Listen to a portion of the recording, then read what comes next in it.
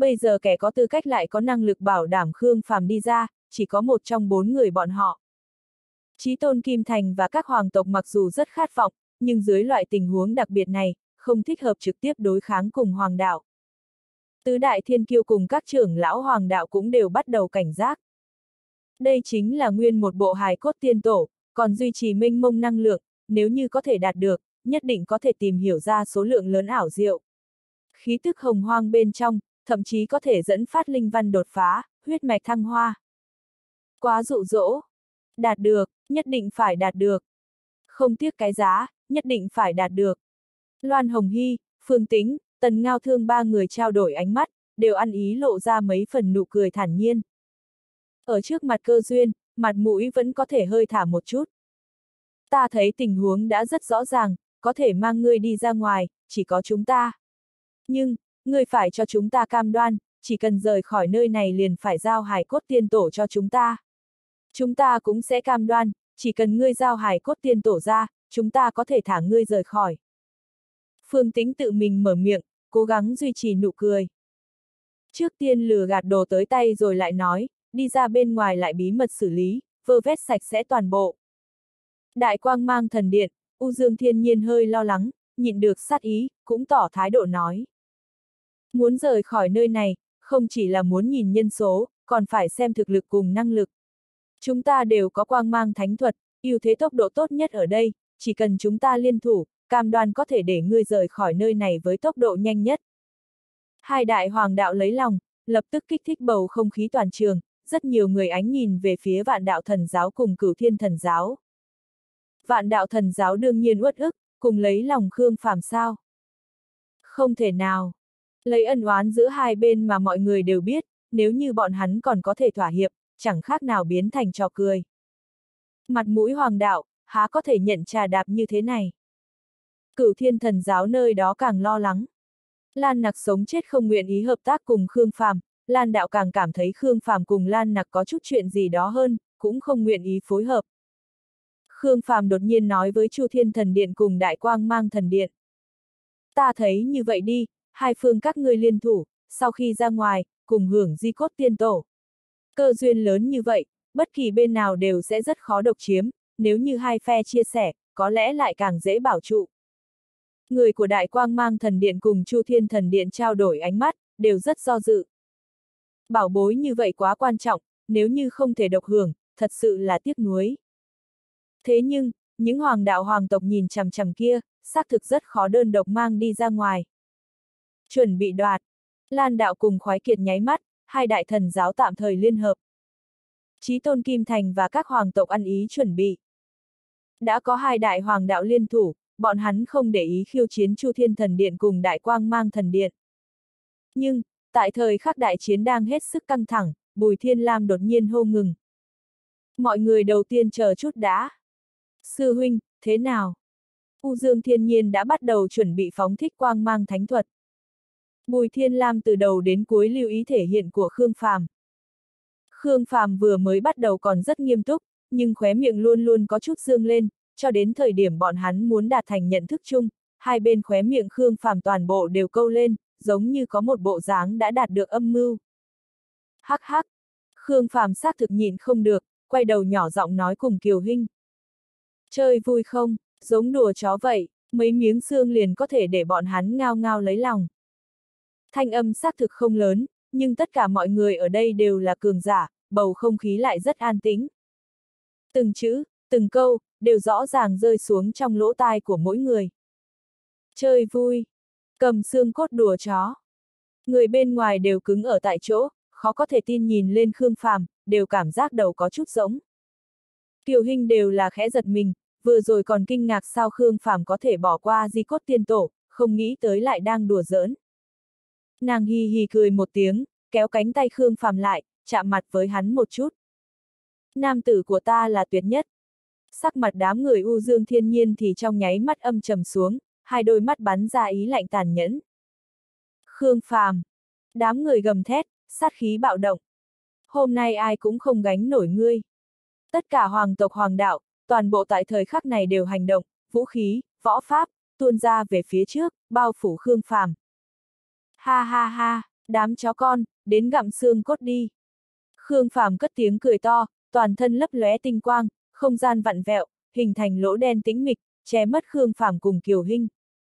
Đây là diễn dịch nhật nguyệt tinh thần đại táng cơ sở nhất, lỗ đen tinh không. Khương Phàm vừa mới lĩnh ngộ, vẫn chưa hoàn toàn khống chế được, nhưng di chuyển 180 mét, còn dư xài. Khương Phàm tránh khỏi thế công, xuất hiện ngoài trăm thước. Liệt diễm cuồn cuộn phía sau hai người, ngưng tụ hỏa dực, chấn động mãnh liệt, không gian lay động, bằng tốc độ kinh người xông ra khỏi thạch điện, dọc theo động sâu phóng lên tận trời. Hỗn đản, hỗn đản, giết hắn. Dám nhục nhã chúng ta, hôm nay hắn chắn chắn phải chết. Khương Phàm, người nhất định phải chết. Tất cả hoàng tộc hoàng đạo toàn bộ bạo động, tranh nhau chen lấn xông ra thạch điện, truy sát Khương Phàm. Đám tán tu, cường tộc trong cung điện đều ngẩn ở đây ở tại chỗ, thật lâu chưa có lấy lại tinh thần. Mãnh liệt thật, quá dữ dội. Có thể tìm đường chết đến trình độ này, thật sự là để cho người ta bội phục. Hình nhi, tới bên trong thanh đồng tiểu tháp chờ trước. Thiếp có thể bảo vệ chàng. Ta có thể ứng phó. Khương Phàm thu Kiều Hinh vào thanh đồng tiểu tháp, dọc theo hố sâu sông lên trời, một bên sông đi lên, một bên khuấy động tầng đất hố sâu. Hố sâu đào vừa được mở lại lần nữa bạo động, thổ chiều cuồn cuộn, lao nhanh xuống phía dưới, bao phủ lấy hoàng tộc hoàng đạo các phương đang truy kích, a à. Mở cho ta! Tần ngao thương ngạnh kháng bụi đất bạo động, cuồng sông lên dễ như trở bàn tay. Tất cả cường giả khác đều tế lên vũ khí cường hãn, theo sát phía sau. Nhưng, Khương Phàm không đợi hoàn toàn xông ra hố sâu liền một đầu đâm vào bên trong địa tầng, giống như cá bơi trong biển, tốc độ có thể so với chạy trên mặt đất. Siêu siêu siêu. Bọn người tần ngao thương đằng đằng sát khí, liên tiếp xông ra khỏi địa tầng. Người đâu? Khương Phàm, người chết ở đâu rồi, cút ra đây cho ta. Tiểu tặc không có can đảm, khí thế vừa rồi của ngươi đâu. Bọn hắn dõi nhìn ra xa, tìm kiếm bóng dáng Khương Phàm, thế nhưng bầu trời hay trên mặt đất đều không nhìn thấy bóng dáng của Khương Phàm. Làm sao vậy, không có thấy người. Rất nhiều thực lực, tán tu hơi yếu tụ ở phía xa, liền vội vàng lắc đầu, sợ bị cường giả hoàng tộc tức giận khi dễ. Không có đi ra sao, ta rõ ràng. Tần ngao thương nằm xuống lao xuống, rơi đến trên mặt đất, sau khi hắn định thần cảm nhận, bỗng nhiên ngẩng đầu nhìn về phía phía trước. Dưới đất, hỗn đản xảo quyệt. Tần ngao thương dâng lên minh mông thổ nguyên lực, là người đầu tiên tiến vào dưới mặt đất. Địa tầng cuồn cuộn, nhanh chóng nhường đường. Tay hắn cẩn thận tìm kiếm, dậm chân phóng tới, một mực tập trung vào phương hướng Khương Phàm di chuyển, tiếng gào thét hùng hậu quanh quẩn dưới đất. Khương Phàm, người trốn không thoát, chạy trở về chiến với ta một trận. Nhanh đuổi theo, bắt sống. Tất cả cường giả hoàng tộc nhao nhao điều động cường giả thổ hệ linh văn của bọn hắn. Có nham thuẫn linh văn, có sơn nhạc linh văn, có địa động linh văn, có địa thú linh văn, còn có thổ hệ linh văn tinh khiết. Bảy vị cường giả niết bàn cảnh nhao nhao xông vào dưới mặt đất, đuổi bắt Khương Phàm. Nhưng, tốc độ Khương Phàm quá nhanh, những trưởng lão niết bàn này đều coi là rất nhanh thì có thể hình thành vòng vây, vây chết Khương Phàm ở dưới đất, kết quả lại bị bỏ lại xa xa. Hỗn đản này có chuyện gì? Hắn không phải hỏa diễm thú linh văn sao, sao có thể tự do di chuyển dưới đất như vậy? Là có vũ khí gì sao? Bọn hắn tức giận lại càng sốt ruột, đều thiêu đốt huyết khí, thôi động linh văn, dùng tốc độ cao nhất phóng tới trong lòng đất. Tại lãnh địa mà bọn hắn am hiểu, sao có thể để Khương Phàm chạy? Sao lại không có động tính? Bọn người lan đạo ở không trung đã đợi lại đợi, không nhìn thấy địa tầng cuồn cuộn như tưởng tượng, không nhìn thấy chiến đấu hỗn loạn như mong đợi, mà là bình tĩnh. Đám người hai mặt nhìn nhau, xảy ra chuyện gì? Tên điên kia chạy trốn từ dưới đất mặc dù rất ngoài dự liệu, nhưng hắn là hỏa diễm linh văn, vẫn thú văn chim muông, hẳn là am hiểu chiến đấu ở trên không, xông đến địa tầng thì không thể nào chạy quá nhanh. Bọn người tần ngao thương hẳn là rất dễ dàng có thể đuổi tới Khương Phàm, cũng vây hắn lại. Tốc độ Khương Phàm càng lúc càng nhanh, hoành hành không trở ngại, lại không thay đổi phương vị. Đám người tần ngao thương điền cuồng truy kích trên mặt đất, không thể không tập trung toàn bộ tinh lực, cố gắng cảm nhận được vết tích Khương Phàm ở phía xa càng ngày càng phiêu hốt, sợ hơi phân tâm liền sẽ mất đi mục tiêu. Hắn là có vũ khí gì sao? Tần ngao thương xông lên phía trước nhất, toàn thân sôi trào lít nha lít nhít tinh thổ, như là một cơn lốc hoành hành dưới địa tầng. Thiên phẩm linh văn đã hoàn toàn kích phát, nhưng vẫn vô cùng cố hết sức để đuổi theo. Không sai biệt lắm. Khương Phàm chìm vào chỗ càng sâu trong địa tầng, điều động đại địa mẫu khí bao phủ lấy mình, cùng địa tầng triệt để hòa làm một thể. Người đâu? Tần Ngao Thương đuổi theo lại đuổi theo, đột nhiên mất đi tung tích Khương Phàm. Các trưởng lão niết bàn cảnh đang đau đớn đuổi theo phía sau cũng đều liên tiếp dừng lại, đang lặng lẽ cảm nhận được khí tức Khương Phàm trong địa tầng hắc ám nặng nề. Bọn hắn trước tiên là nghĩ tới, tốc độ Khương Phàm lại tăng nhanh, hất bọn hắn ra, cho nên chỉ cần cẩn thận cảm nhận, vẫn có khả năng phát hiện chút năng lượng lay động. Nhưng, thời điểm sâu trong địa tầng đang lâm vào an tĩnh, Khương Phàm lại bao quanh đại địa mẫu khí, nhanh chóng trở về, thẳng đến tần ngao thương. Đây là nguồn năng lượng gì? Tần ngao thương rất nhanh đã giật mình. Rõ ràng rất yếu ớt, yếu ớt đến rất phiêu miểu, nhưng lại giống như rất mênh mông, mênh mông đến mức hắn đều có loại cảm giác ngạt thở không hiểu thấu. Ảo giác sao? Chẳng lẽ liên tục kích phát tiềm lực, sinh ra ảo giác? Không, ta không thể nào sinh ra ảo giác được. Chẳng lẽ là Khương Phàm? Rốt cuộc hắn lại có thứ vũ khí gì? Tần Ngao thương thân kinh bách chiến, kinh nghiệm cực kỳ phong phú, mặc dù còn chưa hiểu đã xảy ra chuyện gì, nhưng vẫn quả quyết phát động thế công. Thiên Pháp, Địa Vương Quyền. Ánh mắt Tần Ngao thương rực sáng, toàn thân ba động giống như nổ tung, khuấy động mấy vạn mét địa tầng, phảng phất cùng minh mông đại địa hòa thành một thể, vẫy tay một cái, điều động lên uy lực đại địa vô tận. Cứ như vương hầu sát tràng, pháp lệnh ngàn vạn cường binh. Hắn tuôn ra một quyền, thổ nguyên lực vô tận bên trong địa tầng đều sao động, nhanh chóng cuồn cuộn về phía trước. Đại địa giống như nhấc lên thủy triều, cuồn cuộn không dứt, liên miên lao nhanh. Ở sâu trong địa tầng này, chính là chiến trường thuộc về hắn, uy thế một quyền cường hãn này, mạnh hơn cảnh giới áp chế. Khương Phàm ở đối diện gặp phải. Nhưng, không có va chạm mãnh liệt, không có bạo động nóng nảy. Tay hắn cầm đại địa mẫu khí, hoành hành không trở ngại. Thổ nguyên lực táo bạo lao nhanh đều nhường đường, thậm chí còn nhận dẫn dắt, theo sát ở phía sau hắn, lao vút tới phía tần ngao thương. Tần ngao thương lập tức phát giác được vấn đề, hai tay bạo kích, uy lực địa vương quét sạch địa tầng, nhấc lên thủy triều, địa tầng cuồn cuộn, liền ngay cả mặt đất bên trên mấy ngàn mét đều xuất hiện ba động kịch liệt, đại địa chập trùng, cây rừng đổ rạp, thanh thế kinh người. Nhưng, thế công cường đại mà hắn vẫn lấy làm kiêu ngạo lại hoàn toàn vô hiệu đối với Khương Phàm. Khương Phàm cường thế giết tới, đại địa mẫu khí nhanh chóng diễn biến, một loại uy lực tai nạn ầm vang bộc phát, thẳng đến tần ngao thương. Mở cho ta. Tần ngao thương không nhìn rõ bất cứ thứ gì, nhưng lại có thể cảm giác được uy hiếp mãnh liệt, tay hắn cẩn thận đánh về phía trước một kích. Trọng kiếm vô phong, trong chốc lát bộc phát ra uy lực sơn hà, cuồng dã chấn động địa tầng, thẳng tiến không lùi, sơn hà mở đường.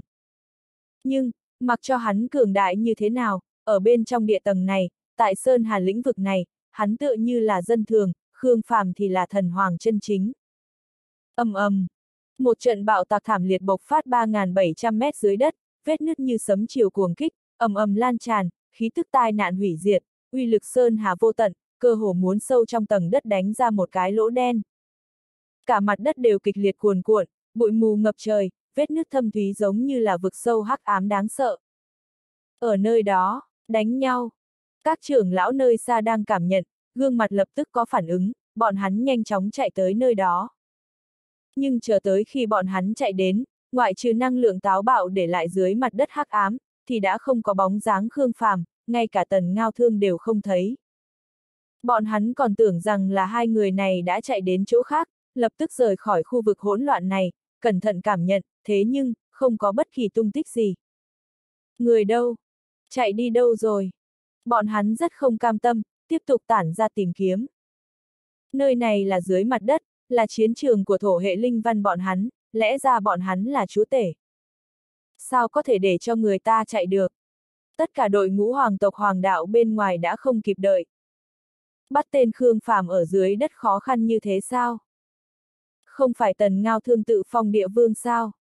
Còn có bảy vị niết bàn phối hợp, đều không bắt được Khương Phàm.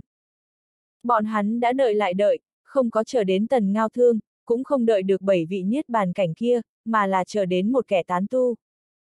Khương, Khương Khương, Khương Phàm, hắn, Hắn hắn hắn. Tán tu nơm nớp lo sợ đi đến phía trước, liên tiếp hành lễ. Mẹ kiếp, người bị cà lam sao? Loan Hồng Hy đang gấp liền giận dữ mắng mỏ. Ta, ta ta ta, liền liền liền, liền liền liền. Tán tu càng khẩn trương kẹt lại tại chữ, liền, sống chết làm khó dễ. Ta đập chết ngươi. Đám người tức giận, cảm giác nhận lấy nhục nhã. Khụ khụ. Tán tu dùng sức ho khan vài tiếng, dùng hai bàn tay đánh đùng đùng vào mặt mình, cảm xúc bình phục lại. Nói, tần ngao thế nào? Loan Hồng Hy tận lực khống chế ngữ khí, bởi vì hắn nhìn thấy một thứ đẫm máu trong tay tán tu kia. Khương phàm hắn, hắn hắn hắn, để cho ta tới, cho ngươi, ngươi ngươi ngươi, các ngươi đưa, đưa tiễn, đưa tiễn, cái này. Tán tu đổ quăng tới trên mặt đất, lại là một cánh tay bị chém đứt, chiếc nhẫn kiếm văn đặc biệt phía trên lập tức hấp dẫn lực chú ý của đám người Loan Hồng Hy. Trưởng lão Chu Thiên Thần Điện đi qua cầm lên xem, sắc mặt lập tức âm trầm xuống. Là Tần Ngao Thương. Tần Ngao Thương, người đâu? Loan Hồng Hy, Phương Tĩnh lập tức rơi xuống mặt đất. Ta, không không không, không biết. Ngươi thấy được cái gì, nói. Khương, Khương Khương Khương, khụ khụ, Khương Khương. Tán tu bị khí thế bức người của bọn hắn ép tới ngạt thở liền kẹp lại ngay chữ đầu tiên. Bầu trời một mảnh yên lặng, ở đây đều là chút thiên kiêu nhân kiệt danh chấn một phương, đều là trưởng lão cao quý trong hoàng tộc thần giáo, lúc nào gặp được chuyện bực mình như thế. Bọn hắn nghiêm trọng hoài nghi, Khương Phàm cố ý chọn lấy cái mặt hàng như thế, tới nhục nhã bọn hắn. Thế nhưng, làm sao Khương Phàm lại bắt tần ngao thương đi được? Bảy vị trưởng lão kia đâu? Loan Hồng Hy nhìn xuống xúc động muốn chụp chết ra hỏa này. Từ từ, không nôn nóng, chỉ cần ngươi có thể nói rõ, ta trọng thưởng. Trọng thưởng, thưởng cái gì? Tán tu một kích động, không cả lâm nữa. Đám người trên bầu trời bất đắc dĩ lắc đầu. Loan Hồng Hy cố gắng gạt ra chút nụ cười. Người biểu hiện càng tốt, thưởng càng nhiều, bảo đảm ngươi hài lòng. Người cam đoan. Tán tu mong đợi xoa xoa tay, Khương Phàm cho hắn rất nhiều kim tệ, nơi này hẳn là cũng sẽ không kém đi. Cam đoan. Hô hô hô. Tán tu liên tục hít sâu mấy cái, sau khi điều chỉnh liền nói. Khương Phàm tìm tới ta, cho ta nói. Nói nói nói, tìm được các ngươi rồi, để đồ lại. Còn nói, nói nói nói, để cho ta đưa một câu. Lời gì? Ha ha, cái này, không dễ nghe. Nói. Hắn nói, ừm, không phải ta xem thường các ngươi, mà tất cả các ngươi là. Giác giác giác. Tán tu khẩn trương, lại kẹp lại, kéo nửa ngày không có lôi ra tới. Giác cái gì? Giác rưởi. Bầu không khí lần nữa an tĩnh, sắc mặt đám người lan đạo đều trở nên cực kỳ âm trầm. Bọn hắn đều là thiên tài xuất thân cao quý, bình thường tu luyện võ pháp, càng bồi dưỡng tố chất, thế nhưng từ khi tới đây, sau khi gặp được cái tên điên này, bọn hắn cảm giác mình đều nhanh muốn biến thành người điên. Một vị trưởng lão nắm chặt nắm đấm, cố nén xúc động.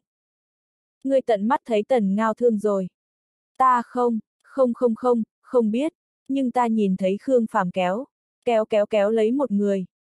Chỉ có hắn một cái, còn có người khác sao? Không có, hết rồi. Hắn đi hướng nào? Đi về phía nam. Tán tu nói xong, lộ ra nịnh nọt nụ cười, chờ đợi ban ân.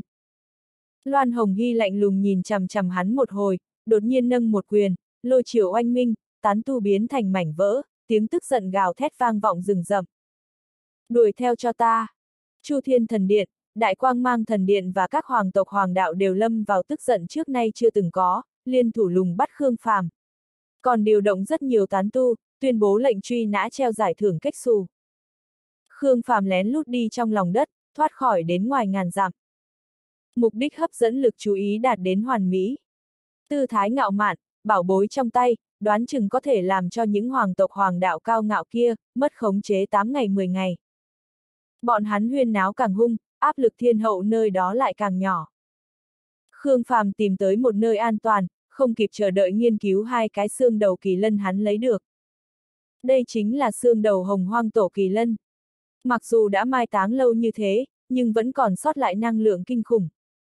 Không chỉ có thú nguyên cuồn cuộn lấy hỏa diễm cùng thủy triều mãnh liệt bên trong, ngay cả mặt ngoài xương sọ đều trải rộng hỏa văn cùng thủy văn tương ứng, dâng lên minh mông hỏa nguyên lực cùng thủy nguyên lực. Linh hồn đan hoàng đều đang thưởng thức bọn chúng.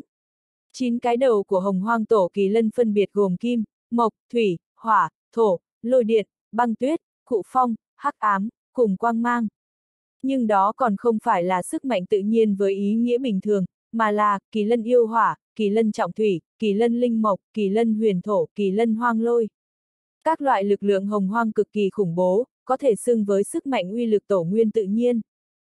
Kỳ lân yêu hỏa, đủ để chống lại hỏa lực của Phượng Hoàng Niết Bàn, kỳ lân linh mộc nắm trong tay con đường sinh mệnh, kỳ lân hoang lôi càng là một trong tam đại hồng hoang thiên lôi.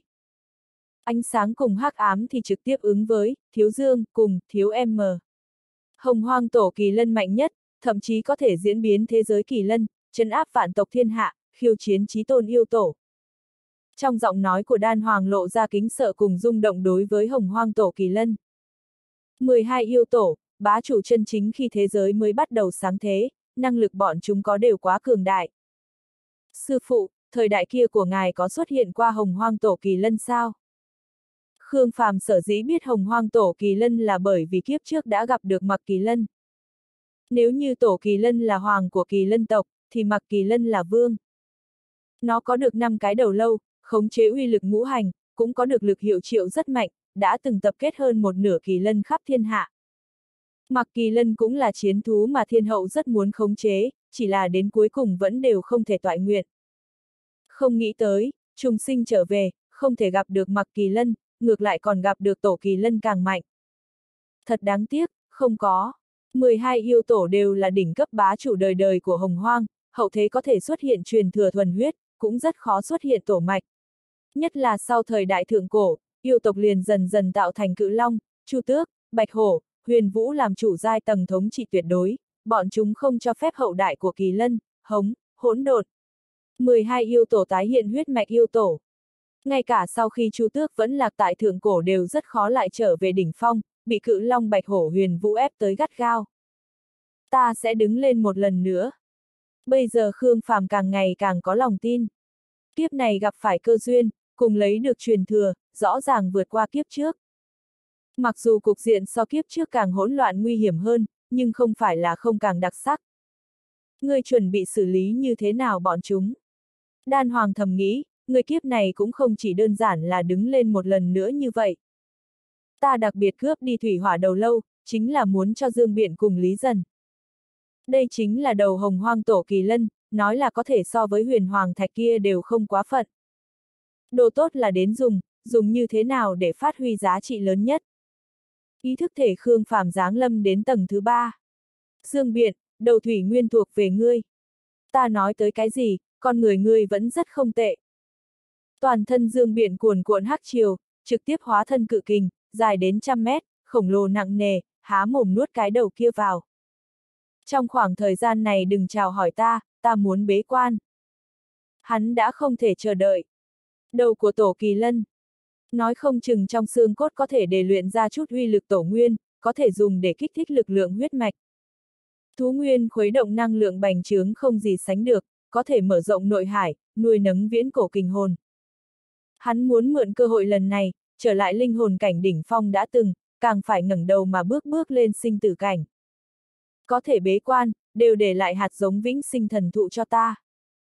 Khương Phàm ôm lấy kỳ vọng rất cao đối với Dương Biện, trước đó thức tỉnh viễn cổ kình hồn liền để hắn mạnh hơn tuyệt đại đa số thiên phẩm, có được lực lượng cường đại chiến một trận cùng Thánh Vương, lại dung hợp đầu của Tổ Kỳ Lân, nói không chừng có thể chân chính xông một bước lên Thánh Vương Linh Văn.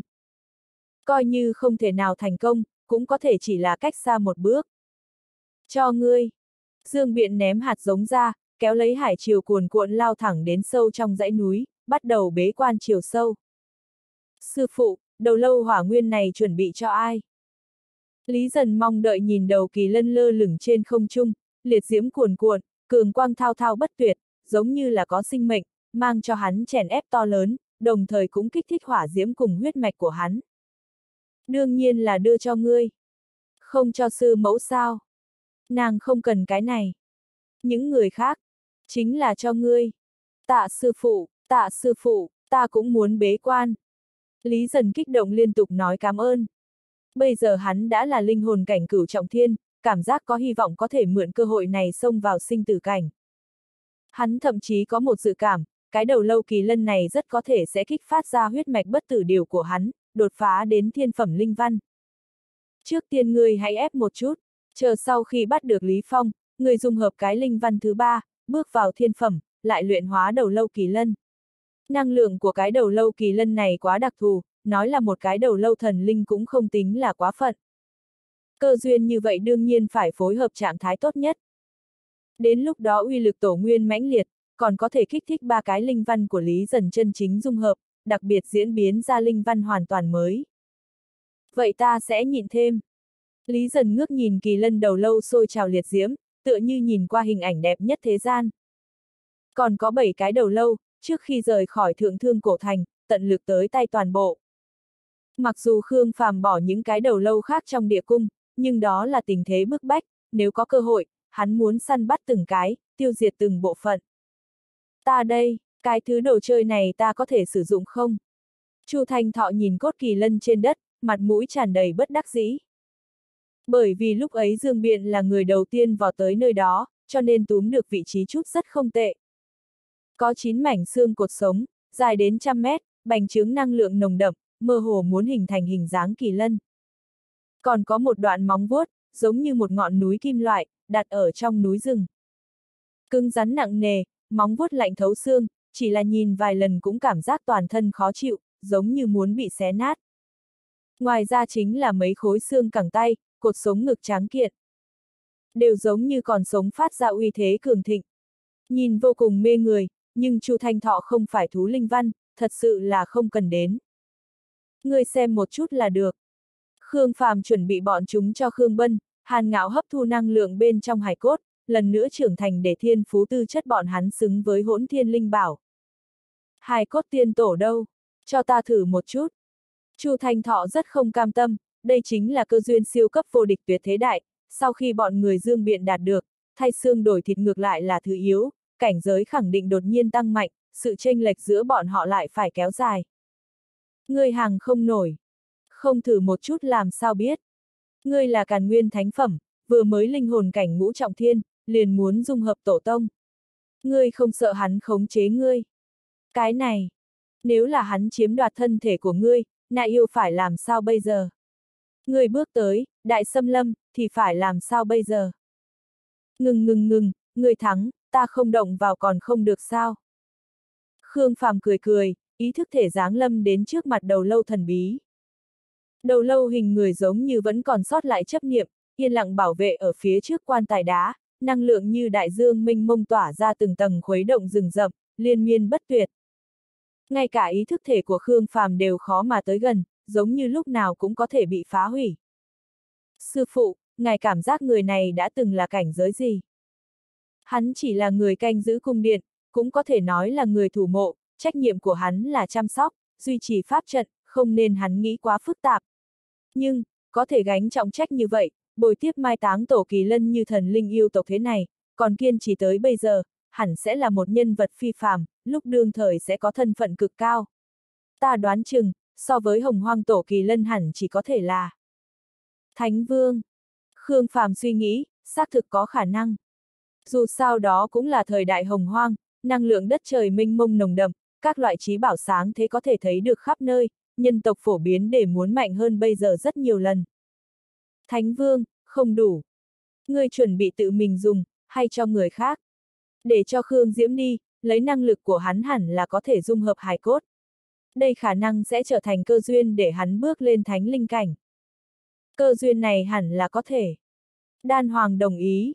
Đột phá cảnh giới từ bán thánh đến thánh linh độ khó cực lớn, xem như một ít hoàng tộc, tập kết tất cả tài nguyên đều chỉ có thể bảo chứng khoảng trăm năm thúc đẩy một vị.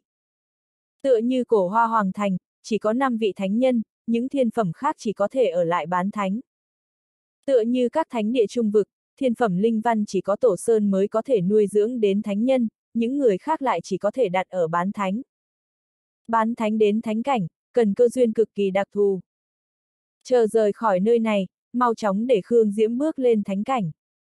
Sau khi Khương Phàm hạ quyết tâm, hắn linh bày toàn bộ hạt của vĩnh sinh thần thụ ra đến, hết thảy 23 hột. Có lớn có nhỏ, nhưng đều sáng đỏ mượt mà. Đan Hoàng nói, hạt giống có thể giữ vững đến bây giờ, hẳn là uy lực vĩnh sinh bên trong đang duy trì. Khương Phàm cẩn thận quan sát. Bọn chúng thật sự còn có sinh mệnh sao? Còn có thể mọc ra sao?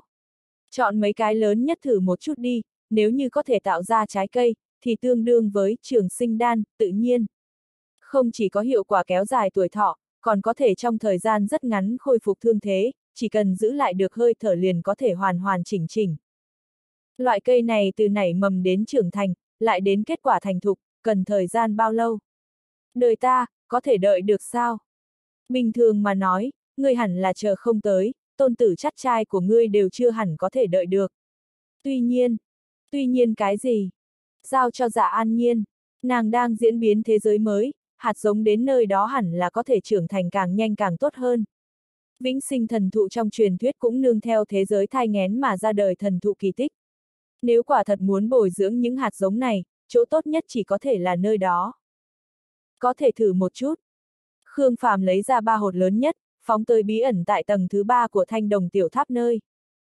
Còn lại, người coi như đan dược mà dùng đi. Bên trong dù là chỉ có một giọt linh dịch sinh mệnh, cũng có thể ở trong thời gian rất ngắn để ngươi khôi phục trạng thái đỉnh phong, là thuốc bổ tuyệt hảo sau khi ngươi sử dụng chư thiên lục táng cùng vĩnh hằng lục đạo, ngươi không cần lại sử dụng niết bàn thuật. Bảo bối tốt, chuyến đi đến thượng thương cổ thành lần này thật không tệ.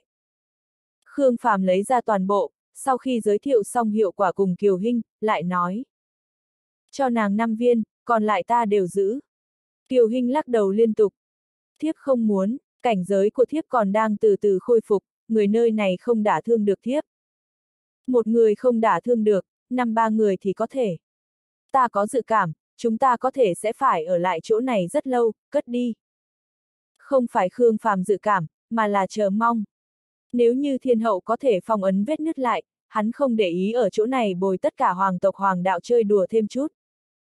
Dù sao hoàn cảnh quá đặc biệt, cơ hội lại quá hiếm có. Mà, hắn đang mong đợi lại phát hiện mấy cái cơ duyên tương tự. Vậy thiếp nhận lấy ba viên. năm viên, đừng cãi cỏ. Khương Phàm nhét mạnh vào trong tay Kiều Hinh, mang theo nàng rời khỏi. Hắn muốn tìm mục tiêu, tiếp tục quấy rối, hấp dẫn càng nhiều lực chú ý, giảm bớt áp lực cho thiên hậu. Sau khi xông về phía trước hơn trăm dặm, hắn lại đột nhiên đã nhận ra huyết mạch lay động quen thuộc. Triệu thời Việt tới, không đúng, còn giống như có loại ba động thứ hai. Nơi này còn có kim thai khác. Khương Phàm kinh ngạc, lập tức kêu gọi Kiều Hinh đuổi theo. Kim thai là phân thân của chàng sao, đều là một bộ dáng như chàng sao. Kiều Hinh hứng thú, bọn người Dương Vương thật lợi hại, vậy mà lại có thể nghĩ đến phương pháp luân hồi như thế này, thật đúng là thành công. Bộ dáng như nhau, nhưng cuộc sống khác nhau nên tính cách cũng khác nhau, còn có khác cả linh văn, khí chất ảnh hưởng, nhìn lại rất khác. Chàng là chủ thể, bọn hắn là phân thân, chàng có thể khống chế bọn hắn không? Không thể.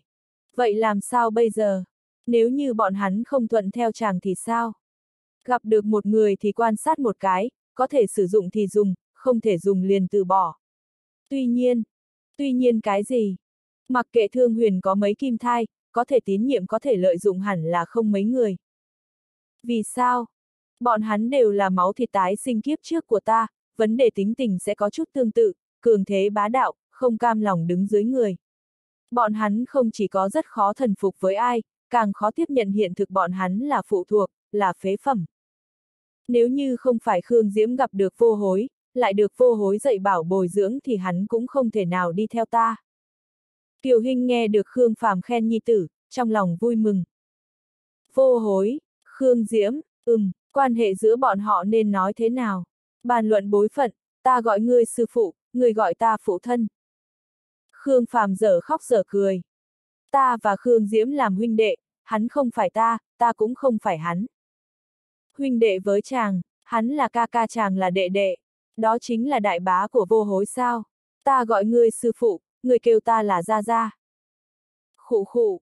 Khương Phàm bị Kiều Hinh hỏi mà sặc đến nói không ra lời, trước đó giống như không nghĩ tới tầng quan hệ này. Không đúng sao? Kiều Hinh đi theo bên cạnh Khương Phàm, vừa chăm chú suy nghĩ. Khương Diễm gọi vô hối là sư phụ, vô hối gọi chàng là phụ thân, Khương Diễm liền phải gọi chàng là sư tổ. Chàng gọi vô hối là nhi tử, vô hối gọi Khương Diễm là đệ tử, chàng phải gọi Khương Diễm là đồ tôn, Nhưng chàng nhất định phải gọi Khương Diễm là đại ca, cũng chính là chàng gọi chàng là cháu trai ca ca. Các ngươi thật loạn nha. Được rồi. Khương Phàm tranh thủ thời gian dừng lại. Vậy không được, chúng ta là thần triều, quý tộc đầu tiên của Thương Huyền, bối phận phải hiểu rõ, truyền đi sẽ làm trò cười cho người khác. Kiều Hinh nhăn lông mày xinh đẹp lại. Làm như thế nào để bàn đây? Bàn luận bối phận.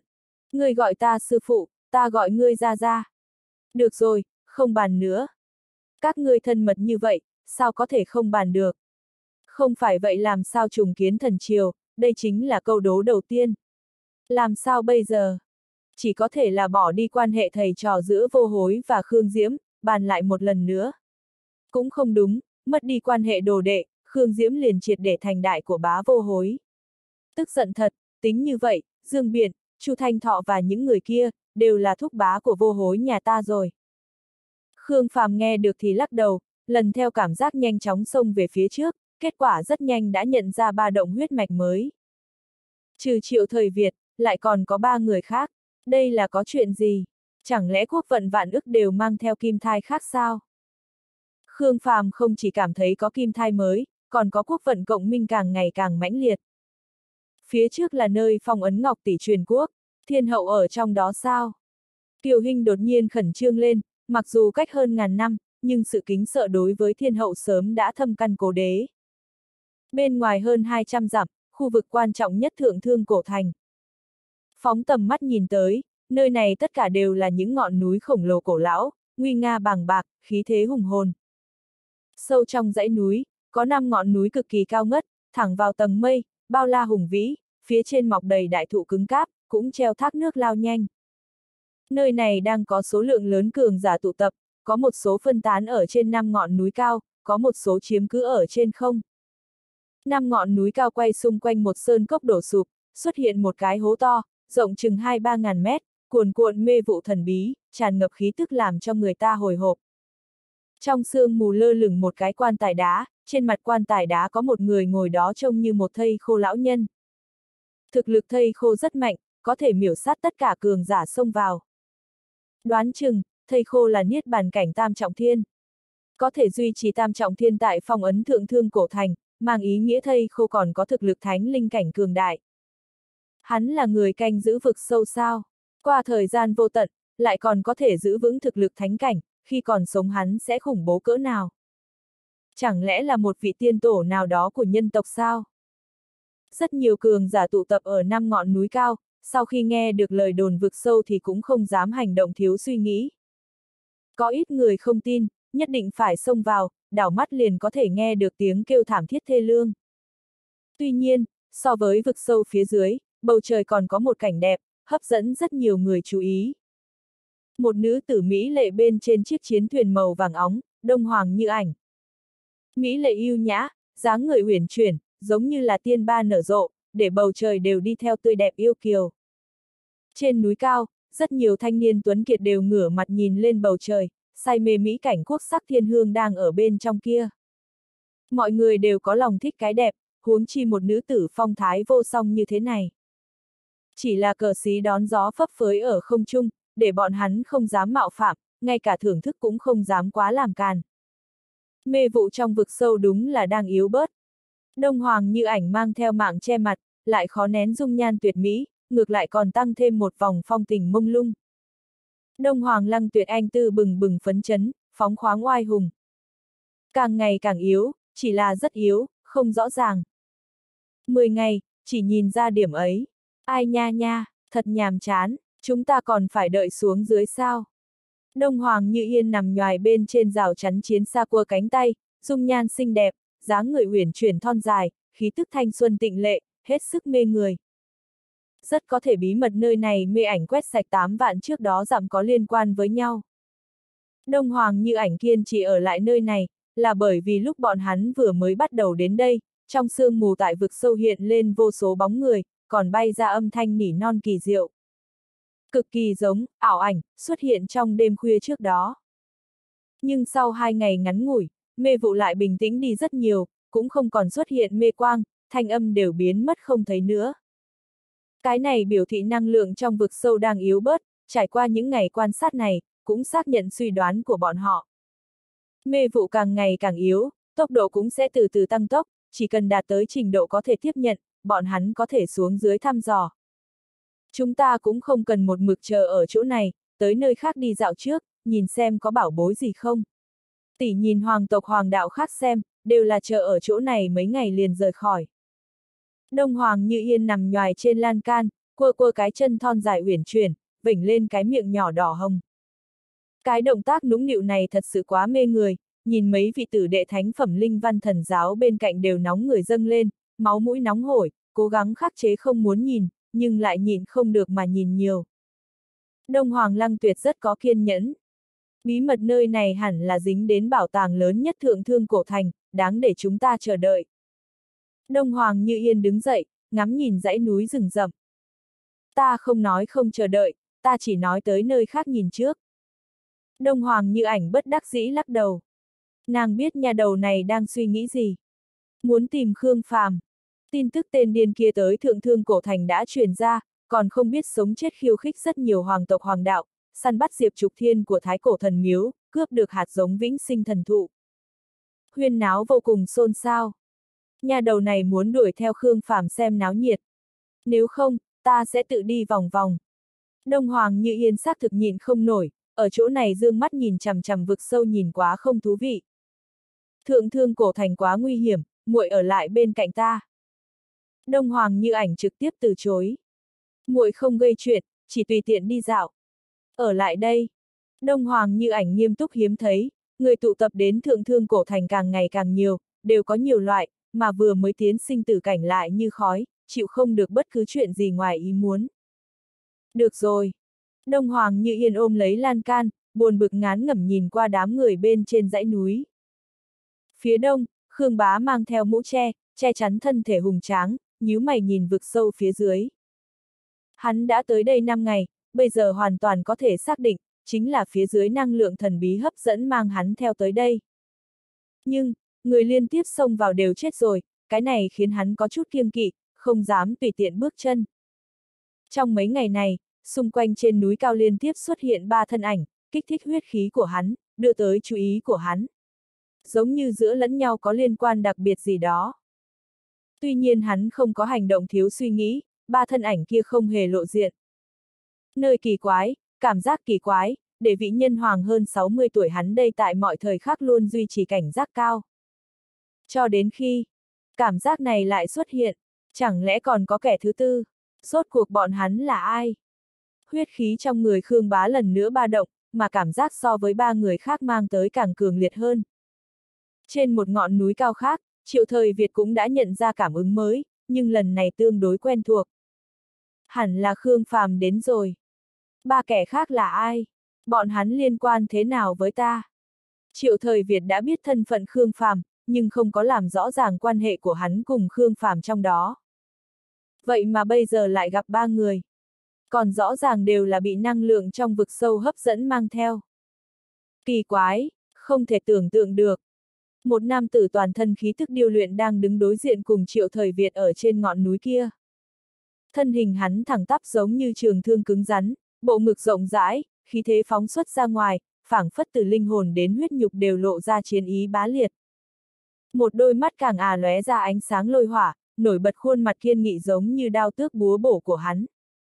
Từ đầu đến cuối hắn vẫn đang ngó chừng vực sâu, liên tục hiện xuất liên huyết khí ba động mới cũng không có để ý tới. Mặc dù năng lượng trong vực sâu đang yếu bớt, nhưng nhưng không có mang cho hắn xúc động. Nhìn qua vực sâu, yên lặng cảm nhận, định thần truy tìm, giống như nơi đó đang chìm nổi một quốc gia phiêu miểu, dân chúng cúng bái vô tận. Tựa như ảo mộng nhưng lại chân thực mà mãnh liệt. Vị kim thai thứ năm hôm nay vừa tới, lại đi thẳng tới chân núi, yên lặng nhìn qua vực sâu. Đôi mắt âm trầm kia xuyên thấu qua mê vụ, mơ hồ thấy được quan tài đá lơ lửng, cũng nhìn thấy thây khô phía trên. Diêm bá. Cái tên mơ hồ trong trí nhớ, rõ ràng hiện lên ở trong đầu.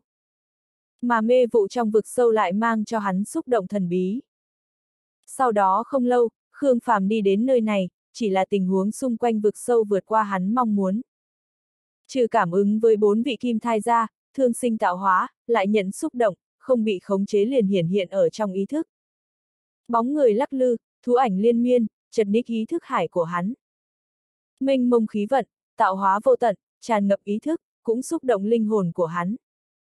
Lúc đầu Khương Phàm còn tưởng rằng là quốc vận vạn ức đưa tới cảm ứng mãnh liệt, thế nhưng khi trên không ý thức hải của hắn hiện ra hình ảnh mới, hắn đoán được một loại khả năng. Nơi này có người thừa kế vĩnh hằng lục đạo.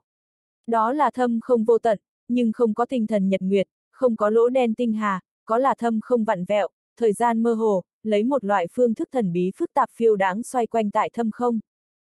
Chợt nhìn giống như không có cái gì, nhưng cẩn thận đắm chìm cảm ngộ trong đó, thật giống như nhìn trộm đến ảo diệu của không gian và thời gian, thấy được lịch sử đã từng. Đông Hoàng như ảnh đang cẩn thận theo dõi vực sâu, lại ngoài ý muốn lâm vào hoảng hốt. Trong ý thức đầu tiên là hiện ra mê ảnh thời không, xuyên suốt vạn cổ, vô số truyền kỳ chấn kinh một thời đại nào đó, lưu lại ấn ký thời không. Đây là lực lượng truyền thừa thuộc về nàng. Nhưng, dưới thời không, lại hiện ra vô số mê ảnh, có nhân tộc có yêu tộc, có ma tộc, thậm chí còn có linh tộc quỷ tộc, số lượng càng ngày càng nhiều, càng ngày càng to lớn, phảng phất toàn bộ sinh linh của thế giới đều dùng một loại phương thức kỳ diệu, xuất hiện ở trong trí óc của nàng. Khương Phàm cùng Đông Hoàng như ảnh đồng thời bừng tỉnh, không hẹn mà cùng nhìn về phía nhau. Đông Hoàng như ảnh, nàng đạt được vĩnh hằng lục đạo truyền thừa. Đó là lực lượng gì, thời không sao? Trong lục đạo truyền thừa lại có lực lượng thời không? Khương Phàm không nghĩ tới truyền thừa lại rơi xuống trên người nàng, lại còn là loại năng lực không thể tưởng tượng này. Nàng có thể làm gì? Khống chế thời gian cùng không gian sao? Hay là nhìn trộm vạn cổ? Đại tỷ này muốn nghịch thiên sao? Đông Hoàng như ảnh càng kinh ngạc, đây là cảm giác gì? Người kia là ai? a à, bóng dáng kia giống như có chút quen thuộc. Tỷ tỷ đang nhìn ai vậy? Đông Hoàng như yên kỳ quái dơ lên gương mặt xinh đẹp, lại thuận ánh mắt nàng trông qua. Đông Hoàng lăng tuyệt cũng quay đầu trông qua, nhìn cái gì? Khương Phàm đã dịch ra mấy bước, tránh khỏi ánh mắt liên tiếp quăng tới từ nơi đó, chui vào trong cánh rừng rậm rạp. Không có gì. Đông Hoàng như ảnh nhớ lại cảm giác kỳ diệu vừa rồi. Vậy mà có thể kích thích đến truyền thừa của nàng. Đây là lần đầu tiên gặp được. Chẳng lẽ là truyền thừa tương tự sao? Người kia, là ai? Khương Phàm đi đến chỗ sườn núi, xuyên qua mặt nạ quan sát vực sâu phía dưới. Nơi đó hẳn là nơi phong ấn quốc vận vạn ức. Vốn định làm loạn bốn chỗ, hấp dẫn lực chú ý, không nghĩ tới vẫn đi tới nơi này. Nếu đã tới liền xuống đi xem một chút, có cần thì giúp một tay, không cần liền ra ngoài tiếp tục hấp dẫn lực chú ý. Thiên hậu ở bên trong à. Kiều Hinh rốt cuộc cũng sắp được gặp thiên hậu, tâm tình càng thấp thỏm. Đừng sợ, bây giờ nàng mới 13 tuổi. Hắc hắc, dáng vẻ phấn điêu ngọc trác thật rất đáng yêu, còn ghim hai cái bím tóc sừng dê nhỏ. Bím tóc sừng dê. Kiều Hinh ngẩng đầu tưởng tượng bức họa mặt kia, thiên hậu phong hoa tuyệt đại, vểnh lên hai cái bím tóc nhỏ. Nhịn xuống, đừng cười. Thiếp cũng không dám cười. Kiều Hinh le lưỡi. Đi xuống xem một chút. Khương Phàm cảm nhận vị trí bốn kim thai bên dưới, thả người nhảy xuống sườn núi, lôi kéo Kiều Hinh lao thẳng đến vực sâu. Mau nhìn, mau nhìn, lại có người nhảy xuống. Lại có người không sợ chết. Trước sau đã đi đến vài trăm người, không có một người nào đi ra. Bây giờ còn không phải thời điểm đi đến. Biển người trên núi cao lập tức bạo động, nhao nhao trông mong nhìn ra xa. Là hắn. Đông Hoàng như ảnh nhìn chằm chằm thân ảnh kia, chính là người vừa rồi đã sinh ra cảm ứng cùng với nàng. Hồi tưởng loại cảm giác kỳ diệu đó, bóng người thú ảnh vô tận trong ý thức. Lại hồi tưởng vô số mê ảnh nở rộ, lời cầu nguyện kỳ diệu ở vực sâu trước đó. Đông Hoàng như ảnh bỗng nhiên cảnh giác, người kia có thể có chút liên hệ cùng vực sâu hay không? Chuẩn bị sẵn sàng. Đông Hoàng như ảnh nhắc nhở đám người. Chuẩn bị cái gì? Các trưởng lão cửu thiên thần giáo nhao nhao về phía trước. Phía dưới lúc nào cũng có thể xuất hiện biến cố, chúng ta hành sự tùy theo hoàn cảnh. Biến cố, biến cố gì? Các vị trưởng lão hai mặt nhìn nhau, đây là làm sao đoán được. Đông Hoàng Lăng Tuyệt nói. Có phải như ảnh muội muội phát hiện cái gì hay không? Đông Hoàng như ảnh chậm rãi lắc đầu, không có nhiều lời, chỉ là định thần quan sát đến vực sâu. Khương Phàm đâm đầu vào mê vụ. Mà tướng thiên mục, tham kiến ngô hoàng, tham kiến hoàng phi. Diêm bá đứng dậy, quỳ xuống trên quan tài đá. Diêm bá, chịu khổ. Khương Phàm đỡ Diêm bá dậy, từ biệt tại Bạch Hổ Quan, đảo mắt đã hơn 20 năm. Lão tướng quân vất vả. Kiều Hinh biết tình huống của Diêm bá, đối với vị lão tướng quân nuốt thiên thi châu, trầm luân hoàng tuyền luyện ngục, lại cô độc ngàn năm này, cõi lòng nàng đều là kính úy. Có thể gặp lại thần hoàng, lão nô chết cũng không tiếc. Diêm bá lại khăng khăng quỷ đó. Mặc kệ Khương Phàm bây giờ bao lớn, lại là tình huống gì, nhưng ở trong lòng của hắn vĩnh viễn là vị thần hoàng cao quý, vị lãnh tụ thương huyền kia. Thiên hậu ở phía dưới sao? Thiên hậu đang kiểm tra phong ấn, kiều vô hối, Khương Diễm đều đã đến, đang phía dưới hiệp trợ. Sao bọn hắn lại tới đây? Khương Phàm kinh ngạc, tiếp đó lại nghĩ đến kim thai phía ngoài, nếu bọn hắn đều cảm nhận được, Khương Diễm hẳn là cũng có thể. Vô hối tới. Kiều Hinh che môi đỏ, hai mắt trong nháy mắt đã mông lung. Bọn hắn cảm nhận được khí vận, cùng bốn người bên ngoài kia. Diêm bá đã phát hiện bọn người Khương bá, chỉ là can hệ trọng đại, hắn không có mời bọn hắn tiến đến. Bốn người bọn họ đều là ai? Người còn hiểu hơn bao nhiêu? Khương bá, bây giờ 63 tuổi, niết bàn cảnh thất trọng thiên, linh văn diệt thế dung nham, trí tôn thánh phẩm. Sinh ra ở đông bộ thiên khâu, sa mạc hỏa dương Hoàng Triều, 30 năm trước, giật dây liệt dương hầu phủ phản loạn, thay thế Lý Thị Hoàng Triều. Khương Quỳ, bây giờ 175 tuổi, cảnh giới bán thánh, linh văn thanh minh ác hỏa, trí tôn thánh phẩm. Sinh ra ở hoàng tộc Đông Bắc Bộ, đọa lạc thiên quốc bị minh hỏa ảnh hưởng, giết chóc tàn nhẫn, tính cách bạo ngược, sau này bởi vì vô vọng đột phá thánh phẩm, rơi vào trạng thái ngủ say. Khương Qua, bây giờ 51 tuổi, niết bàn cảnh lục trọng thiên, linh văn thiên cương lôi hỏa, trí tôn thánh phẩm. Sinh ra ở Đông Nam Tân Hải, tính cách cao ngạo, thượng võ hiếu chiến, sau khi vượt qua sinh tử cảnh đã chuyển vào hải vực, lang thang đến nay. Đối với tình huống của tất cả kim thai, Diêm bá đều nắm như lòng bàn tay. Thương huyền ngoại trừ bọn hắn, còn có ai? Khương Phàm cảm thán, không hổ là thân thể chuyển hóa từ huyết nhục kiếp trước của hắn, tất cả đều tu luyện đến trí tôn thánh phẩm. Có hai người mất tích, đến nay không biết đang ở đâu, những người khác đều đã chết. Diêm bá lắc đầu. Sứ mệnh chân chính của hắn là tìm kiếm kim thân thần hoàng, những kim thai khác chỉ có thể bỏ mặc sinh trưởng, ngẫu nhiên chú ý. Mất tích. Trong quan tài đá có vũ khí bọn người dương vương chế tạo, có thể giúp ta tìm kiếm kim thai, cũng có thể cảm nhận sống chết của kim thai. Những người khác chính là chết hay sống, thần đều có thể xác định, duy chỉ cái hai người kia, còn sống, lại không tìm được. Bị bắt. Không loại trừ khả năng kia. Mất tích bao lâu? Một người mất tích 120 năm, một người mất tích 70 năm. Khương Phàm khẽ nhíu mày, mất tích lâu như vậy mà lại còn sống, khẳng định là cố ý giữ lại. Ai bắt bọn hắn? Cửu thiên thần giáo sao? Hay là hoàng đạo khác? Người coi chừng bọn hắn, ta đi xuống xem một chút. Khương Phàm lôi kéo Kiều Hinh, xông vào vực sâu nhanh chóng lặn xuống. Trong vực sâu bố trí tầng tầng phong ấn, càng là hướng xuống, thủy triều quốc vận càng là mãnh liệt, thẩm thấu linh hồn, chấn động ý thức hải. Nhưng không phải ảnh hưởng bá đạo, mà là cảm nhận rất kỳ diệu. Tựa như là ức vạn con dân chúc phúc, lại như là cương vực vô tận bảo vệ. Sau khi bọn hắn xuyên qua 8 tầng phong ấn, cảnh tượng trước mặt đã liền sáng tỏ thông suốt. Một tòa cung điện rộng rãi đứng vững. Bàng bạc mạnh mẽ, bao la hùng vĩ. Nó cao ngất khổng lồ, thế như thiên nhạc, tản ra khí lãng ngập trời.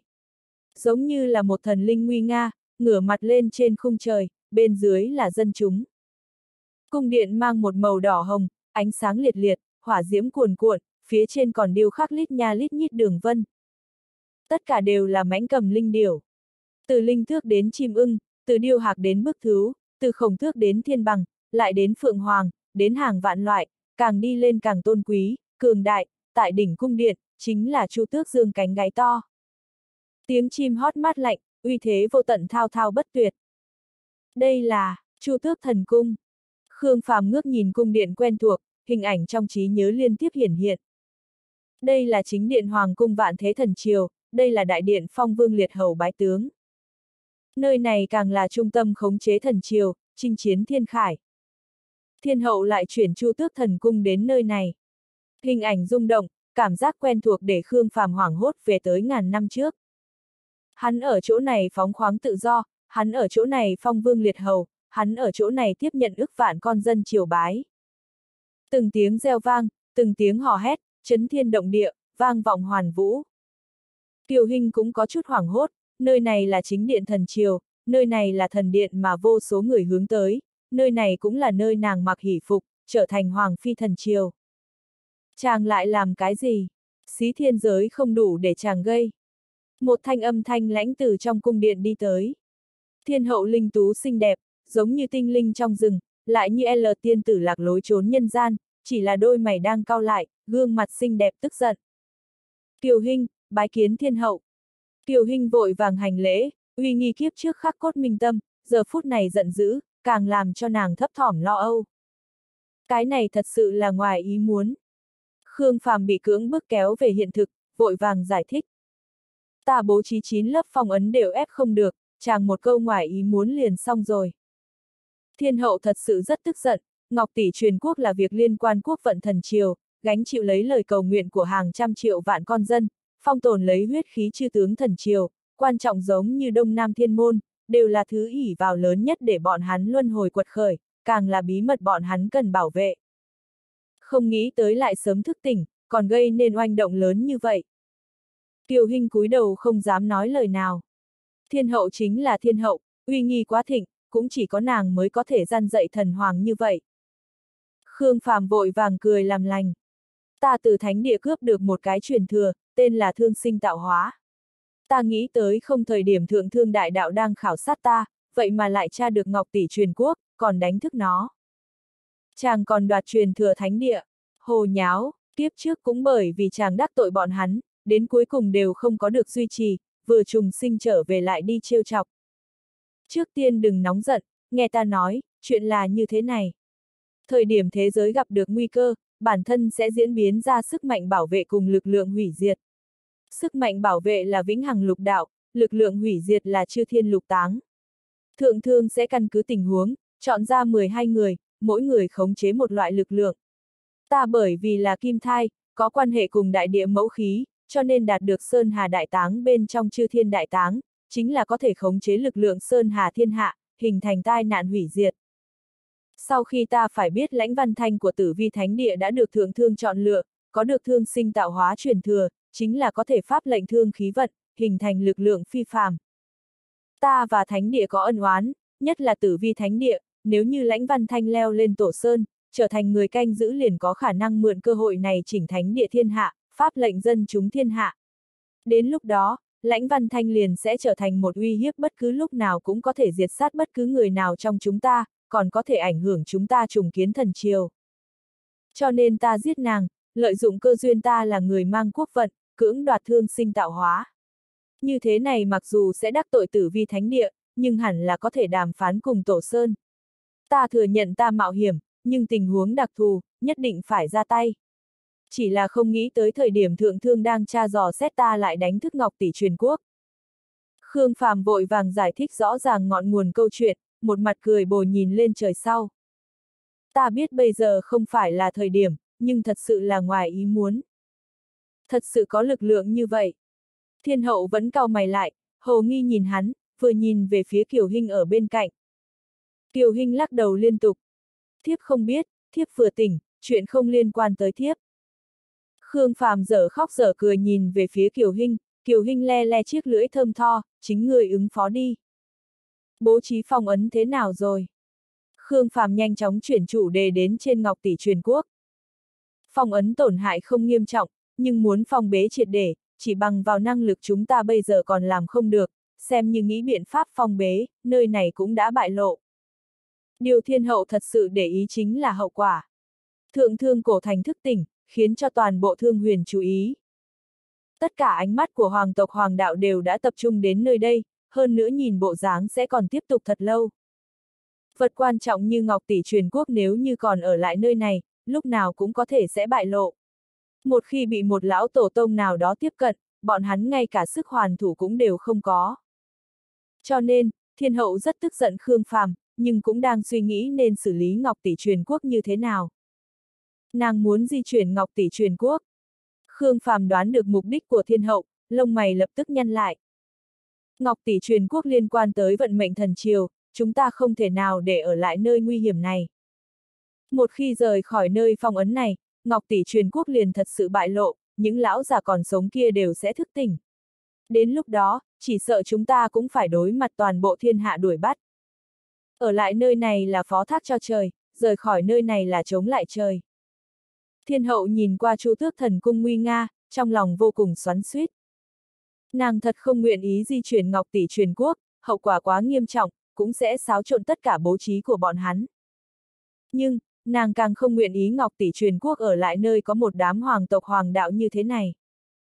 Bây giờ bên ngoài vực sâu vẫn chỉ là tụ tập một ít bộ phận cường tộc, nhưng đã đủ sâu lòng hiếu kỳ của bọn hắn. Nếu như chậm chạp không gặp được bảo bối, rất có thể bọn hắn sẽ mời bán thánh tiến đến dò xét, thậm chí là thánh nhân. Đến lúc đó, bí mật của Ngọc Tỷ truyền quốc sẽ muốn bại lộ.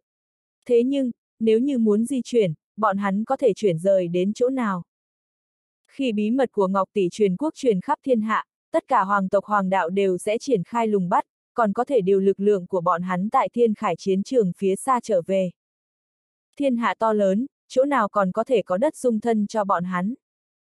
Luân hồi bí cảnh, có thể gánh vác được sao? Cho tới bây giờ thiên hậu còn không có hy vọng xa vời thân phận của bọn hắn có thể giữ vững quá lâu, nhưng bại lộ sớm nhất ít nhất cũng phải sau 5 năm nữa, mà không phải là bây giờ.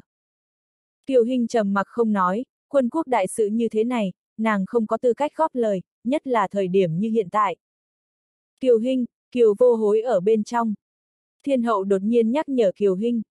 a à, Kiều Hinh đi mau mấy bước, tới trước điện. Có hai bóng người đang ngồi trong cung điện rộng rãi.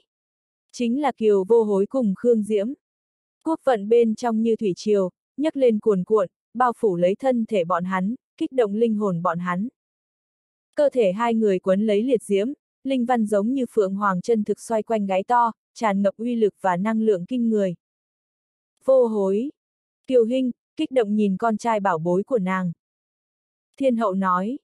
Quốc vận đang tiêu tán, không cách nào cưỡng ép phong ấn, ta để bọn hắn vây lại nơi đó để hấp thu, chớ lãng phí. Kiều vô hối mơ hồ đã nhận ra cái gì, hai mắt nhắm chặt đột nhiên mở ra, ánh mắt hơi rung nhẹ, quay người nhìn về phía bên ngoài cửa điện. Thân ảnh quen thuộc kia đập vào mi mắt, giống như là trọng trùy đánh vào tim. Mẫu thân. Hai mắt Kiều vô hối lập tức mông lung, cảm xúc chập trùng, lập tức lao ra, quỳ gối trước mặt Kiều Hinh. Mẫu thân, ngài, tỉnh. Mau dậy đi, nhanh để cho ta nhìn, để cho ta xem thật kỹ một chút.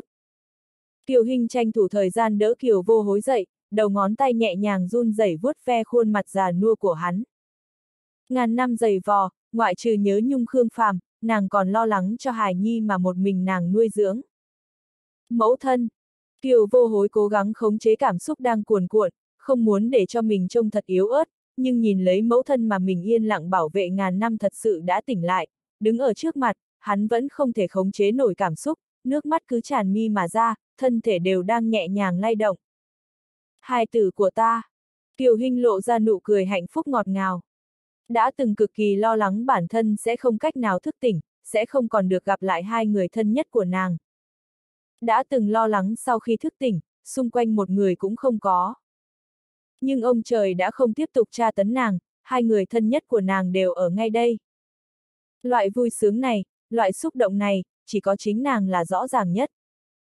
Phụ thân, ngài đã tới. Kiều vô hối tranh thủ thời gian cùng đi tới hành lễ với Khương Phàm. Làm tốt lắm, ta kiêu ngạo vì ngươi. Khương Phàm cũng mà theo nụ cười tươi đón hắn.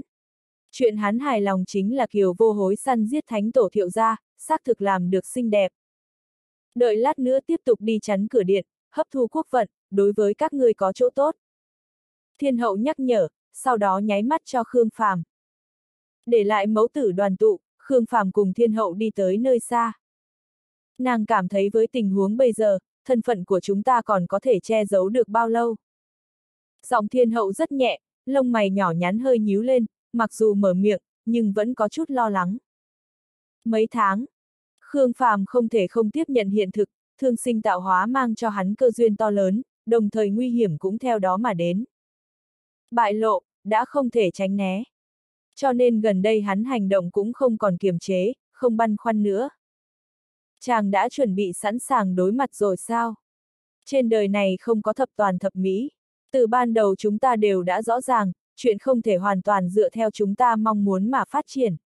Chuyện chúng ta có thể làm chỉ có thể đến ngày đó, tận hết khả năng làm cho bản thân mạnh lên, chuẩn bị sẵn sàng. Mặc dù bây giờ xác thực rất vội vàng, tình cảnh khó khăn, nhưng ta không chỉ có dung hợp thương sinh tạo hóa, còn chiếm được nhật nguyệt tinh thần trong chư thiên lục táng, thực lực cũng tăng lên tới niết bàn cảnh. Xí thiên giới không thể nào sẽ giúp ta, nhưng có thể trở thành căn cứ bí mật của chúng ta. Luân hồi bí cảnh, chỉ cần tranh thủ, có thể vì chúng ta sử dụng. Trừ cái này, còn có thánh địa của Thương Huyền, cửu thiên thần giáo, đều là đồng bạn hợp tác tiềm ẩn. Ta còn chuẩn bị một phân thân, giấu ở xí thiên giới, tùy thời có thể bắt lấy dùng. Ta không thể nói đã chuẩn bị sẵn sàng thật, nhưng chí ít ta có thể nói. Ta có thể chuẩn bị tốt. Khương Phàm trả lời rất nghiêm túc. Mặc dù rất không nguyện ý đối mặt, nhưng hắn đã có thể đối mặt. Khương Phàm nói, sau đó lấy từ di cốt tiên tổ cùng quan tài đá bên trong thanh đồng tiểu tháp ra.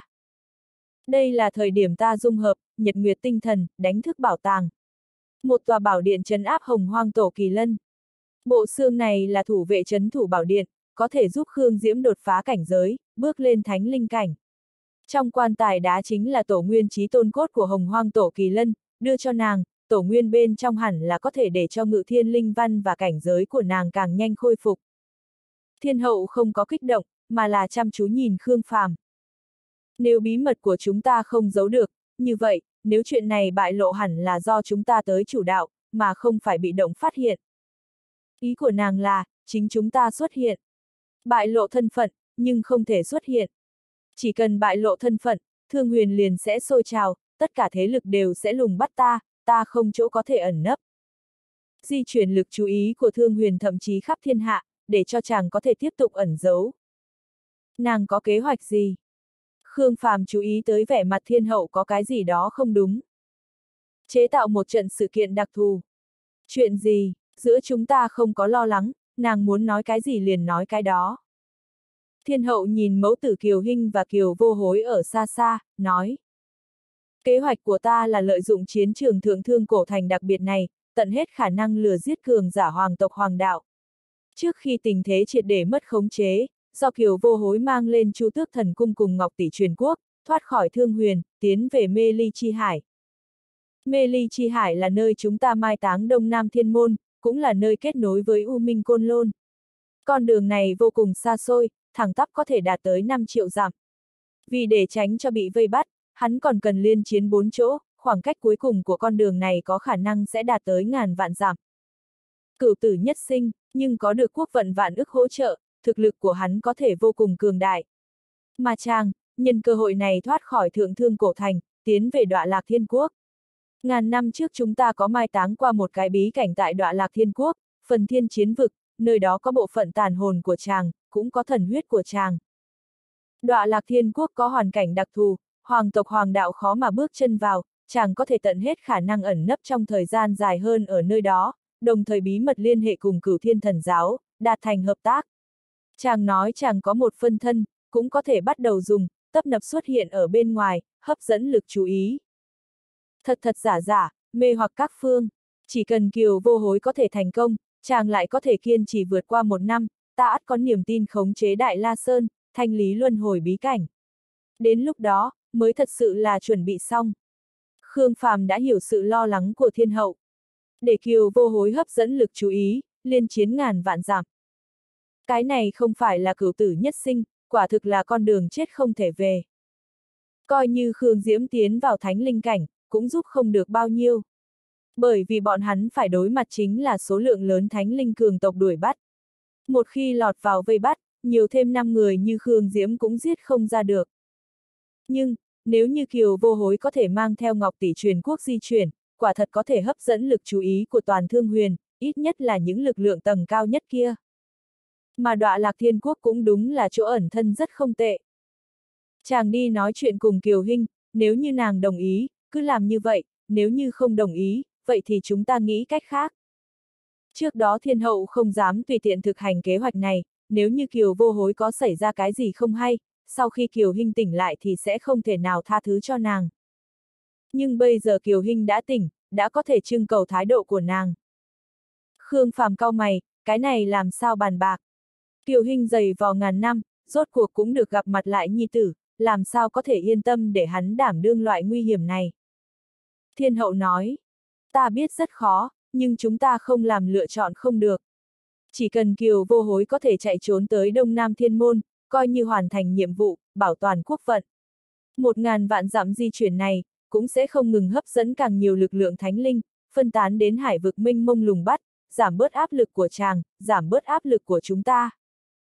Khương Phàm ngước nhìn Chu Tước Thần Cung, hồi tưởng đến huy hoàng rầm rộ đã từng có, cũng nghĩ đến ức vạn con dân uống máu tế hiến bi tráng.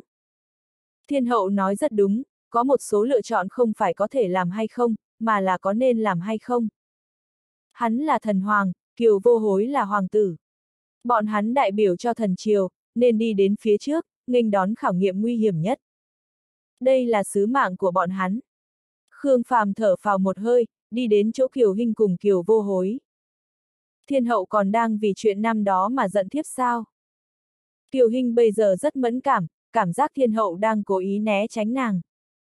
Làm sao có thể chứ? Thiên hậu có chút an bài. Khương Phàm cố gắng nở nụ cười. Có an bài gì? Kiều Hinh lặng lẽ trông qua, thiên hậu lại đưa lưng về phía nàng. Khương Phàm hơi do dự, nhưng vẫn nói ra kế hoạch. Kiều Hinh khẽ nhếch môi, mê ly chi hải. Từ Thương Huyền đến mê ly chi hải, còn phải quanh co di chuyển bốn chỗ. Cái này đâu chỉ ngàn vạn dặm. Cái này không phải là di chuyển ngọc tỷ, đây quả thực là một con đường không có lối về. Ta tiếp nhận. Kiều vô hối ngược lại rất quả quyết. Làm hoàng tử, hộ tống ngọc tỷ truyền quốc nghĩa bất dung từ. Làm hoàng tử, bảo vệ thần hoàng càng là sứ mạng của hắn. Còn có ai không? Kiều Hinh rất muốn từ chối, nhưng bây giờ không nói nên lời như vậy. Dù sao bây giờ người bọn hắn có thể vận dụng quá ít, Kiều vô hối là chọn lựa đầu tiên, cũng là lựa chọn duy nhất. Trừ hắn, không ai có thể gánh vác được nhiệm vụ này, không người nào nguyện ý đánh cược tính mệnh bảo vệ Ngọc Tỷ, không có người nào sẽ dùng hết tất cả cam đoan Ngọc Tỷ an toàn đến mê ly chi hải. Chúng ta lấy được di cốt tiên tổ, có thể để cho Khương Diễm tiến vào thánh linh cảnh, hắn cũng có thể tại thời khắc tất yếu, cùng vô hối vận dụng lực lượng quốc vận tăng thực lực lên. Còn gì nữa không? Ta cùng thiên hậu thương lượng một chút, nhìn xem thiên mục có thể theo cùng hay không. Thiên mục đã từng là đại tướng, biết vị trí chính xác của Đông Nam Thiên Môn, cũng có thể tìm tới điểm thông hướng U Minh Côn Lôn bí cảnh. Chỉ có hai người bọn họ sao? Ta có thể. Kiều Hinh rất muốn bồi tiếp nhi tử, thế nhưng Thiên Mục và Khương Diễm đều đi, Thương Huyền bên này liền không có thánh nhân. Thiên hậu đi tới. Làm ra quyết định kỹ càng rồi. Kiều vô hối nói. Ta tiếp nhận nhiệm vụ. Kiều Hinh do dự một lát, cười khổ nói. Thiếp không phản đối. Khương Phàm trấn an Kiều Hinh. Không nên quá lo lắng, ta sẽ tận lực đàm phán cùng cửu thiên thần giáo. Nếu như có thể được bọn hắn ủng hộ, phe phái Đông Hoàng hẳn là sẽ âm thầm tương trợ. Vẻ mặt Kiều Hinh ảm đạm. Khi nào thì đi? Khương Phàm cùng thiên hậu đụng đụng ánh mắt, nói. Sau khi bọn hắn phát hiện bí mật nơi này, khả năng hai tháng, cũng có thể là ba tháng. Thiếp muốn ở lại nơi này bồi vô hối. Kiều Hinh thật vất vả mới nhìn thấy nhi tử, đột nhiên lại phải chia ly, trong lòng thật sự là không bỏ được. Khương Phàm vỗ nhẹ Kiều Hinh. Nàng ở lại nơi này bồi tiếp, ta ra ngoài náo, hấp dẫn lực chú ý của hoàng tộc hoàng đạo, tránh cho tinh lực của bọn hắn phóng tới nơi này quá nhiều. Thiên hậu nói, chàng cũng ở nơi đây chờ thêm mấy ngày, tận lực hấp thu chút quốc vận, có thể trợ giúp chàng tu luyện tốt hơn.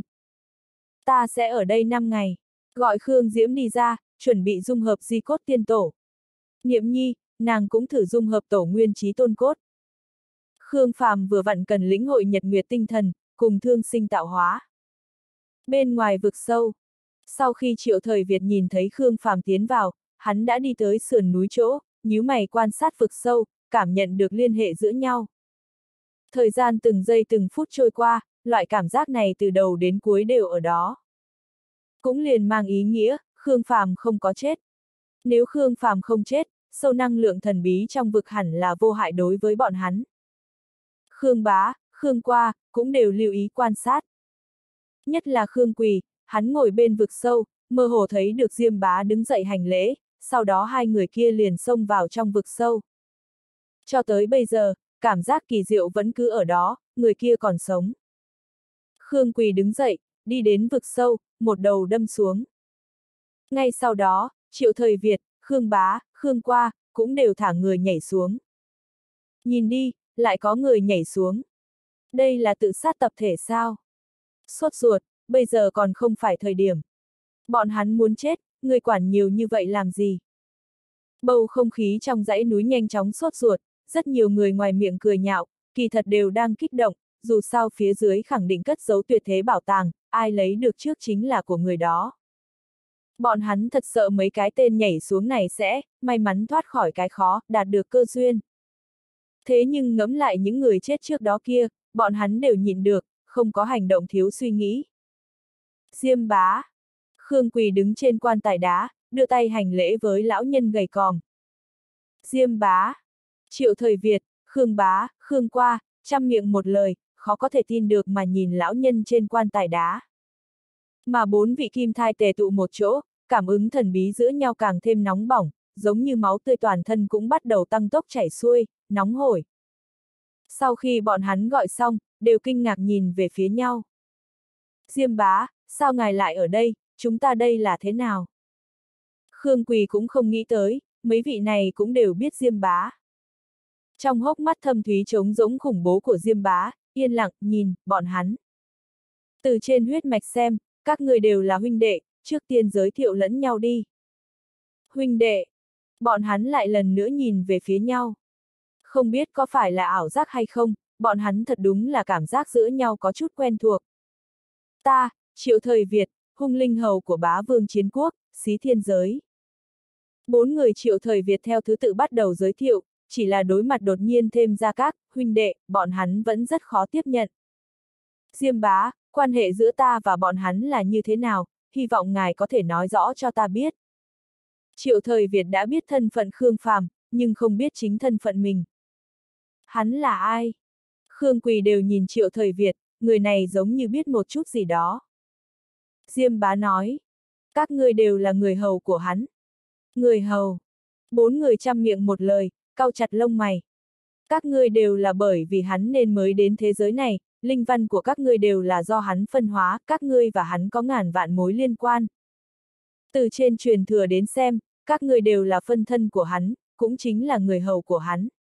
Các ngươi bởi vì hắn mà sinh, cũng bởi vì hắn mà chết. Nhưng, các nếu ngươi như cam nguyện làm bạn liền có cơ hội thay đổi thân phận, từ người hầu biến thành thuộc cấp. Liền giống với người phía dưới kia, Khương Diễm. Hắn đã biến thành thuộc cấp, cũng bởi vậy mà được cải thiện linh văn, lột xác thành thiên phẩm. Biến đổi thiên phẩm. Đáy mắt bọn người Khương Quỳ bắn ra cường quang nóng bỏng. Nhận huyết mạch ảnh hưởng, những kim thai bọn hắn đây đều là từ trong lòng lộ ra cường thế cùng quật cường, bọn hắn có khát vọng vô hạn đối với thực lực. Thiên phẩm, không thể nghi ngờ là dụ hoặc chí mạng. Các ngươi đều lấy được thành tựu không tệ, ta kiêu ngạo vì các ngươi, nhưng nếu như các ngươi muốn lại bước lên phía trước một bước nữa, chạm đến thánh linh cảnh, liền cần sự trợ giúp của hắn. Ta sẽ dừng lại ở thượng thương cổ thành một một thời gian, các ngươi từ từ cân nhắc. Nếu như An Vu hiện trạng liền xem như nể mặt tình cảm ta bồi dưỡng các ngươi, từ đâu tới đây, chạy về chỗ đó, về lại nơi các ngươi sinh sống trước đó, hết thảy mọi thứ, coi như cái gì cũng chưa từng xảy ra. Nếu như muốn thay đổi, nhất định phải cùng tất cả mọi thứ đã từng có xa nhau, kiên định không thay đổi ủng hộ hắn.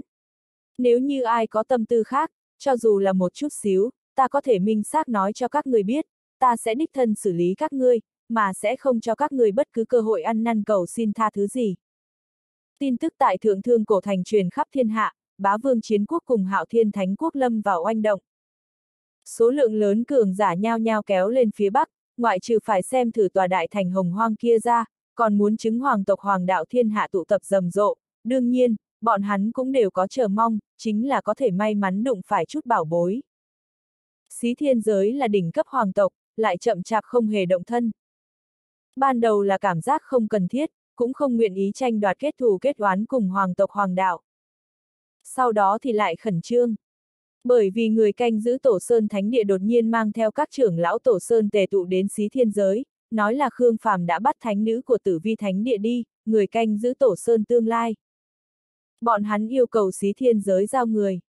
Giới chủ liên tục giải thích, Khương Phàm căn bản không ở nơi này, người canh giữ tổ sơn lại không tin. Thái tuế, Diệp Trục Thiên công tử bị Khương Phàm bắt, đại trưởng lão mời ngài lên phía bắc xử lý. Khổng sướng ngày đêm kiêm trình, xuôi nam trở về, tìm được thái tuế hình phù đồ tại bá vương chiến quốc. Chỉ là bây giờ hắn đã gầy như que củi, hốc mắt hãm sâu, răng run lên, đều đứng không yên. Vì để có thể chạy tới nơi này trong vòng 10 ngày, hắn không ngừng thiêu đốt máu tươi, tiêu hao hồn lực, thôi động xuyên vân toa, ăn đan dược như ăn cơm. Chuyện khi nào? Sắc mặt hình phù đồ có chút trầm xuống, bị bắt. Thứ mất mặt xấu hổ. 10 ngày, 10 ngày trước. Khổng sướng run lên, ý thức mơ hồ, muốn ngất đi bất cứ lúc nào. Lão nhân bên cạnh hình phù đồ khẽ nhíu mày, gia hỏa này đã phế đi. Tốc độ của xuyên vân toa xác thực rất nhanh, thế nhưng tổn thương mang tới cho thân thể là không thể đùa nghịch, tiêu hao máu tươi linh hồn quá độ lại kéo dài, sẽ trực tiếp ảnh hưởng đến tuổi thọ. Nhìn bộ dáng khổng sướng bây giờ, cảnh giới sẽ lùi lại, tuổi thọ sẽ suy giảm, cũng chỉ sống được mấy năm nữa. Hình phù đồ quát tháo. Diệp Trục Thiên đánh không lại, còn trốn không thoát sao? Không phải ngươi bồi tiếp hắn sao? Khổng sướng thực sự đứng không yên, ngồi liệt trên mặt đất, đầu cũng không ngẩng lên được, yếu ớt nói. Trên tay Khương Phàm có vũ khí vô cùng cường đại, còn không có đối mặt liền. Đánh ta ra, chờ thời điểm ta chạy đến, công tử đã bị hắn bắt đi. Tạ Ninh đâu, hắn không có đi qua. Tạ Ninh công tử cũng bị Khương Phàm đánh trọng thương, năm vị trưởng lão đi cùng toàn bộ đều bị giết. Giết! Ánh mắt hình phù đồ run lên, lạnh lùng tiếp cận khổng sướng. Lão giả làm bạn bên cạnh hình phù đồ cũng cau chặt lông mày. Giết trưởng lão, Khương Phàm điên rồi sao? Không sợ thái cổ thần miếu dáng tội xí thiên giới sao? Khương Phàm vô cùng phách lối, hoàn toàn không có để thái cổ thần miếu vào mắt, còn từ cứng rắn đoạt hạt giống vĩnh sinh thần thụ trong tay tạ ninh công tử. Mà, Diệp Trục Thiên công tử kỳ thật vẫn luôn đang nghĩ cách bắt Khương Phàm, bởi vì Khương Phàm nắm trong tay năm kiện binh khí vô cùng đặc biệt, có thể so với trí bảo chấn miếu của chúng ta. Khổng sướng đã không quan tâm thương thế của mình, chỉ hy vọng Thái Tuế có thể mau chóng lên phía Bắc, kịp thời lấy lại Diệp Trục Thiên. Diệp Trục Thiên còn sống, thị vệ thiếp thân hắn đây cho dù chết, cũng có thể chết có chút tôn nghiêm. Vĩnh sinh thần thụ. Hình phù đồ có hứng thú. Bên trong thượng thương cổ thành lại có thần vật trong truyền thuyết như thế này. Về phần vũ khí của Khương Phàm, cái gì lại có thể so với trí bảo chấn miếu, thì là nói bậy nói bạ. Thái tuế, thượng thương cổ thành bị đánh thức, rất nhiều bảo bối đều sẽ lần lượt xuất thế, tất cả hoàng tộc hoàng đạo đều đang kéo dài điều động cường giả đến nơi đó. Bởi vì cấm chế, cảnh giới đi đến lại nhận phải áp chế, cho nên bọn hắn điều động đều là thiên tài thiên phẩm cấp thánh phẩm. Thái cổ thần miếu chúng ta chỉ có tạ ninh công tử, tình cảnh rất xấu hổ, đại trưởng lão hy vọng ngài mau chóng đi qua. Khổng sướng cố gắng lấy sức, thanh âm lại càng ngày càng yếu. Nhưng hình phù đồ không có tỏ thái độ, mà nhìn qua phương hướng xí thiên giới, trầm mặc không nói. Thái tuế. Khổng sướng muốn ngẩng đầu lên, lại nhấc không nổi. Lão giả bên cạnh hình phù đồ nói. Chúng ta qua mấy ngày liền đi. Hoàng trưởng lão, thượng thương cổ thành nơi đó thúc, thúc. Khổng sướng còn chưa nói xong, liền ngã ở trên mặt đất, triệt để ngất đi. Lão nhân lắc đầu, nói với hình phù đồ. Thái tuế, chúng ta thử một lần nữa. Nàng hẳn là cảnh giác, sẽ không ra. Hình phù đồ một mực ở lại nơi này, nhưng thật ra đang nghĩ cách câu dẫn, nữ tử bên trong xí thiên giới kia.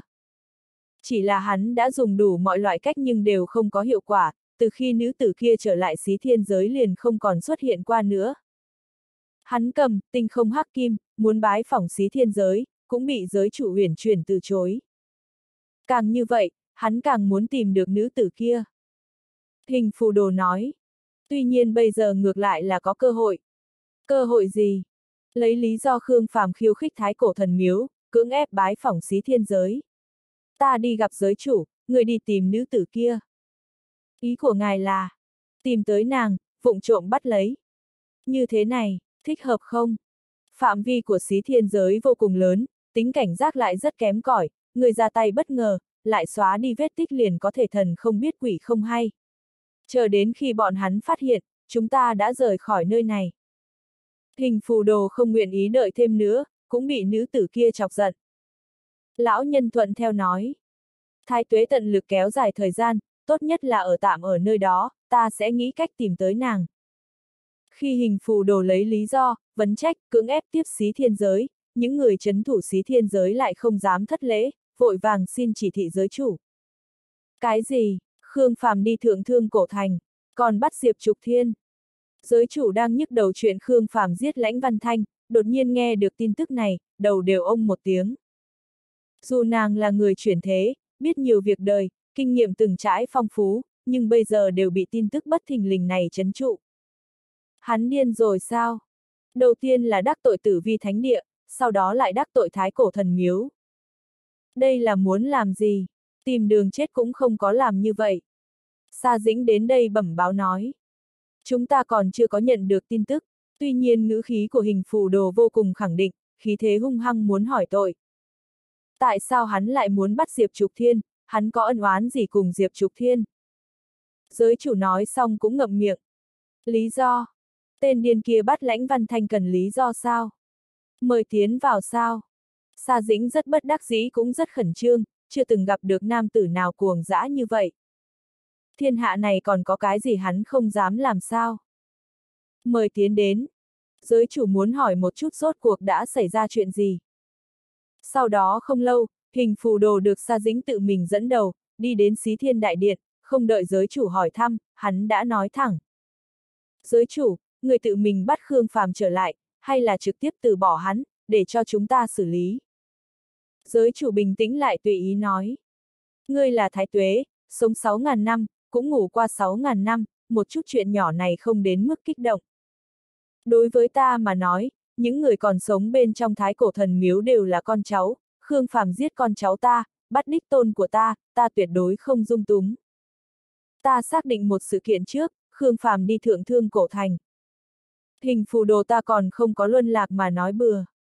Mười ngày trước, Khương Phàm liền đi thượng thương cổ thành, bắt Diệp Trục Thiên, giết năm vị trưởng lão, trọng thương tạ ninh. Ha ha! Ngươi cười cái gì? Thái cổ thần miếu trở nên yếu đi, lại bị trưởng lão của ta đuổi giết. Thái cổ thần miếu là yếu hay mạnh đều không phải điều xí thiên giới ngươi có thể khiêu khích. Ta, đang chờ ngươi trả lời.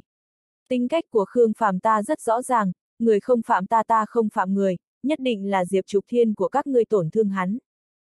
Mặc kệ là nguyên nhân gì, hắn bắt Diệp Trục Thiên là sự thật, hắn giết năm vị trưởng lão thần miếu, cũng là sự thật.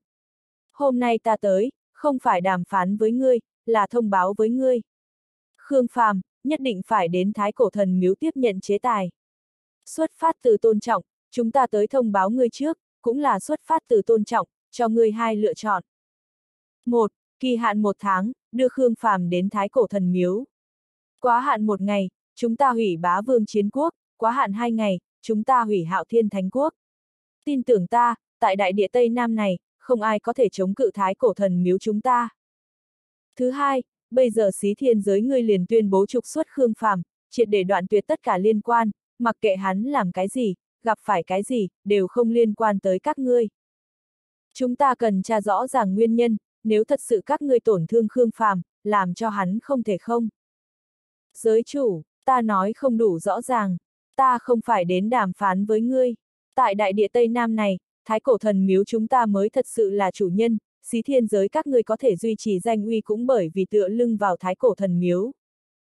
Ta nói một câu khó nghe, mặc kệ chúng ta làm chuyện gì, dù là giết phụ mẫu Khương Phàm, chiếm lấy nữ tử của hắn, Khương Phàm đều phải chịu đựng.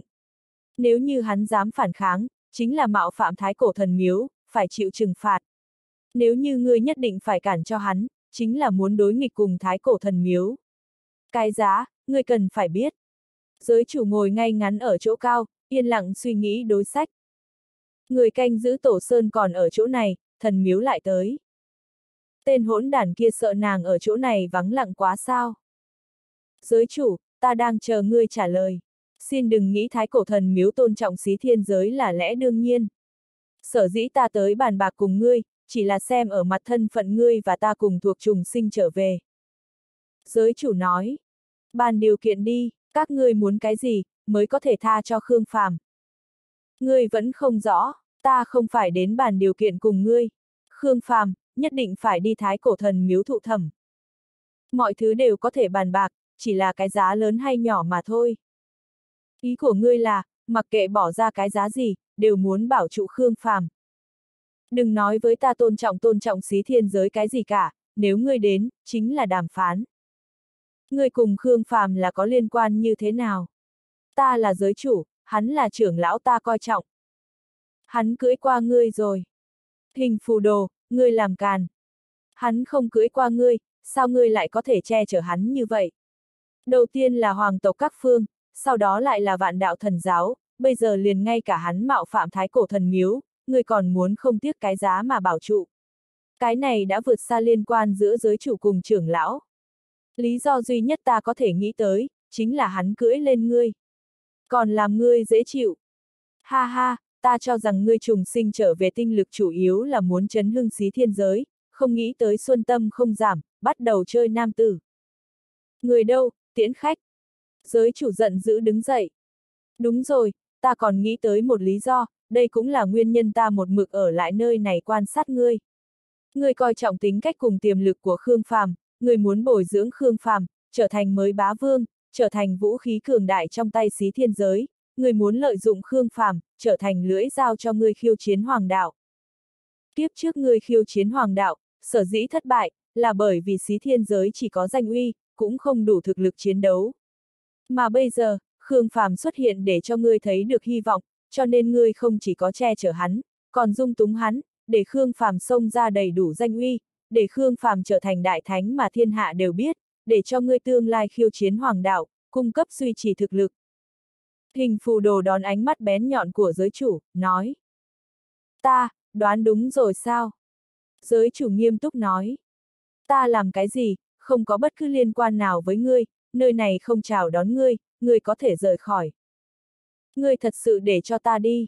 Nếu như ta đi ra khỏi xí thiên giới, xí thiên giới cùng thái cổ thần miếu liền không có bất cứ cơ hội gì để bàn lại.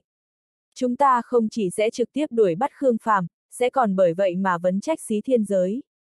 Đến lúc đó, nếu như Khương Phàm lộ rõ tất cả hành vi điên cuồng của hắn đều là ngươi ở sau lưng bày ra, thái cổ thần miếu có lý do nghiêm trị xí thiên giới. Chớ nói với ta hắn sẽ không, chỉ cần hắn rơi xuống trong tay chúng ta, nói hay không, đã không quan trọng, chúng ta tuyên bố với bên ngoài cái gì, bên ngoài sẽ tin tưởng cái đó. Hình phù đồ nói, sau đó đi đến trước cửa điện, nhìn qua những ngọn cao núi lớn qua bao la hùng vĩ. Tại sao người chấn thủ tổ sơn tới nơi này, còn ở đến bây giờ? Mặc dù Thánh Điện đang nỗ lực giữ bí mật, nhưng ta đoán, hẳn là Khương Phàm đã gây họa. Thật là một tên cuồng đồ to gan, người nào cũng dám mạo phạm. Giới chủ, các ngươi làm lớn chuyện, ngươi không gánh nổi Khương Phàm. Hắn, giao cho ta. Giới chủ chậm rãi nắm chặt bàn tay ngọc trong tay áo. Cho ta thời gian 10 ngày, chờ ta tra rõ ràng phải chăng Khương Phàm đang ở thượng thương cổ thành, lại có bắt Diệp Trục Thiên hay không, ta sẽ cho ngươi câu trả lời chắc chắn. 5 ngày, nhiều nhất 5 ngày, trong 5 ngày này, ta sẽ ở tại xí thiên giới. Hình phù đồ đi ra cửa điện, mang theo lão nhân chờ ở ngoài điện rời khỏi. Giới chủ âm trầm sắc mặt, suy nghĩ đối sách. Khương Phàm là tên điên sao? Đúng vậy. Kiếp trước là như vậy, còn điên đến thiên khải chiến trường, điên đến khiêu chiến đế quân. Kiếp này bắt lấy lãnh văn thanh, diệp trục thiên, cũng đều không coi vào đâu. Khương Phàm là kẻ ngu sao? Đương nhiên không phải. Nếu như trí thông minh của hắn có vấn đề, kiếp trước liền không có khả năng tập kết đến nhiều anh hùng nhân kiệt như vậy, những người kia càng không khả năng sau khi hắn chết đều cam nguyện huyết tế thương thiên, đổi cho hắn luân hồi. Cho nên, sau khi tỉnh táo lại, giới chủ tin tưởng Khương Phàm làm như vậy khẳng định là có lý do, hoặc là bất đắc dĩ. Nhưng vấn đề là, bây giờ nàng phải làm như thế nào? Đối phó người canh giữ tổ sơn thế nào, đối phó thái cổ thần miếu thế nào? Lão tổ từ trong góc đi tới. Người chấn thủ tổ sơn, Diêu Khải Minh lại phái người đến thúc giục, không giao Khương Phàm ra, bọn hắn sẽ không rời khỏi. Tuy nhiên lần này, thái độ của bọn hắn có chỗ hòa hoãn. Chỉ là muốn gặp mặt Khương Phàm, cũng cam đoan sẽ không cưỡng ép mang hắn đi. Giới chủ nhắm mắt lại, tự định giá thật lâu. Ý của ngài thế nào? Ta đã nói qua hai lần với Diêu Khải Minh, cảm giác hắn xác thực không có định ý đối với Khương Phàm. Điểm này kỳ thật rất kỳ quái. Theo lý thuyết, Khương Phàm bắt lãnh văn thanh, bọn hắn hẳn là nên rất tức giận, chỉ ít có thể toát ra sơ qua tình cảm, nhưng Diêu Khải Minh lại rất tỉnh táo. Mà cho đến bây giờ, Liên minh Thánh Địa còn không có bất kỳ bên nào công bố chuyện này ra ngoài, bao gồm cả tử vi Thánh Địa. Ta đề nghị ngài lại làm nói chuyện kỹ càng cùng với bọn hắn, tìm kiếm đến đáy. Tổ Sơn xem trọng thanh danh, không nguyện ý chuyện làm lớn chuyện. Ai, bây giờ ta nhức đầu là thái cổ thần miếu. Triệu thời Việt không phải đã đi qua sao? Tình huống tại thượng thương cổ thành đặc thù, bọn hắn muốn cầm chân Khương Phàm, một lát cũng không thể. Dù sao Khương Phàm cũng là sinh tử cảnh, tránh được nhất thời, không tránh được quá lâu. Khi thái cổ thần miếu quyết định, ngay cả thánh nhân cũng có khả năng sẽ bị phái đi đến. Còn có vạn đạo thần giáo và những thế lực kia, cũng khẳng định sẽ tiếp cận Khương Phàm. Giới chủ lắc đầu, thở dài nói.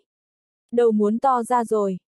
Trước tiên hãy giải quyết vấn đề tổ sơn, sau đó giải quyết vấn đề của thái cổ thần miếu. Nếu quả như Khương Phàm thật sự đã bắt Diệp Trục Thiên, tin tức chẳng mấy chốc sẽ truyền đến nơi này, Tổ Sơn lúc nào cũng có thể sẽ rời khỏi, chạy tới thượng thương cổ thành. Trước lúc rời khỏi, ngài cùng bọn hắn nói thẳng thắn một chút, có lẽ sẽ có chút thu hoạch. Hình phù đồ mang theo người hầu, tạm thời đến ở trong thiên điện phía ngoài cấm địa. Bởi vì xí thiên giới rất ít tiếp đãi khách, cho nên chỉ có chút ít chỗ thiên điện này. Ta ở lại chỗ này ở 5 ngày, trừ phi giới chủ các ngươi làm quyết định, nếu không ai cũng chớ quấy rầy ta. Hình phù đồ mang theo thái độ cường ngạnh quát tháo thủ vệ xí thiên giới đi theo tới, sau đó đóng mạnh cửa phòng. Bọn thủ vệ lắc đầu, canh giữ ở bên ngoài chờ tin tức. Mà hoàng trưởng lão thì thừa dịp bọn hắn không chú ý, lặng lẽ ra khỏi thiên điện, biến mất trong rừng rậm minh mông. Xí thiên giới vô cùng khổng lồ, kéo dài hơn vạn dặm.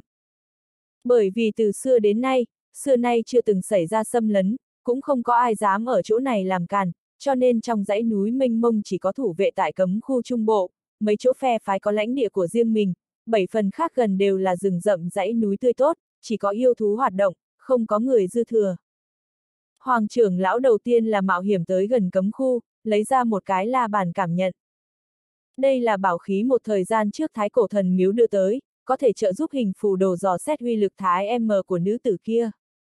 Không có ở trong cấm khu, vậy thì dễ làm rồi. Hoàng trưởng lão lặp đi lặp lại xác minh, trong cấm khu không có lực lượng khiến cho la bàn cảm ứng, hắn liền nhanh chóng rời khỏi, đến nơi khác tìm kiếm. Liên tiếp ba ngày, hắn chạy ngược chạy xuôi, chuyển khắp hơn 2.000 dặm, rốt cuộc cũng đã nhận ra uy lực thái M. Là nàng sao?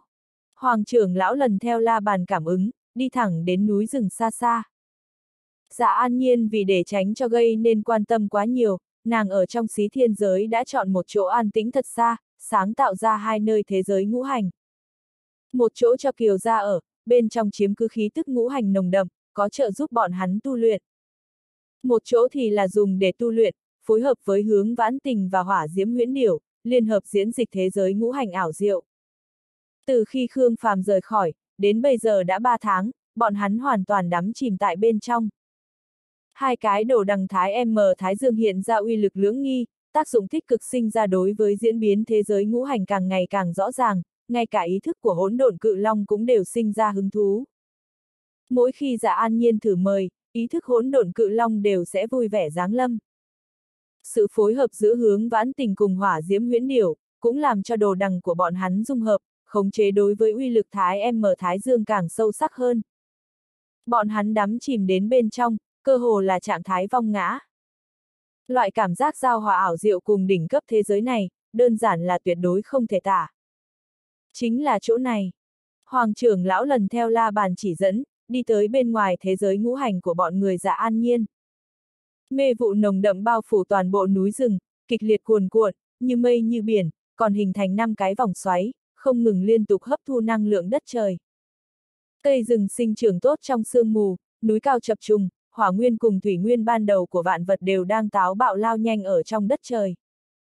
Một mặt trời treo ở bầu trời, bên trong có kim ô đang xoay quanh, khí tức kinh khủng giống như hồng thủy để không gian đều đang chấn động. Còn có một ánh trăng treo ở một chỗ khác, khí tức càng kinh khủng hơn, khí âm hàn vô tận tràn ngập đất trời, sâu trong ánh trăng có một con ngọc hồ tuyệt mỹ đung đưa chín cái đuôi, giống như chín giải ngân hà. Một màn trước mắt tựa như bức tranh tươi sống, cực kỳ lộng lẫy. Hoàng trưởng lão nhìn đến ngạc nhiên, nhưng sau khi xác định được mục tiêu, hắn cũng không do dự nữa, tay phải chỉ lên trời chấn động, tay áo màu xanh mãnh liệt bành trướng, trong nháy mắt liền che đậy trời cao, giống như là mây mù nặng nề bao phủ tới thế giới ngũ hành phía dưới. Tụ lý càn khôn.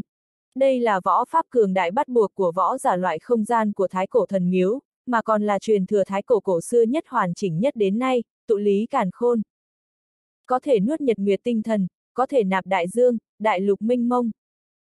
Dạ an nhiên đang chìm ngâm ở trong tu luyện đột nhiên bừng tỉnh, nhưng không đợi xem xét tình huống, liền bị tay áo từ trên trời giáng xuống bao phủ, mãnh liệt lắc lư, không gian ngũ hành tung hoành hơn 30 dặm hoàn toàn đặt vào trong đó.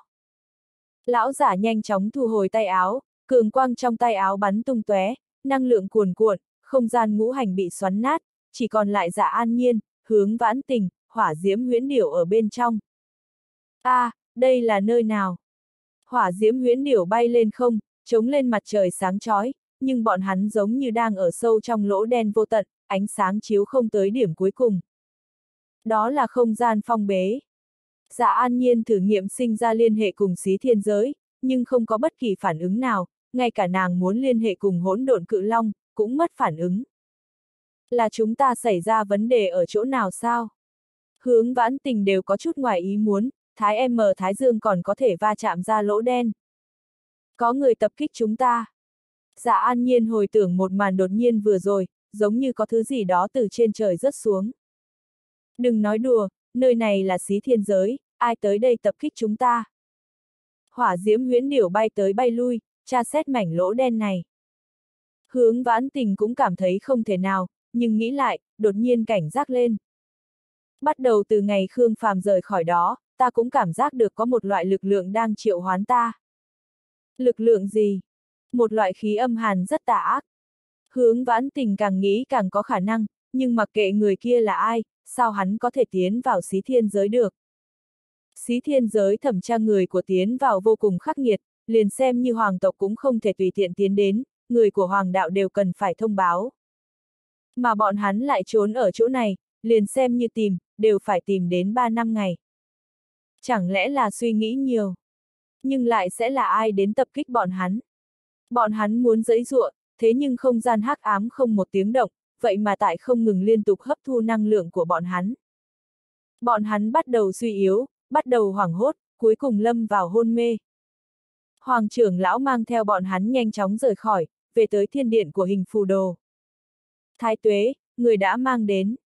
Hình phù đồ tỉnh táo lại từ bên trong minh tưởng. Có khiến cho ai chú ý không? Hoàng trưởng lão bảo đảm nói. Thái tuế yên tâm, các nàng trốn ở nơi rất xa, cách đây hơn 2.700 dặm, ta vận dụng tụ lý càn khôn, không làm kinh động bất cứ kẻ nào. Các nàng. Lúc ta đi qua, các nàng đang trốn ở trong một lĩnh vực, hai nữ tử, một con hỏa điểu giống như là kim ô. Vì để tránh để lại tai họa ngầm, ta đều thu toàn bộ lĩnh vực vào. Phóng xuất ta xem một chút. Vâng. Sau khi hoàng trưởng lão xác định hai người một chim ở bên trong đều đang hôn mê, liền quăng từ trong tay áo đi ra. Hướng vãn tình, giả an nhiên nằm trên mặt đất, hôn mê bất tỉnh. Tặc điều duy trì trạng thái kim ô, cũng lăn qua một bên. Là cái này.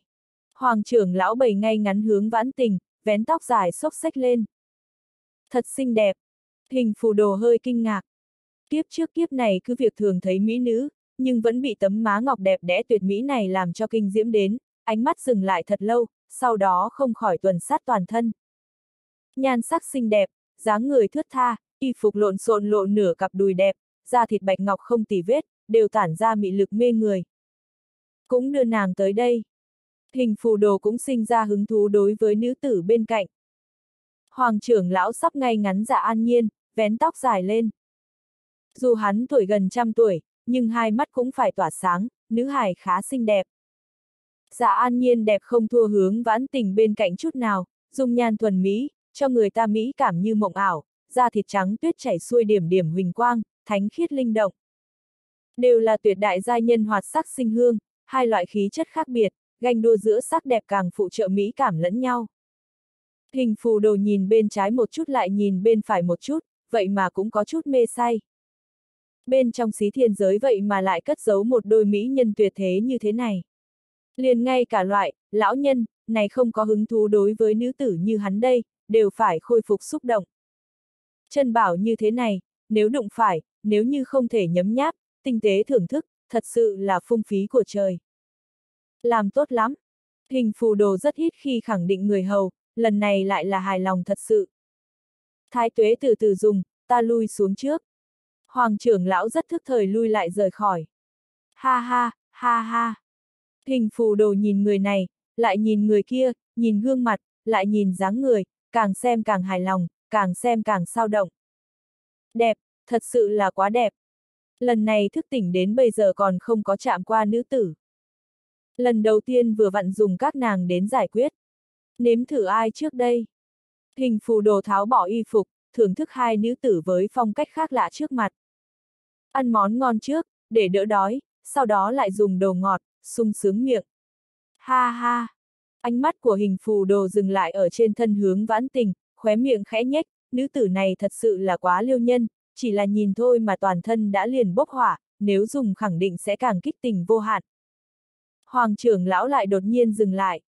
Thái tuế, ngài có cảm thấy nữ tử kia có chút quen mắt hay không? Cái nào? Hình phù đồ đã cởi áo, lộ ra thân thể cường tráng, ôm lấy hướng vãn tình. Chính là người ngài ôm kia. Hoàng trưởng lão quay người trông qua. Người gặp qua ở đâu? Hình phù đồ đi tới bên giường, không thể chờ đợi. Hình như ta thật sự đã gặp qua ở đâu rồi. Hoàng trưởng lão đi về tới, nhìn kỹ.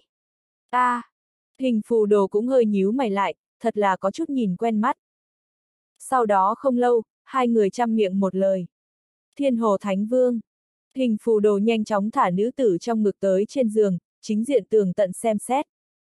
Hoàng trưởng lão tiến đến phía trước. Nàng hẳn không phải là thiên hồ Thánh Vương, nhưng thiên hồ Thánh Vương có một muội muội, tên là hướng vãn tình. Chẳng lẽ là nàng? Tại sao muội muội thiên hồ Thánh Vương lại ở xí thiên giới? Hình phù đồ không có từng quen biết với thiên hồ Thánh Vương, thời điểm hắn ngủ say, thiên hồ Thánh Vương còn chưa ra đời, tuy nhiên sau khi hắn sống lại, lần lượt đi qua thiên khải chiến trường mấy lần, tận mắt thấy qua phong thái thiên hồ Thánh Vương. Chẳng lẽ chỉ là lớn lên giống mà thôi, nhưng đây cũng quá giống. Số lần hoàng trưởng lão leo lên thiên khải chiến trường không đến 100 lần, cũng có 80 lần, đối với thiên hồ Thánh Vương hết sức quen thuộc. Lúc hình phù đồ đang muốn giật thắt lưng gấm trên chán hướng vãn tỉnh ra, xem xét linh văn của nàng, tặc điểu giả chết bên cạnh lặng lẽ mở mắt, liếc mắt nhìn hai người bên giường, cẩn thận từng ly từng tí chống cơ thể lên, sau đó đột nhiên hành động, quấn lấy giả an nhiên trước mặt, phóng tới cửa sổ. Hình phù đồ, hoàng trưởng lão bừng tỉnh, lập tức muốn ngăn cản. Tặc điểu dung hợp thái dương đồ đằng, tốc độ cực nhanh, rầm rầm giòn vang, phá tan cửa sổ, phóng tới bên ngoài. Oanh! Kim quang vạn trượng, liệt diễm ngập trời, ba động khủng bố dung chuyển trời đất. Một mảnh đường vân thái dương đồ đằng hừng hực cường thế trải rộng ra.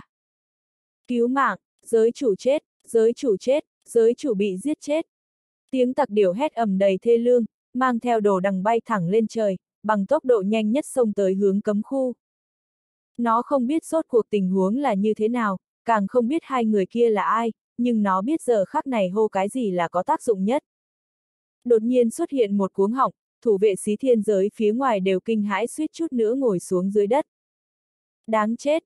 Hình phù đồ phá tan cửa sổ, chỉ lên trời cuồng kích, Thúy Minh răng rắc vang vọng khung trời, kinh khí cương mãnh đánh rách tả tơi không gian, vết nứt như lôi đình lan tràn mấy ngàn thước. Nhưng, tốc độ của tặc điểu lại cực nhanh, giờ khắc này nó đã ở bên ngoài vạn mét. Bắt nó lại! Hình phù đồ gầm thét. Hoàng trưởng lão biến mất trong nháy mắt, không gian vặn vẹo, chặn đường ở trước mặt tặc điểu. Chạy đi đâu?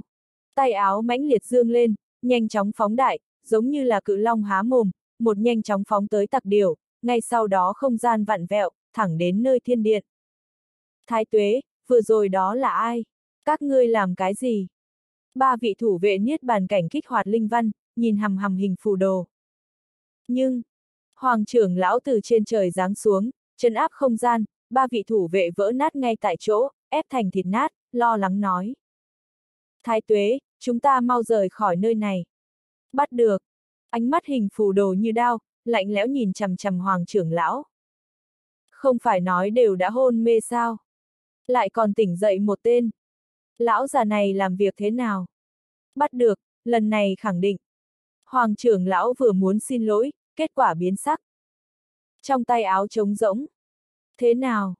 Hình phù đồ nắm chặt nắm đấm, ken két giòn vang. Cái này sao có thể? Hoàng trưởng lão nhanh chóng bay lên không, nhíu mày nhìn ra xa. Vừa rồi rõ ràng đã bắt được, tại sao lại không có, chẳng lẽ là phân thân? Thế nhưng thời gian ngắn như vậy, làm sao có ngừng tụ phân thân? Ngươi là đồ ngốc sao, ra ngoài ta sẽ thu thập ngươi. Mau dẫn ta rời khỏi nơi này. Hình phù đồ hận không thể đánh chết lão già này. Hoàng trưởng lão không lo được cáo lỗi, không gian vặn vẹo, mang theo hình phù đồ cùng hướng vãn tình, dùng tốc độ nhanh nhất chạy tới lối ra của xí thiên giới. Nhất định phải rời khỏi nơi này trước khi xí thiên giới phong bế. Giờ khắc này, tặc điểu đang điên cuồng chạy trốn trong rừng rậm.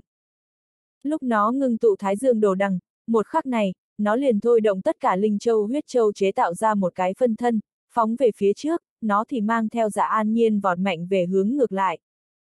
Nó là yêu linh thể, có thể tùy tiện điều động năng lượng cùng huyết nhục ngưng tụ phân thân, cơ hồ giống nó như đúc.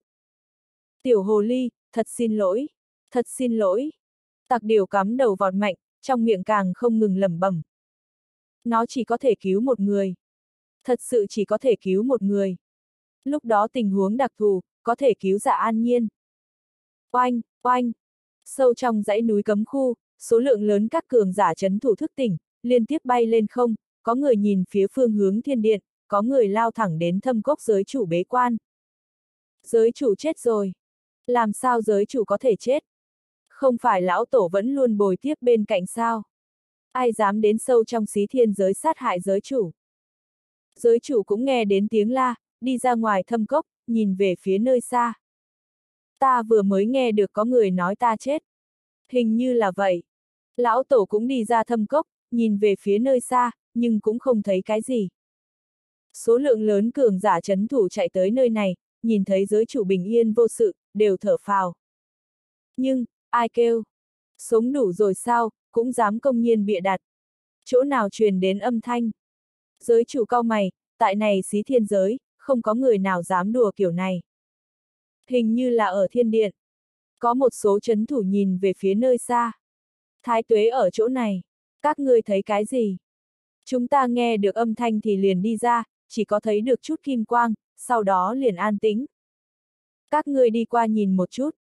Tuân lệnh. Hơn 10 vị trưởng lão chấn thủ cấm địa chạy tới thiên điện, kết quả trên nửa đường đụng phải tặc điều đang đường vòng sông tới. Tặc điều nhìn thấy bọn hắn, nhưng vẫn không có dừng lại, một bên cuồng sông, một bên hô to. Có người bắt hướng vãn tình đi, nhanh nhanh nhanh, mau đi cứu người. Ai là hướng vãn tình? Bọn thủ vệ không hiểu thấu. Bởi vì chuyện hướng vãn tình ở chỗ này là bảo mật, người biết nàng ít càng thêm ít, bọn hắn ngay cả hỏa diễm huyễn điểu đều rất lạ lắm. Tặc điểu dâng lên liệt diễm, tốc độ tăng vọt, thẳng đến nơi sâu nhất trong cấm khu. Giới chủ, giới chủ, không xong, xảy ra chuyện lớn. Là tặc điểu kia. Giới chủ ngắm nhìn nơi xa, im lặng lắc đầu, gia hỏa này không lo tu luyện, lại loạn thêm cái gì. Thật sự là vật họp theo loài, Khương Phàm ở bên ngoài huyên náo hung, nó cũng không cam chịu yên tĩnh. Giới chủ, có người tập kích chúng ta. Ta chỉ cứu được dạ an nhiên, hướng vãn tình bị bắt. Nhanh đi cản bọn họ lại, bọn hắn có vũ khí không gian. Tặc điều kéo cuống họng, ngao ngao hét lên. Giới chủ cùng lão tổ hơi biến sắc, lập tức nghênh đón. Nói cho ta rõ, ai tập kích các ngươi. Ta không biết, nhanh đi đóng xí thiên giới lại. Tặc điều giao giả an nhiên cho giới chủ, sau đó ngã xuống trên mặt đất. Đầu tiên là bị lỗ đen không gian cướp đoạt năng lượng, lại là tách rời huyết khí linh lực đào mệnh, hắn muốn hư thoát. Lão tổ tranh thủ thời gian kiểm tra tình huống, sau khi xác định chỉ là hôn mê mới liền thở phào. Hình phù đồ. Giới chủ cùng lão tổ trao đổi ánh mắt, đều từ trong mắt nhau thấy được hoài nghi. Hình phù đồ bắt bọn người giả an nhiên làm gì? Không có lý do. Mà bọn người giả an nhiên trốn ở bên ngoài mấy ngàn dặm, không gian ngũ hành cùng Sơn Hà giao hòa, ngay cả nàng đều rất khó tìm đến. Hình phù đồ mới tiến vào ba ngày mà thôi, làm sao có thể tìm được. Nhưng, nhìn dạ an nhiên hôn mê bất tỉnh, bọn hắn vẫn hạ lệnh phong bế xí thiên giới. Không bao lâu, thủ vệ tiến đến thiên điện điều tra vội vã gấp trở về. Thủ vệ bị giết chết, không thấy tăm hơi hình phù đồ. Lão bất tử kia muốn làm gì? Hắn chẳng lẽ không phải đến đàm phán? Mục tiêu của hắn là bọn người dạ an nhiên. Không có lý do gì cơ mà. Chờ một chút, Thái em mờ đồ đằng. Mục tiêu của hắn là Thái em mờ đồ đằng. Sắc mặt giới chủ lập tức âm trầm xuống, lớn tiếng quát to. Giới nghiêm toàn diện cho ta, lùng bắt hình phù đồ. Nhưng, giới chủ có hiểu rõ đối với hình phù đồ, mà lão nhân bên cạnh hình phù đồ nàng lại không biết gì. Lão nhân kia là không gian thánh văn, niết bàn cảnh cửu trọng thiên, là hộ giả tinh lọc tế tuyển của thái cổ thần miếu dành cho thái tuế. Tại thời điểm xí thiên giới táo động, tin tức đã được truyền đến lối đi ra bằng tốc độ cao nhất, lão nhân đã mang theo hình phù đồ vào tới nơi đó. Những người chấn thủ cửa ra vào còn không có nhận được tin tức, rất tự nhiên thả hắn rời khỏi. Thái tuế, chúng ta là đi thần miếu, hay là lên phía bắc? Lão nhân tấp nập vượt qua không gian, mang theo hình phù đồ vượt qua hạo thiên thánh quốc cùng bá vương chiến quốc. Đi thượng thương cổ thành. Hình phù đồ theo dõi nữ tử trong nhẫn không gian, trầm mặc lại nói. Đến trung vực trước, tìm nơi giấu đi, ta phải dùng hoàng tuyển u hồn thư tìm kiếm bí mật của nữ tử này. Bên trong xí thiên giới, Diêu Khải Minh bị hỗn loạn lạ thường kinh động đến, hắn liền chạy thẳng đến xí thiên đại điện. Giới chủ, là Khương Phàm trở về rồi. Giới chủ nhìn chằm chằm Diêu Khải Minh một lát. Trở về. Ta muốn gặp hắn, lập tức. Tính nhẫn nại của Diêu Khải Minh đã muốn tới cực hạn, dù sao thương sinh tạo hóa truyền thừa quá quan trọng, việc này liên quan đến tổ sơn bọn hắn, càng việc liên quan đến thánh địa thiên hạ. Ta đã cùng ngươi nói chuyện hai lần, có thể từ bên trong ngữ khí của ngươi nghe ra chút ý tứ gì khác. Nếu như ngươi muốn gặp hắn, vậy cứ thẳng thắn nói chuyện với ta. Ta dùng danh dự tổ sơn xin thề, mặc kệ phát sinh cái gì, cũng sẽ không tổn thương Khương Phàm, càng sẽ không ép buộc Khương Phàm. Ta hiếu kỳ chính là cái này, Khương Phàm đều đã bắt lãnh văn thanh đi, vậy mà các ngươi có thể chịu. Chờ ta gặp Khương Phàm, ngươi sẽ biết. Ta muốn biết bây giờ. Tha thứ khó tòng mệnh. Vậy thì chờ đi. Giới chủ nói xong cũng muốn rời khỏi. Chờ một chút. Diêu Khải Minh rất bất đắc dĩ lắc đầu, thế giới này làm sao vậy, nữ tử một người so với một người đều cường thế, một người so với một người đều khó chơi. Ta nghe đây. Ta muốn mời Khương Phàm đến Tổ Sơn làm khách. Ngươi là muốn cầm tù Khương Phàm. Đúng là làm khách, Khương Phàm muốn rời khỏi lúc nào, Tổ Sơn tuyệt đối không ngăn cản. Nếu như Khương Phàm muốn ở lại, Tổ Sơn nhất định sẽ toàn lực bồi dưỡng. Bồi dưỡng, ngươi làm ta hồ đồ rồi. Khương Phàm quất một cái tát vào mặt ngươi, ngươi không những không có tức giận, còn cảm giác thật thoải mái. Diêu Khải Minh ngưng nghẹn im lặng, nghiêm chỉnh nửa đời người, rất không thích ứng nói như vậy. Giới chủ nói, đừng vòng quanh, có lời gì cứ việc nói thẳng, rốt cuộc các ngươi muốn Khương Phàm thế nào. Diêu Khải Minh nói, giới chủ, chúng ta là tổ sơn thánh địa, chúng ta nói chuyện làm việc đều theo quy củ, không có cái gọi là mưu kế. Ta là người canh giữ tổ sơn, nói cái gì chính là cái đó, người có thể tin tưởng. Vậy ta liền xác minh một chút, các ngươi sẽ bắt Khương Phàm đi sao? Chúng ta sẽ mời Khương Phàm đi tổ sơn. Các ngươi sẽ thả hắn rời khỏi sao? Chỉ cần hắn nguyện ý, chúng ta sẽ không ngăn cản. Liền xem như hắn giết lãnh văn thanh, các ngươi cũng sẽ không tổn thương hắn. Ta không thể cho ngươi chuẩn xác trả lời chắc chắn, nhưng Khương Phàm không có hoàn toàn nắm chắc hẳn là sẽ không sát hại nàng. Nếu quả như thật sự đã giết thì sao? Chỉ cần hắn giúp chúng ta làm một việc, chúng ta có thể thả hắn rời khỏi. Tử vi thánh địa nơi đó thì thế nào? Chúng ta sẽ phụ trách giải thích. Tốt, ta đã biết. Giới chủ gật đầu, nói. Ta cho ngươi biết nơi, chính ngươi đi tìm đi. Giới chủ yên tâm, ta chỉ là nói chuyện cùng Khương Phàm. Chỉ mong ngươi nói chuyện giữ lời. Hắn đang, ở thượng thương cổ thành. Diêu Khải Minh nhìn giới chủ, nửa ngày không nói nên lời. Giới chủ phất phất tay. Hắn chạy đến thượng thương cổ thành, ngươi đi tìm đi, nhớ kỹ lời của ngươi nói, không nên ép buộc hắn. Giới chủ, người vừa mới nói hắn trở về. Diêu Khải Minh muốn lý luận với nàng, nhưng vẫn nhịn được. Các ngươi tốt nhất là nhanh lên, Khương Phàm lại gây họa tại thượng thương cổ thành, đi trễ, khả năng hắn sẽ rơi xuống trong tay người khác. Ai? Diêu Khải Minh lắc đầu, từ biệt cùng giới chủ, sau đó mang theo các trưởng lão tổ sơn rời khỏi. Lão tổ nhìn giới chủ. Ta tự mình đi thượng thương cổ thành một chuyến. Giới chủ thay đổi tâm tình, nói. Lập tức đưa lời ta nói đi ra. Thái tuế hình phù đồ của thái cổ thần miếu, giết hại phó giới chủ, thánh thú bảo vệ của xí thiên giới, cướp đi trí bảo chấn giới. Bá vương chiến quốc động viên toàn diện, đuổi bắt thái tuế hình phù đồ. Phó giới chủ, ngài nói chính là dạ an nhiên. Lão tổ giật nảy cả mình. Dù sao cũng phải tìm lý do đủ lớn, mới có thể phản kích thái cổ thần miếu.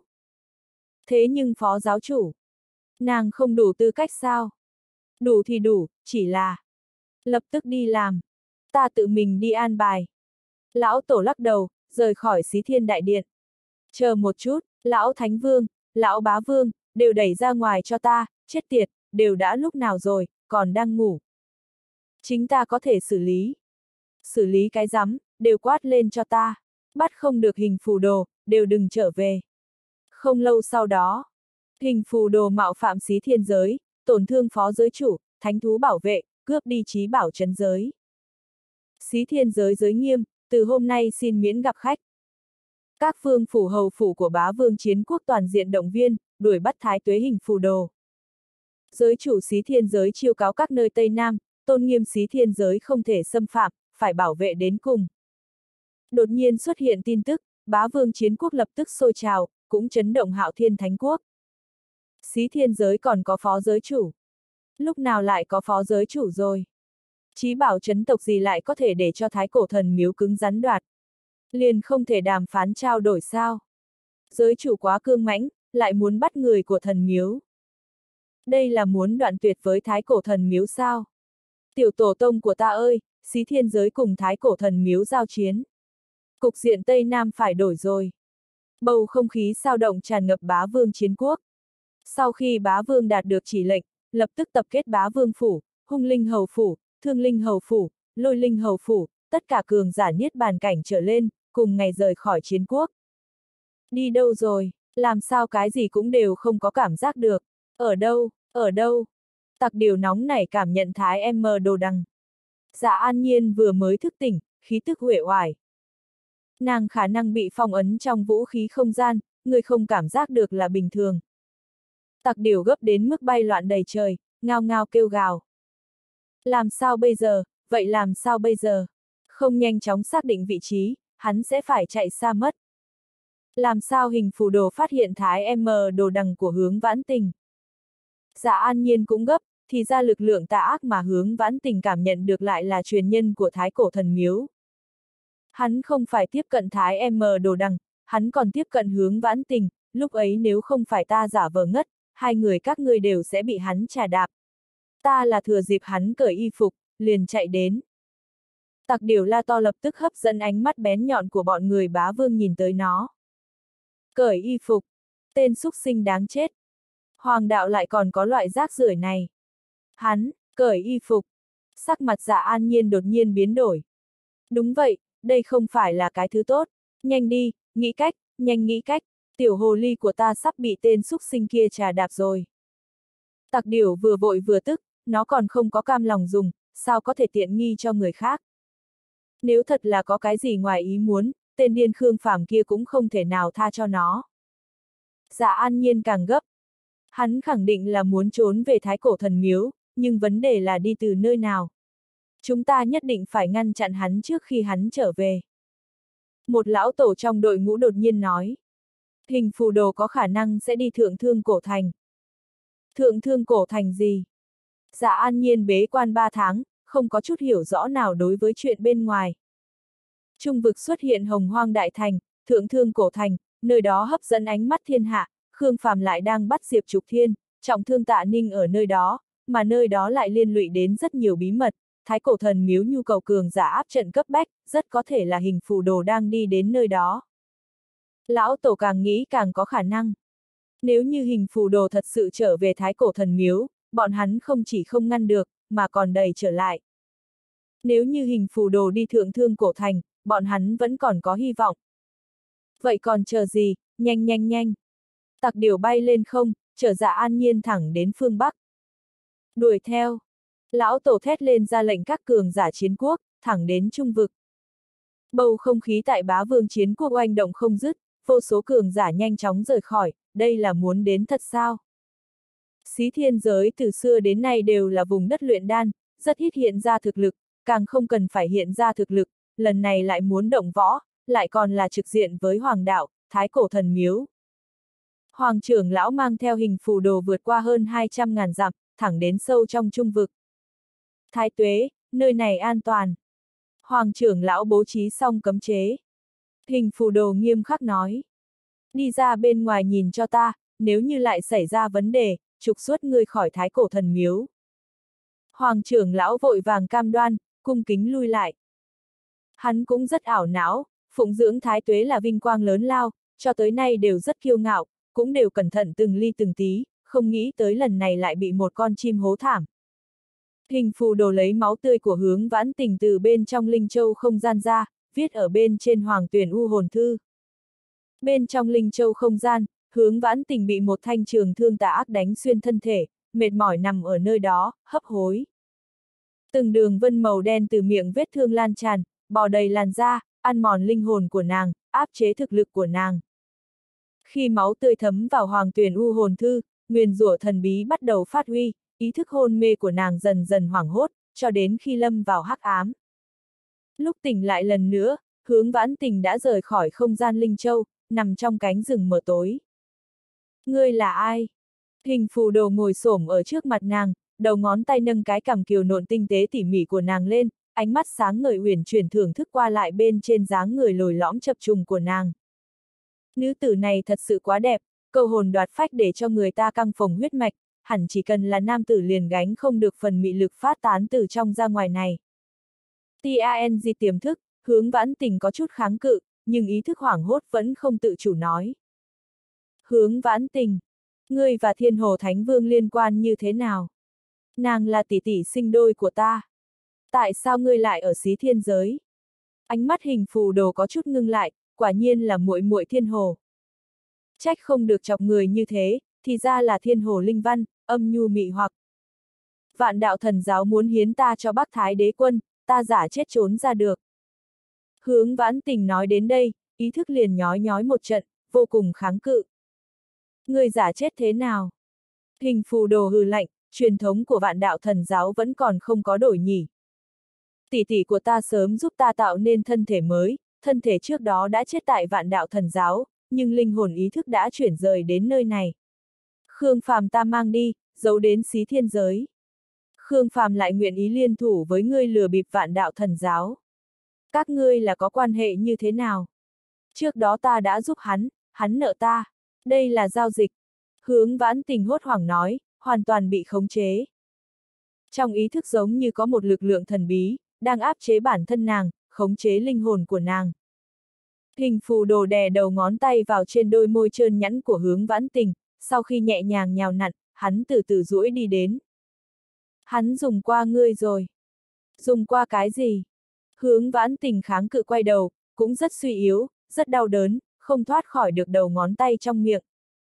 Dùng qua thân thể của ngươi. Không có. Cũng chưa dùng qua môi của ngươi. Không có. Là ngươi không nguyện ý. Hắn không có chủ động. Không có chủ động, nghe ý ngươi là, người nguyện ý. Ha ha, thật đúng là lẳng lơ. Hình phù đồ xẹt đầu ngón tay qua hàm răng hướng vãn tình, đè lại trên đầu lưỡi linh hoạt, cảm giác trơn nhẵn ướt át để trong lòng hắn rung động, nhìn ánh mắt mê ly mị hoặc kia, toàn thân chợt nóng lên, nhịn không được mà hít thật sâu một hơi mùi thơm cơ thể nồng đậm của nàng. Tại sao trên người ngươi lại có khí tức thái em mờ? Vẻ mặt hướng vãn tỉnh thoáng dễ dụa, nhưng vẫn nói ra miệng. Ta dùng hợp thái em M đồ đằng. Thái em M đồ đằng ở trên thân thể ngươi. Hình phù đồ ngưng tụ ánh mắt, đầu ngón tay đang muốn đi đến xâm nhập bất chợt ngừng lại. Không phải ở chỗ Khương Phàm sao? Khương Phàm giao thái M đồ đằng cho ta. Hướng vãn tình suy yếu nói nhỏ. Các ngươi lấy được thái M đồ đằng từ nơi nào? Hình phù đồ cười, thu hoạch ngoài ý muốn. Tiêu lạc lê. Ta nói chính là lai lịch cụ thể. Vĩnh Hằng Thánh Sơn. Là thánh địa Tây Bộ kia. Là ở đó. Các ngươi biết đồ đằng đến từ thời đại nào sao? Đoán chừng là thời cổ đại rất xa xưa. Thái dương đồ đằng đang trong tay ai? Tặc điểu. Tặc điểu gì? Một con hỏa diễm huyễn điểu, cũng ở xí thiên giới. Hình phù đồ nghĩ lại, chính là con chim cùng loại với kim ô kia.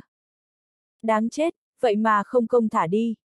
Bọn hắn hẳn là nên thẩm vấn ngay lập tức, đều là bị sắc đẹp mê hoặc.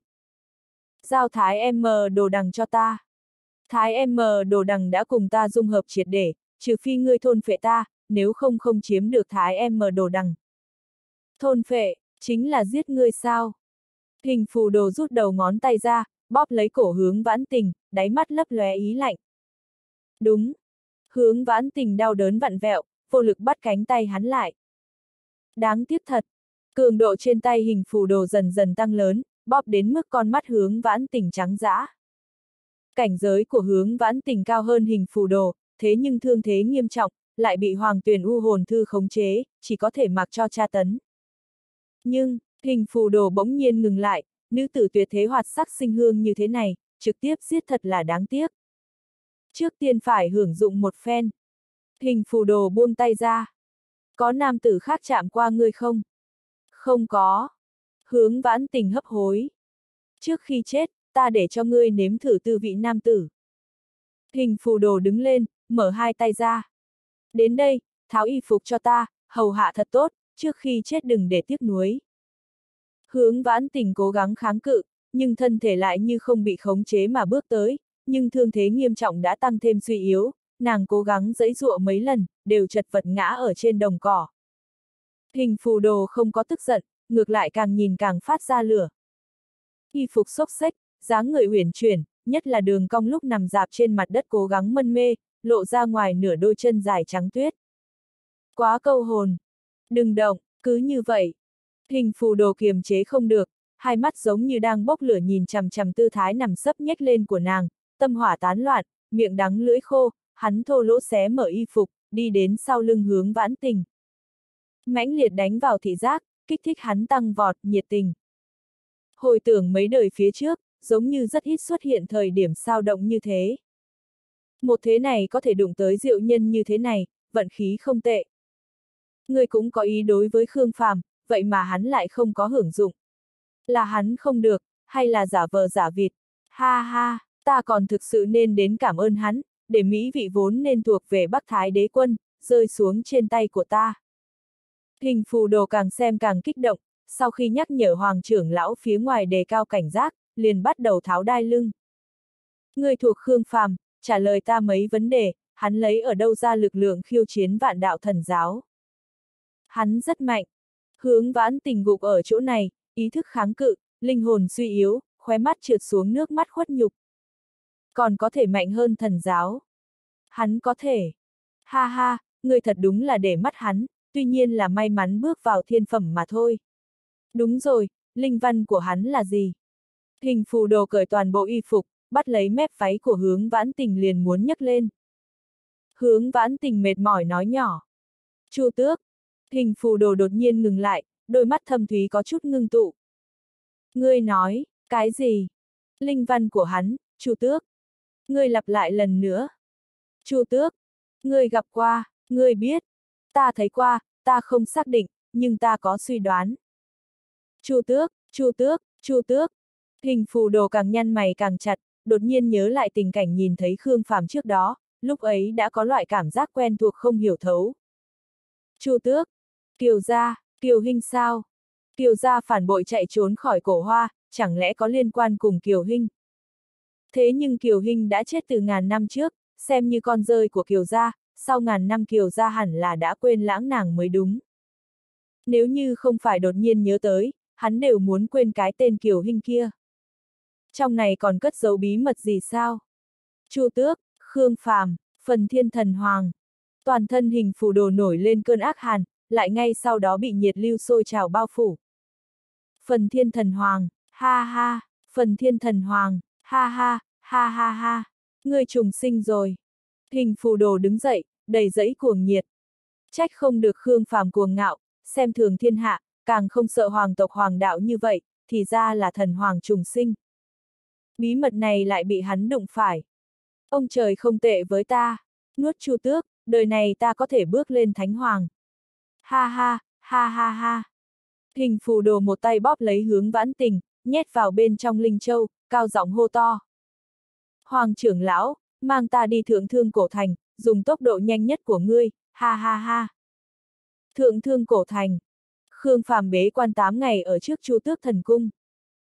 Lúc bắt đầu cảm giác năm ba ngày có thể đi ra, nhưng Ngọc Tỷ truyền quốc phong ấn quốc vận sau khi cảm ứng được hắn tồn tại, đã bắt đầu sao động kịch liệt, không ngừng liên tục tràn vào thân thể của hắn. Đây không phải năng lượng thực chất, mà là chúc phúc, là khí vận, có công dụng kỳ diệu phi phàm. Bất luận là tốc độ tu luyện, hay là cảm ngộ chiều sâu, đều sẽ tăng cường cực lớn, càng quan trọng hơn là kích thích linh văn. Thương sinh tạo hóa, bởi vì quốc vận, bắt đầu cùng thân thể sinh ra giao hòa càng sâu, cùng hai loại táng diệt truyền thừa Sơn Hà, nhật nguyệt tinh thần đối kháng va chạm bắt đầu yếu bớt, thiên phẩm linh văn của hắn rốt cuộc cũng bắt đầu tăng cường, phảng phất chạm đến vấn đề Thánh Vương. Đương nhiên, Thánh Linh Thiên Phẩm muốn chân chính bước lên Thánh Vương Thiên Phẩm còn khó hơn lên trời, Khương Phàm còn cần tiếp tục tìm kiếm cơ duyên khác. Sau 8 ngày, Khương Phàm từ biệt thiên hậu, rời khỏi vực sâu. Có người đi ra. Các cường giả tụ tập trên núi cao đột nhiên sao động, vừa chấn kinh lại càng khó có thể tin mà nhìn nam tử từ trong sương mù đi ra kia hơn. Từ sau khi phát hiện vực sâu cho đến bây giờ, trước sau đã có vài trăm người tiến vào, nhưng đều không có một kẻ nào còn sống đi ra. Người này làm thế nào làm được? Chính là hắn. Sau khi Khương Quỳ, Khương Qua, Khương Bá bí mật rời khỏi, một mực tiềm phục tại bên ngoài vực sâu, chính là đang đợi cái gọi là chủ nhân của bọn hắn. Khương Phàm cảm giác được bọn hắn đang ở gần đó, cũng chú ý tới ánh mắt của bọn hắn, nhưng không để ý đến, mà là huy động liệt diễm bay thẳng lên trời. Dãy núi sao động, ngăn hắn lại, khẳng định hắn đã đạt được bảo bối. Hỏi hắn tình huống phía dưới một chút. Nhanh nhanh nhanh, đừng để hắn chạy. Hơn ngàn người bay lên không chặn đường, bầu không khí tăng vọt, oanh oanh liệt liệt. Còn có càng nhiều người thì tiến lên sông về vực sâu. Đã có người đi ra, nói rõ một chút không phải là hẳn phải chết.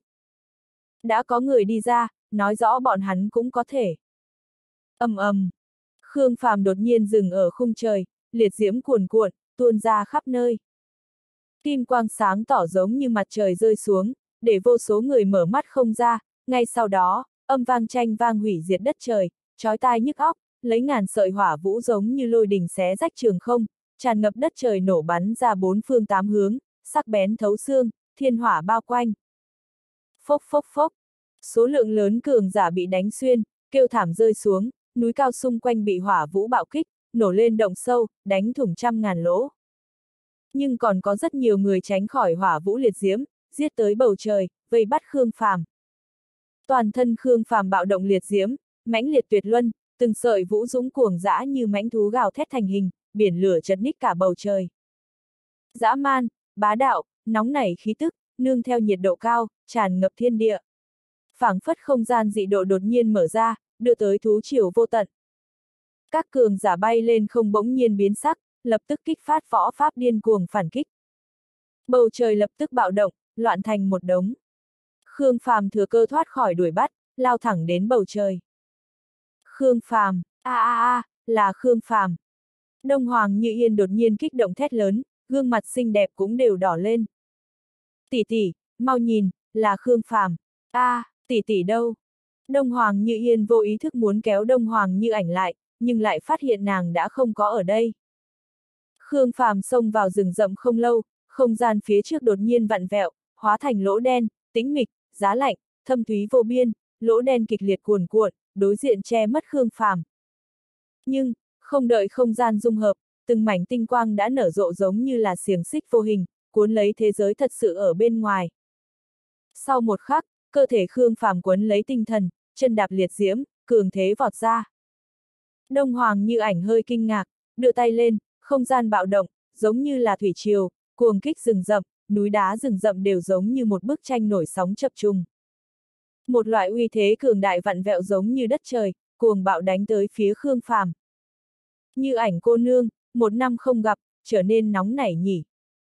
Sau khi Khương Phàm rơi xuống đất, thuận thế trầm xuống, hai tay nén trên mặt đất, ánh mắt hừng hực, táng diệt truyền thừa dung chuyển. Khi chiều cường không gian lao tới, trong chốc lát, hắn bỗng nhiên đứng dậy, hai tay vần quanh đại địa mẫu khí, giống như dẫn dắt sơn hà vô tận, đại lục minh mông nặng nề, mãnh liệt cuồng kích về phía trước. Oanh, răng rác, vạn mét không gian sụp đổ, chấn động đến rừng rậm núi cao xung quanh bị phá thành mảnh nhỏ, tràng diện rung động đến kinh dị. Khương Phàm hành động trong nháy mắt, thân quần ánh sao, dễ như trở bàn tay xuyên thủng không gian phá toái, giống như đang chân thực mạnh mẽ đâm tới giữa hư vô, giết tới trước mặt Đông Hoàng như ảnh. Một năm không gặp, nghị công tử lại mang đến cho như ảnh vui mừng. Đông Hoàng như ảnh duy mỹ phiêu giật, giống như tiên tử tuyệt trần, không gian xung quanh đột nhiên mông lung, cuồn cuộn vạn mét. Ánh sao lấp lóe, hắc ám ẩn núp. Nàng phảng như đang mình vào tại thâm không minh mông, phong hoa tuyệt đại, lại ngàn vạn uy nghi. Một quang ảnh lộng lẫy xông ra bóng tối vô tận, vờn đến xung quanh nàng, quang ảnh giống như con sông lớn lao nhanh, lại như cự long thức tỉnh, kịch liệt to hơn, chấn động thâm không. Đó là thời không trường hà. Trường hà minh mông, thời không dung chuyển. Từng mảnh cường quang lấp lóe sâu trong trường hà, đó là nhân vật truyền kỳ lưu lại ấn ký cho từng thời đại khác nhau, bọn hắn đang gầm thét, bọn hắn đang điên cuồng, bọn hắn đang chứng đạo với thương thiên. Trong chớp mắt, trường hà dung chuyển, kỳ quang bùng lên, hội tụ đến đông hoàng như ảnh. Đầu ngón tay đông hoàng như ảnh vẫy nhẹ, dẫn dắt mê quang thời không, hùng uy vạn cổ, thẳng đến Khương Phàm. Khương Phàm chấn kinh, lại sôi trào nhiệt huyết, chiến ý như thủy triều. Hắn xô ra không gian hỗn loạn, tay trái vần quanh tinh hà, tay phải ngưng tụ núi sông, nhật nguyệt sen lẫn phía sau, em mờ dương va chạm. Như tuyệt thế mãnh thú hồng hoang đột nhiên giết ra, lại như thương thiên bắn ra thiên linh thần tử. Uy thế ngập trời, càn khôn dung chuyển. ầm ầm, một trận bạo tạc mãnh liệt rung động lòng người, ầm vang nở rộ, khí lãng cuồng bạo giữa mấy vạn mét rừng rậm. Đại địa nổi sóng chập trùng, không gian vặn vẹo rung chuyển. Một mảnh cường quang hủy diệt thần bí kinh khủng lấy hai người làm trung tâm phóng lên tận trời, thẳng tới vạn mét trên trời cao, dung chuyển bình chướng của thượng thương cổ thành. Trong hỗn loạn, trong bạo động, khuôn mặt đông hoàng như ảnh có chút động, lại bị gánh vác rồi. Đây là chiêu thức trí cường nàng lĩnh ngộ được cho đến trước mắt, có thể mượn dẫn khí thức vạn cổ, càng có thể đủ để vượt cấp hủy diệt cường giả thiên phẩm. Khương Phàm đây là thế nào? Những hình ảnh sơn hà, nhật nguyệt tinh thần kia, lại là thế nào? Đông Hoàng như ảnh thật sự bị làm cho kinh ngạc, cũng hoảng hốt, kết quả. Khương Phàm đột nhiên xuất hiện ở trước mặt nàng, ra tay như điện, một tay bóp về phía cổ của nàng. Không gian xung quanh Đông Hoàng như ảnh rung chuyển, cưỡng ép lui lại, nhưng đầu ngón tay Khương Phàm vẫn phá vỡ ra thịt kiều nộn của nàng, để lại ba vết tích đẫm máu. Khương Phàm không tiếp tục tấn công, mà phóng ngón tay tới trong miệng, xoạch hai lần. Máu của như ảnh cô nương đều là hương, hương vị. Coi như không tệ. Ngươi! Đông Hoàng như ảnh che cái cổ, lần đầu tiên trong đời má ngọc toát ra mấy phần xấu hổ. Khương Phàm cười khẽ hai tiếng. Như ảnh cô nương vừa mới dùng võ pháp rất đặc biệt, giống như không phải truyền thừa của cửu thiên thần giáo. Bên trong đôi mắt thâm thúy của Đông Hoàng như ảnh lấp lánh đầy sao, mỹ diệu mê người. Nghị công tử dùng võ pháp cũng rất đặc biệt, như ảnh ta cũng chưa từng thấy qua. Ta rất có hứng thú cùng như ảnh cô nương trao đổi một chút, chỉ cô và ta. Tuy nhiên, bây giờ ta còn có chuyện phải xử lý, hôm nào lại trò chuyện tiếp. Ta không vội, hôm nay là được rồi. Đông Hoàng như ảnh khép thương thế lại, đưa tay giam cầm mảnh không gian này. Nữ hài tử phải thận trọng, ta nói không được thì không được, không nên chết dây dưa. Quấn ra cảm giác, cô phụ trách sao? Nghị công tử, người đang trêu chọc ta sao? Ha ha, trở về chuyển lời với phụ thân ngươi, cũng có thể chuyển lời đến thánh nhân thần giáo dẫn đội bên ngoài. Liền nói, ta sẽ không đi cửu tiêu thiên, cần bàn bạc thì ngay ở chỗ này, ta chờ. Khương Phàm nói xong, tinh quang giấu ở phía sau đột nhiên nở rộ, chín ngôi sao xen lẫn, ngưng tụ thành lỗ đen, cưỡng ép thôn phệ hắn, biến mất từ bên trong không gian giam cầm của Đông Hoàng Như Ảnh. Đông Hoàng Như Ảnh lại lần nữa kinh ngạc. Đây là võ pháp gì? Rốt cuộc trong hơn một năm nay Khương Phàm đã trải qua cái gì? Mà, cảnh giới của hắn giống như không phải sinh tử cảnh, niết bàn cảnh sao? Tỷ tỷ, tỷ tỷ, là Khương Phàm sao?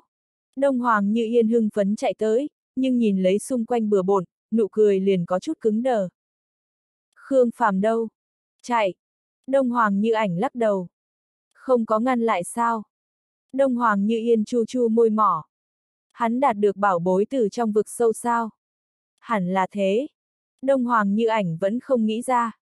Làm sao Khương Phàm có thể là niết bàn cảnh rồi? Làm sao lại có thể khống chế võ pháp không gian rồi? Cái này so với việc Khương Phàm từ thánh phẩm bước đến thiên phẩm càng chấn động hơn. Nàng đột nhiên có một cảm giác quái dị, hệ thống tu luyện bình thường giống như trói buộc không nổi Khương Phàm. Đông Hoàng Lăng Tuyệt theo tới, nhìn phế tích trước mặt, hồi tưởng bạo động trước đó, vẻ mặt quái dị. Vừa rồi là ngươi đang đánh cùng Khương Phàm. Lăng Tuyệt, ngươi tiếp tục quan sát vực sâu, không nên khinh cử vọng động.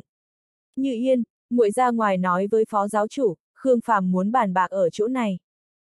Đông Hoàng như ảnh nói xong, không chờ bọn họ ngăn cản, liền ẩn vào hư không biến mất không thấy. Đông Hoàng lăng tuyệt cau chặt lông mày. Nàng đi làm cái gì rồi? Còn có thể làm gì, giám sát Khương Phàm chứ sao? Đông Hoàng như yên quệt mồm, chuyện kích thích như thế vì sao không để cho ta đi?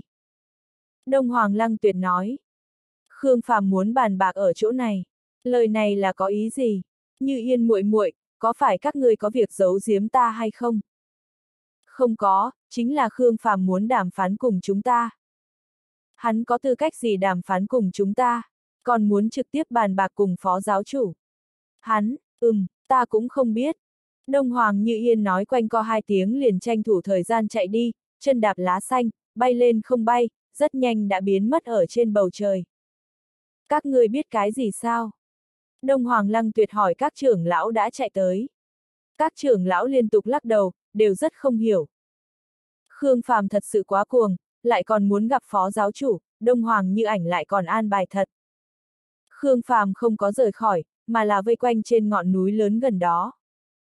Bởi vì bắt đầu từ năm ngày trước, Ngọc Tỷ truyền quốc liền xuất hiện dung chuyển kỳ quái, sau khi được thiên hậu cẩn thận điều tra, phát hiện đầu nguồn gây nên dung chuyển là ở bên ngoài. Nhưng đàn sói đang vây quanh bên ngoài, nàng không có tùy tiện mạo hiểm, chỉ là nhắc nhở Khương Phàm lúc rời khỏi thì đi xem xét. Khương Phàm che giấu bản thân, đứng tại đỉnh núi, cẩn thận quan sát đến tình huống năm ngọn núi cao. Chỉ mười mấy phút ngắn ngủi mà thôi, mấy ngàn người tụ tập ở chỗ này liền đã tiến vào một nửa. Có thể nghĩ, bọn hắn không ai có thể sống sót mà đi ra ngoài. Khương Phàm chú ý đến những người còn ở lại trên núi kia. Cẩn thận, cẩn thận. Sau đó không lâu, ánh mắt của hắn nhìn chằm chằm chỗ sườn núi bên trái ngọn núi. Nơi đó chính nở rộ ánh sáng kỳ diệu, dẫn dắt một bộ phận mê vụ trong vực sâu dâng lên phiêu đãng tới nơi đó. Nơi đó mơ hồ có mấy chục người đứng đấy, đều mang theo áo choàng.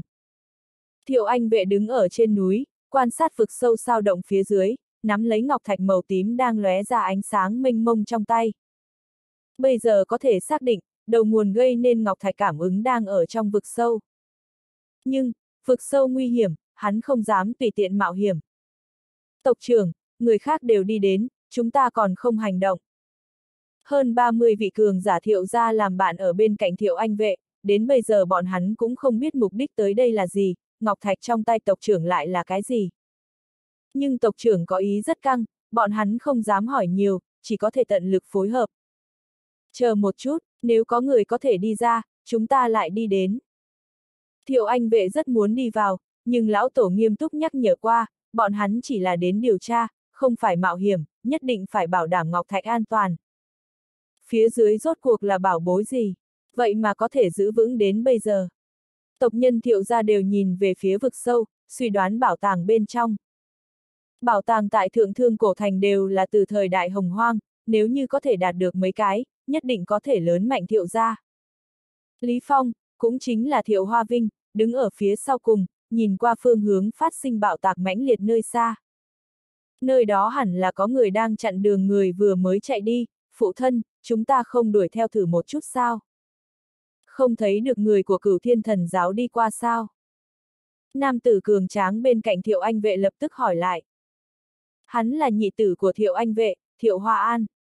Một mực rất có thành kiến đối với tên nghĩa tử bị đại ca thiệu hoa hùng mang về này. Thiệu Hoa Vinh cũng không khách khí đối với nhị công tử này. Người kia là hỏa diễm linh văn, vừa lúc bị chúng ta khắc chế, chúng ta nhiều người, hẳn là có thể cướp đến tay. Ngu xuẩn, đó là cửu thiên thần giáo, là trí tôn hoàng đạo, chúng ta cùng bọn hắn đoạt. Chán sống rồi sao? Nơi này là thượng thương cổ thành, khắp nơi trên đất đều là cơ duyên, nếu như ngay cả cướp một người cũng đều không có dũng khí, vậy thì chúng ta dứt khoát rút khỏi toàn bộ đi, bảo tàng đều để cho hoàng đạo đi. Nói ngươi ngu xuẩn còn không thừa nhận, ngươi không có chú ý tới bạo tạc nơi đó vang lên mấy lần liền ngừng. Khẳng định là bị bắt, người của cửu thiên thần giáo tới là phe phái Đông Hoàng, trong bọn họ rất nhiều linh văn có liên quan tới không gian. Chỉ cần ra tay, người kia sẽ chạy không xong. Không thử một chút làm sao biết, cảm giác cướp không qua liền không cướp, cảm giác không tranh nổi liền không tranh. Ha ha, thời điểm ngươi ở trong tộc cùng đại ca tranh đoạt địa vị, cũng không có thấy ngươi thông minh như vậy.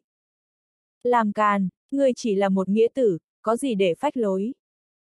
Ta là một nghĩa tử, linh văn còn mạnh hơn so với ngươi, ngươi có gì có thể phách lối. Im miệng. Thiệu Anh vệ quay đầu giận dữ mắng mỏ.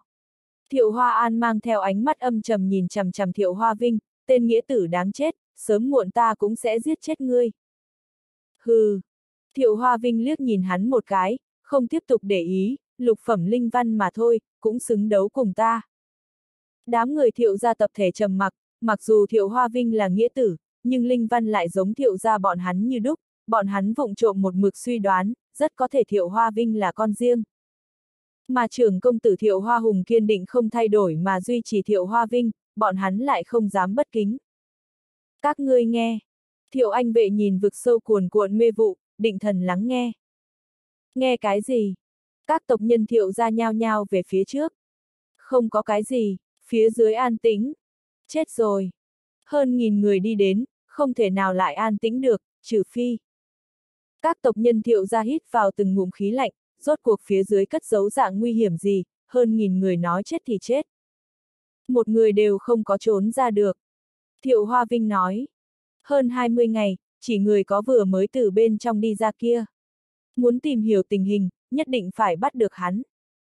Thiệu Hoa An lập tức phản kích. Sao ngươi lại bướng bỉnh như thế? Hắn đã bị người của thần giáo bắt đi. Ngươi còn muốn cướp người từ trong tay thần giáo. Thần giáo hẳn là đang tra hỏi hắn. Nếu như thần giáo trở lại, cũng xông đi đến, nói rõ bọn hắn nắm giữ chút tình huống, có lòng tin có thể đi ra, đến lúc đó chúng ta có thể đi theo xuống dưới. Nếu như sau khi bọn hắn trở về, không đi xuống, nói rõ rất nguy hiểm, cửu tử nhất sinh, bọn hắn không dám mạo hiểm, chúng ta cũng chỉ có thể từ bỏ. Nếu như bọn hắn không trở về nữa, thì nói rõ người kia đã nắm bắt bảo bối trong vực sâu tới tay, cũng chính là bị thần giáo cướp đi, chúng ta cũng không cần thiết lại ở lại đây. Thiệu Hoa Vinh nói xong, trên mặt của mọi người thiệu ra đều lộ ra mấy phần tán thưởng, phân tích rất đúng chỗ. Thiệu Hoa An hừ lạnh. Há mồm liền đến, nào có đơn giản như ngươi nói. Chúng ta phụng lệnh lão tổ đến điều tra, mặc kệ phía dưới là thế nào, đều phải tận mắt nhìn, bên dưới vực sâu này là xuống không được cũng phải xuống. Thiệu Anh vệ ở phía trước gật đầu. Hoa An nói rất đúng, chúng ta xuống không được cũng phải xuống. Chỉ là, phải nhìn đúng thời cơ, chờ đợi cơ hội. Thiệu Hoa An có chút ngẩng đầu, kiêu ngạo liếc mắt nhìn Thiệu Hoa Vinh. Bọn hắn trở về. Thiệu Hoa Vinh nhìn về phía không trung, người của cửu thiên thần giáo lại trở về, tuy nhiên đều chỉ đậu ở chỗ đó, không có hành động thiếu suy nghĩ. Người của thiệu gia âm thầm khẩn trương, chẳng lẽ phía dưới thật sự rất nguy hiểm. Ngay cả cửu thiên thần giáo hiểu rõ tình huống, cũng không dám tùy tiện mạo hiểm. Vậy phải làm sao bây giờ? Thiệu Anh vệ nắm chặt Ngọc Thạch, tỉnh táo lại, không còn vọng tưởng muốn thử. Sau khi trầm mặc kiềm chế một trận, Thiệu Hoa Vinh khẽ cắn môi, bước về phía trước nói. Nghĩa phụ, cứ chờ ở đây cũng không phải là cách, ta có một đề nghị. Ngài ở lại bên ngoài chờ, ta đi xuống xem một chút. Không thể. Thiệu Anh vệ ngay cả mình đều kiêng kỵ phía dưới, há có thể để linh hồn cảnh đi mạo hiểm. Phía dưới rất nguy hiểm, ai đến cũng có thể mất mạng, coi như mời thánh tổ chờ đợi bên ngoài tin đến, cũng có thể sẽ gặp nguy hiểm. Tuy nhiên, ta cảm giác ngọc thạch trong tay ngài hẳn là sẽ là một cái mấu chốt, cầm nó, có khả năng còn sống đi ra. Thiệu Hoa Vinh đương nhiên không muốn liều lĩnh cho cuộc phiêu lưu này, nhưng hành động lúc trước của hắn ở Xí Thiên đã thất bại, ảnh hưởng tới địa vị trong lòng phụ thân, nhất định phải tìm một cơ hội cứu vãn. Cho dù phụ thân không đồng ý, chỉ ít sẽ thưởng thức dũng khí của hắn, nhìn thấy thái độ của hắn. Không được, Ngọc Thạch là di vật tiên tổ, không thể có sai sót. Thiệu Anh vệ nắm chặt Ngọc Thạch trong tay, lão tổ nghiêm khắc nhắc nhở qua, coi như hắn chết, đều phải đưa Ngọc Thạch an toàn trở về. Thiệu Hoa Vinh lắc đầu, cái này không được, vậy thì chờ xem. Thiệu Anh vệ rất uất ức, trước khi tới đây thật sự không nghĩ tới sẽ gặp được tình huống như vậy, cảnh giới bị hạn chế, để hắn khó mà thi triển, Ngọc Thạch cực kỳ quan trọng, càng không thể tùy tiện mạo hiểm. Làm sao bây giờ? Thật phải chờ đợi sao?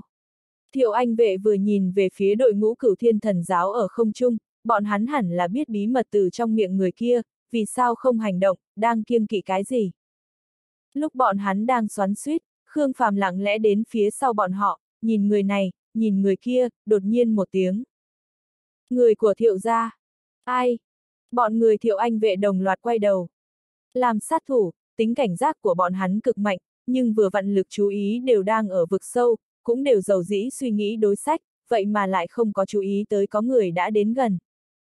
Nhưng sau khi nhìn đến người phía sau, sắc mặt đều là biến đổi. Đây không phải là người vừa mới đi ra ngoài kia sao? Mặt nạ màu tím quá bắt mắt. Sao hắn không có bị cửu thiên thần giáo bắt đi? Khương Phàm nhếch miệng lên đường cong tàn nhẫn.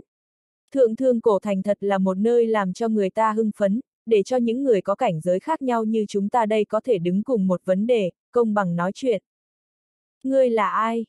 Thiệu Anh vệ đi đến phía trước, người này không có bị bắt lấy, hay là được thả?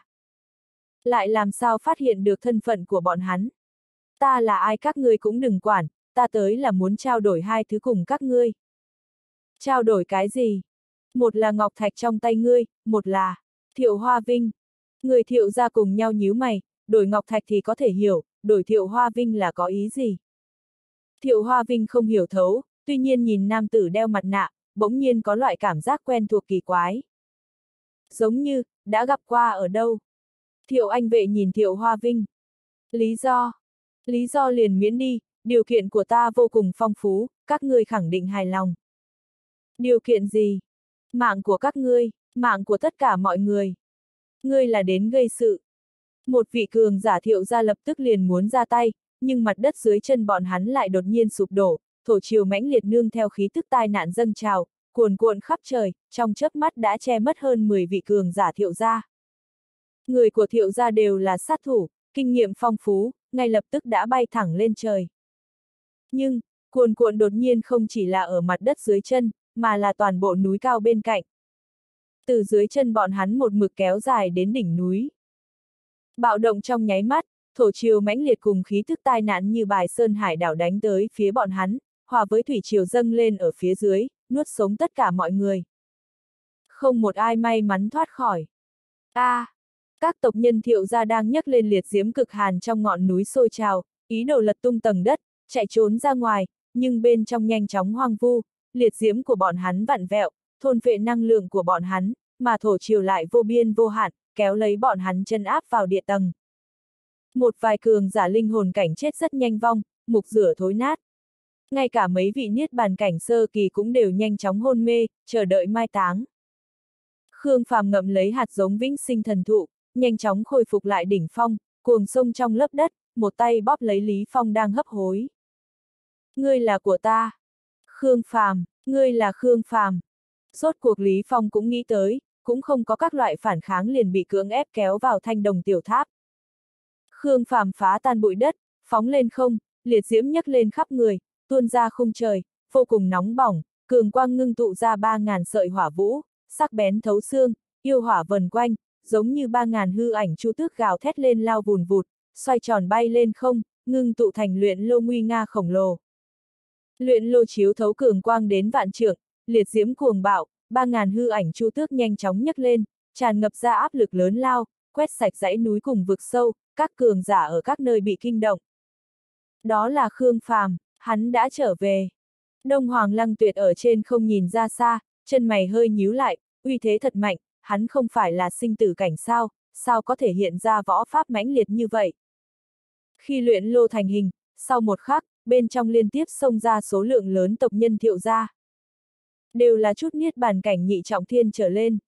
Mặc dù bọn hắn bị áp chế thực lực, nhưng cảnh giới vẫn còn tại đó, khí tức sinh mệnh cùng linh lực trong khí hải đều đầy đủ bành trướng, cho nên Sơn Hà Đại Táng chỉ trọng thương bọn hắn, không có thật sự mai táng bọn hắn. 17 vị cường giả thành công đào thoát, suy yếu đau đớn, chật vật không chịu nổi, càng kinh hoàng hơn, tuyệt vọng hơn. Giờ khắc này, bọn hắn chỉ lo chạy trốn, ai cũng không nghĩ tới bên ngoài lại còn có mai phục, đều liên tiếp va vào trong lò luyện. A, à, nhiệt độ nóng bỏng để năm cường giả niết bàn cảnh mệt mỏi hóa thành cho tàn ngay tại chỗ. Những người khác thì liên tiếp bừng tỉnh. Đồ hỗn trướng, người biết đã trêu đến là ai chăng? Giết cho ta. Thiệu Anh vệ nhấc lên thái em mờ cực diễm mãnh liệt, giống như vòng xoáy thôn phệ minh mông chú tước yêu hỏa, diễn biến tinh phách. Băng phong cái đỉnh lô này. Những tộc nhân thiệu ra may mắn còn sống sót khác nhau nhau ngưng tụ thái em mờ cực diễm, diễn biến ra thứ có thể khắc chế những tinh phách kim viêm này. ầm ầm, liệt diễm trong lò luyện bị điên cuồng kéo lấy, hội tụ đến bọn hắn, từng viên tinh phách hiện ra khí thức cực lạnh nhanh chóng thành hình. Nhưng, bảo, Khương Phàm không chờ bọn hắn triển khai phản kích đã ngang nhiên dẫn nổ luyện lô. Tất cả hư ảnh chu tước mặt ngoài luyện lô tại thời khắc này đều dương cánh gáy to, thanh triều liệt liệt vang vọng khắp dãy núi mang đến uy thế lớn lao cho tất cả cường giả thú linh văn loại chim muông. Số lượng lớn cường giả thậm chí còn sợ hãi quỳ xuống đất, mặt đầy kinh hãi. Ba ngàn con chu tước hỏa vũ nóng chảy, phóng xuất ra chiều dâng mãnh liệt, ngang nhiên dẫn bạo luyện lô. Luyện lô ở trên tầng mây cao vút toàn diện nổ tung, hình thành bạo tạc mãnh liệt, quét sạch dãy núi, phấp phới khắp trời, giống như biển động lao nhanh bao phủ sơn cốc phía trên vực sâu, đánh tới núi rừng xung quanh. Những nơi đi qua, đại địa biến thành dung nham, cây rừng biến thành bụi mù. Ngọa tào. Số lượng lớn cường giả trong dãy núi bỗng nhiên biến sắc, chật vật chạy trốn về nơi xa. Các cường giả thiệu gia trong lò luyện đều bị tạc đến huyết nhục mơ hồ, kêu thảm tung bay ra ngoài. Khương Phàm nhanh chóng lao xuống, lao thẳng đến hỗn loạn rừng rậm, săn giết cường giả thiệu gia. A a a, tiểu tặc, người đi chết đi. Một vị cường giả thiệu ra ổn định trong liệt diễm, gương mặt dữ tợn, điên cuồng như quỷ, hắn phất tay xuất kích, diễn biến ra 50 mảnh tinh phách cực hàn, xuyên thủng kim viêm, ngang nhiên nghênh kích. Những nơi đi qua, kim viêm nhường đường, khí lạnh bốn phía. Khương Phàm không lùi không tránh, đối diện giết tới, nắm tay bạo kích, liệt diễm vần quanh, giống như một mặt trời thẳng đến nắm đấm.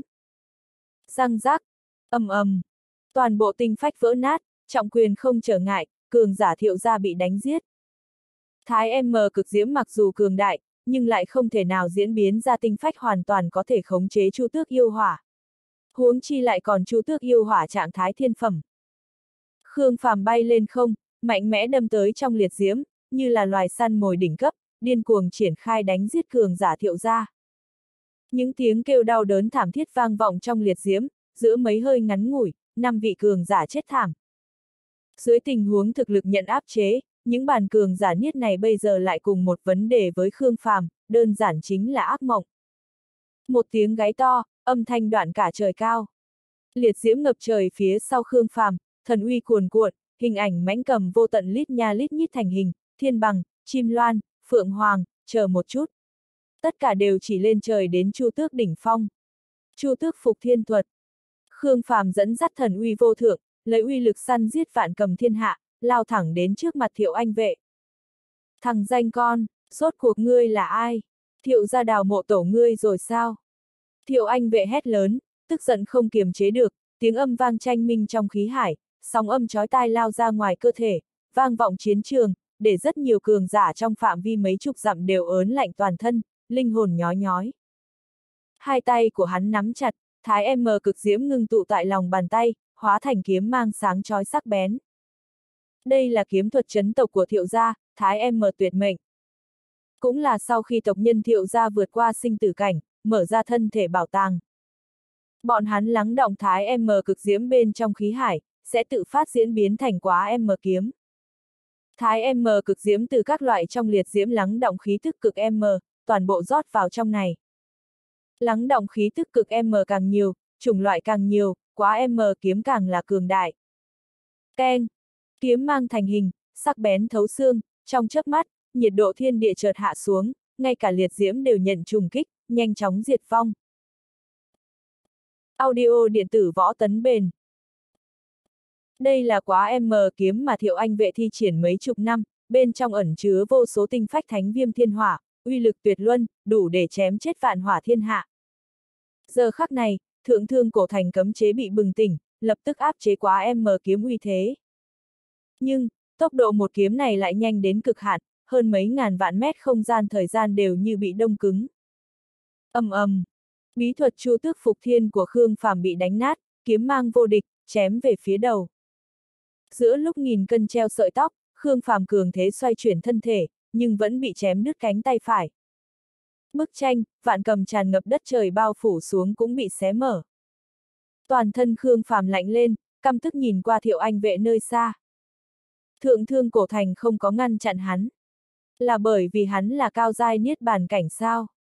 Xem ra thời gian thượng thương cổ thành tồn tại vẫn quá lâu, lực lượng chân áp đối với trận bộc phát đột nhiên của cao giai niết bàn cảnh này vẫn còn có chút cố hết sức. Khương Phàm quả quyết rút lui, nhưng, bốn vị tộc lão tóc trắng xóa liên tiếp giết tới. Người trốn không thoát, tứ tượng tuyệt sát, oanh, oanh, oanh, oanh. M thành tựa như sấm nổ chấn động trời cao, bốn vị tộc lão thiệu ra tế lên bốn mảnh bảo cốt. Cường quang bạo động, năng lượng như thủy triều cuồn cuộn khắp đất trời. Chu tước hoành không, cự long gào thét, bạch hổ chiến thiên, huyền vũ chìm nổi.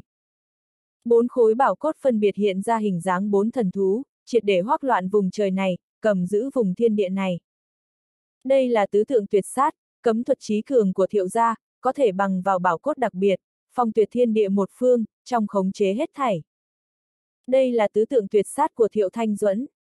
Khương Phàm bị cường quang cùng năng lượng bao phủ, giống như bị hãm lại trong vũng bùn, càng dẫy dụa trói buộc sẽ càng chặt, toàn thân bị lực lượng vô hình đè ép. Tứ tượng tuyệt sát là cấm thuật của Tu La, cần chu tước cốt xương cự long cốt, huyền vũ cốt, bạch hổ cốt chân chính làm năng lượng đầu nguồn, cưỡng ép diễn biến giam cầm. Sau này khi chinh chiến thiên khải chiến trường, Thiệu Thanh Duẫn cũng tập hợp đủ bốn khối trí tôn cốt, cũng mời đến phương pháp diễn biến từ Tu La nơi đó.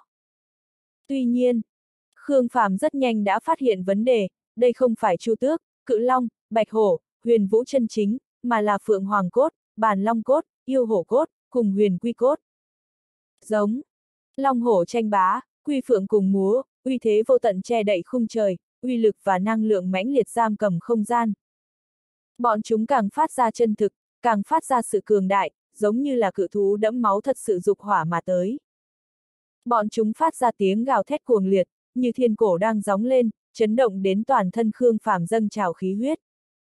Ngay sau đó năng lượng phun ra đầy trời, riêng phần mình diễn biến thành xiềng xích sắc bén, cuồng kích lĩnh vực, đánh về phía Khương Phàm. Dầm dầm, Khương Phàm bị kéo chặt lấy, thân thể hoàn toàn mở ra. Khiêu chiến nhân gian ngục, phán ngươi tử hình. Bốn vị tộc lão thiệu ra hét lớn, khống chế xiềng xích lôi kéo về bốn phương tám hướng, muốn phân thây Khương Phàm. Khương Phàm hét lớn, tinh huyết kim hoàng bành trướng, thân thể mãnh liệt run run, chấn ra một nguồn man lực như đại dương, quả thực gánh vác được lực lượng xé rách điên cuồng. Sau đó, liệt diễm tuôn ra khắp người Khương Phàm, ngưng tụ hình thái chu tước, cố gắng rằng co, thuận theo xiềng xích phía bên phải phóng tới bảo cốt Phượng Hoàng. ầm ầm, bạo tạc mãnh liệt, chấn động hư ảnh Phượng Hoàng. Như chu tước săn giết Phượng Hoàng, liệt diễm vô tận cuồng kích khung trời. Khương Phàm thừa cơ phát lực, cánh tay phải bỗng nhiên chấn vỡ xiềng xích đến từ Phượng Hoàng. Tứ tượng tuyệt sát bị rung chuyển. Một tiếng gáy to, vang vọng lĩnh vực, Khương Phàm thi triển chu tước lăng thiên thuật, toàn thân bạo động, mang theo năng lượng giam cầm phóng lên tận trời, không đợi Phượng Hoàng bảo cốt ổn định lần nữa liền cường thế giết ra ngoài. Không thể nào. Bốn vị tộc lão bỗng nhiên biến sắc, nhất là lão nhân khống chế bảo cốt Phượng Hoàng, hắn lại chợt cảm giác bảo cốt đã nhận lấy áp chế. Khương Phàm vừa mới giết ra khỏi, tứ tượng tuyệt sát, Thiệu Anh vệ đột nhiên xuất hiện trước mặt. Đại mộ bí thuật, Thiệu Anh vệ thiêu đốt huyết khí, cưỡng ép dung chuyển cảnh giới bị áp chế, sớm đã ngưng tụ, mộ bia, đánh tới Khương Phàm. Mộ bia đen kịt, nghiêm túc trang nghiêm, một cỗ khí âm hàn quỷ dị, khuấy động thiên địa, để cho người ta dùng mình. Khương Phàm vừa mới thoát khốn, hắn trở tay không kịp, bị đối diện đánh trúng. Mộ bia va chạm, nháy mắt đã vỡ nát, hóa thành năng lượng màu đen thẩm thấu đến trong thân thể Khương Phàm. Năng lượng toàn thân Khương Phàm nhanh chóng biến mất, bị cưỡng bức ép đến trong khí hải, tinh huyết kim hoàng bị nhận áp chế, nhanh chóng bình tĩnh, thân thể giống như thiên thạch đánh xuống phế tích. Qua! Wow. Khương Phàm há miệng phun máu, suy yếu đau đớn hơn, giống như muốn rơi vào trạng thái ngủ say, muốn bị tươi sống mai táng. Mộ bia thần bí, giống như đứng ở trong thân thể của hắn. Thân thể của hắn thành phần mộ, mai táng mình. Tuy nhiên, Khương Phàm lập tức nhắm mắt lại, ý thức câu thông đại địa mẫu khí, nhấc lên minh mông thổ triều, nhanh chóng che mất hắn, mang theo chìm vào địa tầng. Ngươi trốn không thoát, đi ra cho ta. Mấy vị tộc lão thiệu ra cuồng kích mặt đất, núi cao lay động, đá vụn bay loạn, xuất hiện một cái hố sâu rộng mấy trăm mét. Nhưng, lại không có người. Hắn bị đại mộ bí thuật đánh trúng, trốn không xa được, móc ra cho ta. Thiệu anh vệ tức giận quát tháo. Gia tộc chúa tể thế giới dưới đất lại bị người khác tập kích. Lại còn là ở ngay trước mặt mấy ngàn người. Vô cùng nhục nhã. Nhưng, bọn hắn đào thông hơn phân nửa ngọn núi cũng không tìm được mục tiêu, ngược lại là toàn móc ra những tộc nhân mai táng trước đó kia. Từng kẻ đều khô cạn mục nát, giống như là đã mai táng mấy chục năm, đã chết không thể chết lại. Không. Thiệu Anh vệ ôm lấy thi thể Thiệu Hoa An, đau thương rơi lệ. Hoa Vinh đâu, có ai tìm được thi thể Hoa Vinh không? Các tộc lão đào thông núi cao, lại không tìm được thi thể Thiệu Hoa Vinh. Hắn là ai, có ai nhận ra không? Trong mắt của Thiệu Anh vệ đều đỏ lên. Hắn mang theo mặt nạ, không nhận ra được. Hắn là hai hệ linh văn hỏa thổ sao? Đầu tiên là thổ triều, sau đó lại là liệt diễm. Thực lực của hắn vô cùng cường đại, lại có thể tùy tiện giết nhiều người của chúng ta như vậy, còn có thể chạy ra khỏi tứ tượng tuyệt sát, cũng rất có thể là cường giả niết bàn cảnh cao giai. Trong đầu các tộc lão không từng nghĩ đến các tử địch của bọn hắn, thế nhưng nghĩ tới nghĩ lui, ai cũng không phù hợp. Tìm kiếm cho ta, bất luận như thế nào đều phải tìm ra hắn cho ta. Thiệu anh vệ nhìn hài tử chết thảm trong ngực, đau đớn không thôi. Tộc trưởng, chúng ta vào vực sâu điều tra không? Bây giờ ai cũng không được vào, tìm cái tên tạp toái kia trước cho ta. Đông Hoàng Lăng Tuyệt đứng ở không trung, vẻ mặt vô cùng đặc sắc. Một mình Khương Phàm đấu với thiệu gia nhân gian ngục. Tên điên này điên đến thật sự không quan tâm gì sao. Liền xem như hắn muốn khiêu chiến thiệu gia đều cần phải cẩn thận mưu tính, dù sao tất cả người trong thiệu gia cũng đều là sát thủ, thực lực càng cường đại, kết quả Khương Phàm đi lên lại là đánh tung đi loạn một trận, để lại thi thể đầy đất rồi phóng khoáng đi mất. Hôm nay xem như kiến thức được cái gì gọi là điên cuồng. Thượng thương cổ thành giống như đã trở thành khu vực săn bắn của Khương Phàm, đều là niết bàn cảnh nhất trọng thiên, ai hắn cũng không sợ. Các trưởng lão thần giáo nhìn cường giả thiệu ra tức dân thở hổn hển phía dưới, thầm nghĩ thật đáng thương. Cảm giác cảnh giới nhận áp chế quá khó tiếp thu rồi, chiến đấu rất dễ dàng đánh giá sai thực lực của mình đánh ra, ngược lại không phát huy tốt bằng niết bàn cảnh nhất trọng thiên. Trong hoàn cảnh như vậy, ưu thế phẩm cấp linh văn cũng đã nhận được trình độ nổi bật lớn nhất, thiên phẩm cơ hồ có thể nghiền ép thánh phẩm. Khương Phàm chôn sâu ở bên trong địa tầng, điều động đại địa mẫu khí, tư dưỡng thân thể, dọn dẹp đại mộ bí thuật nguyền rủa, thuận tiện chú ý trận săn giết tại tầng thứ ba của thanh đồng tiểu tháp. Lý Dần, Lý Phong, vừa mới gặp nhau liền mất đi lý trí, điên cuồng triển khai chém giết. Cảnh giới Lý Dần bây giờ đã mạnh hơn Lý Phong, điên cuồng bạo tẩu rất nhanh đã ngăn chặn được Lý Phong, sau đó. Dung hợp. Mặc dù Khương Phàm đã thấy qua loại tràng diện đầy máu này, nhưng vẫn rất khó chịu. Thôn vệ thái M cực diễm của Lý Phong, hẳn là có thể thăng hoa linh văn. Đây chính là thời cơ tốt để luyện hóa đầu lâu kỳ lân. Khương Phàm cảm thấy vui mừng, đầu tiên là hỗn thiên linh bảo, sau đó lại là xương đầu cùng thú nguyên của tổ kỳ lân, rốt cuộc lý dần cũng có thể bước lên hàng ngũ cường giả chân chính. Cái danh, cường giả, này không chỉ là lập tức, mà còn có tương lai.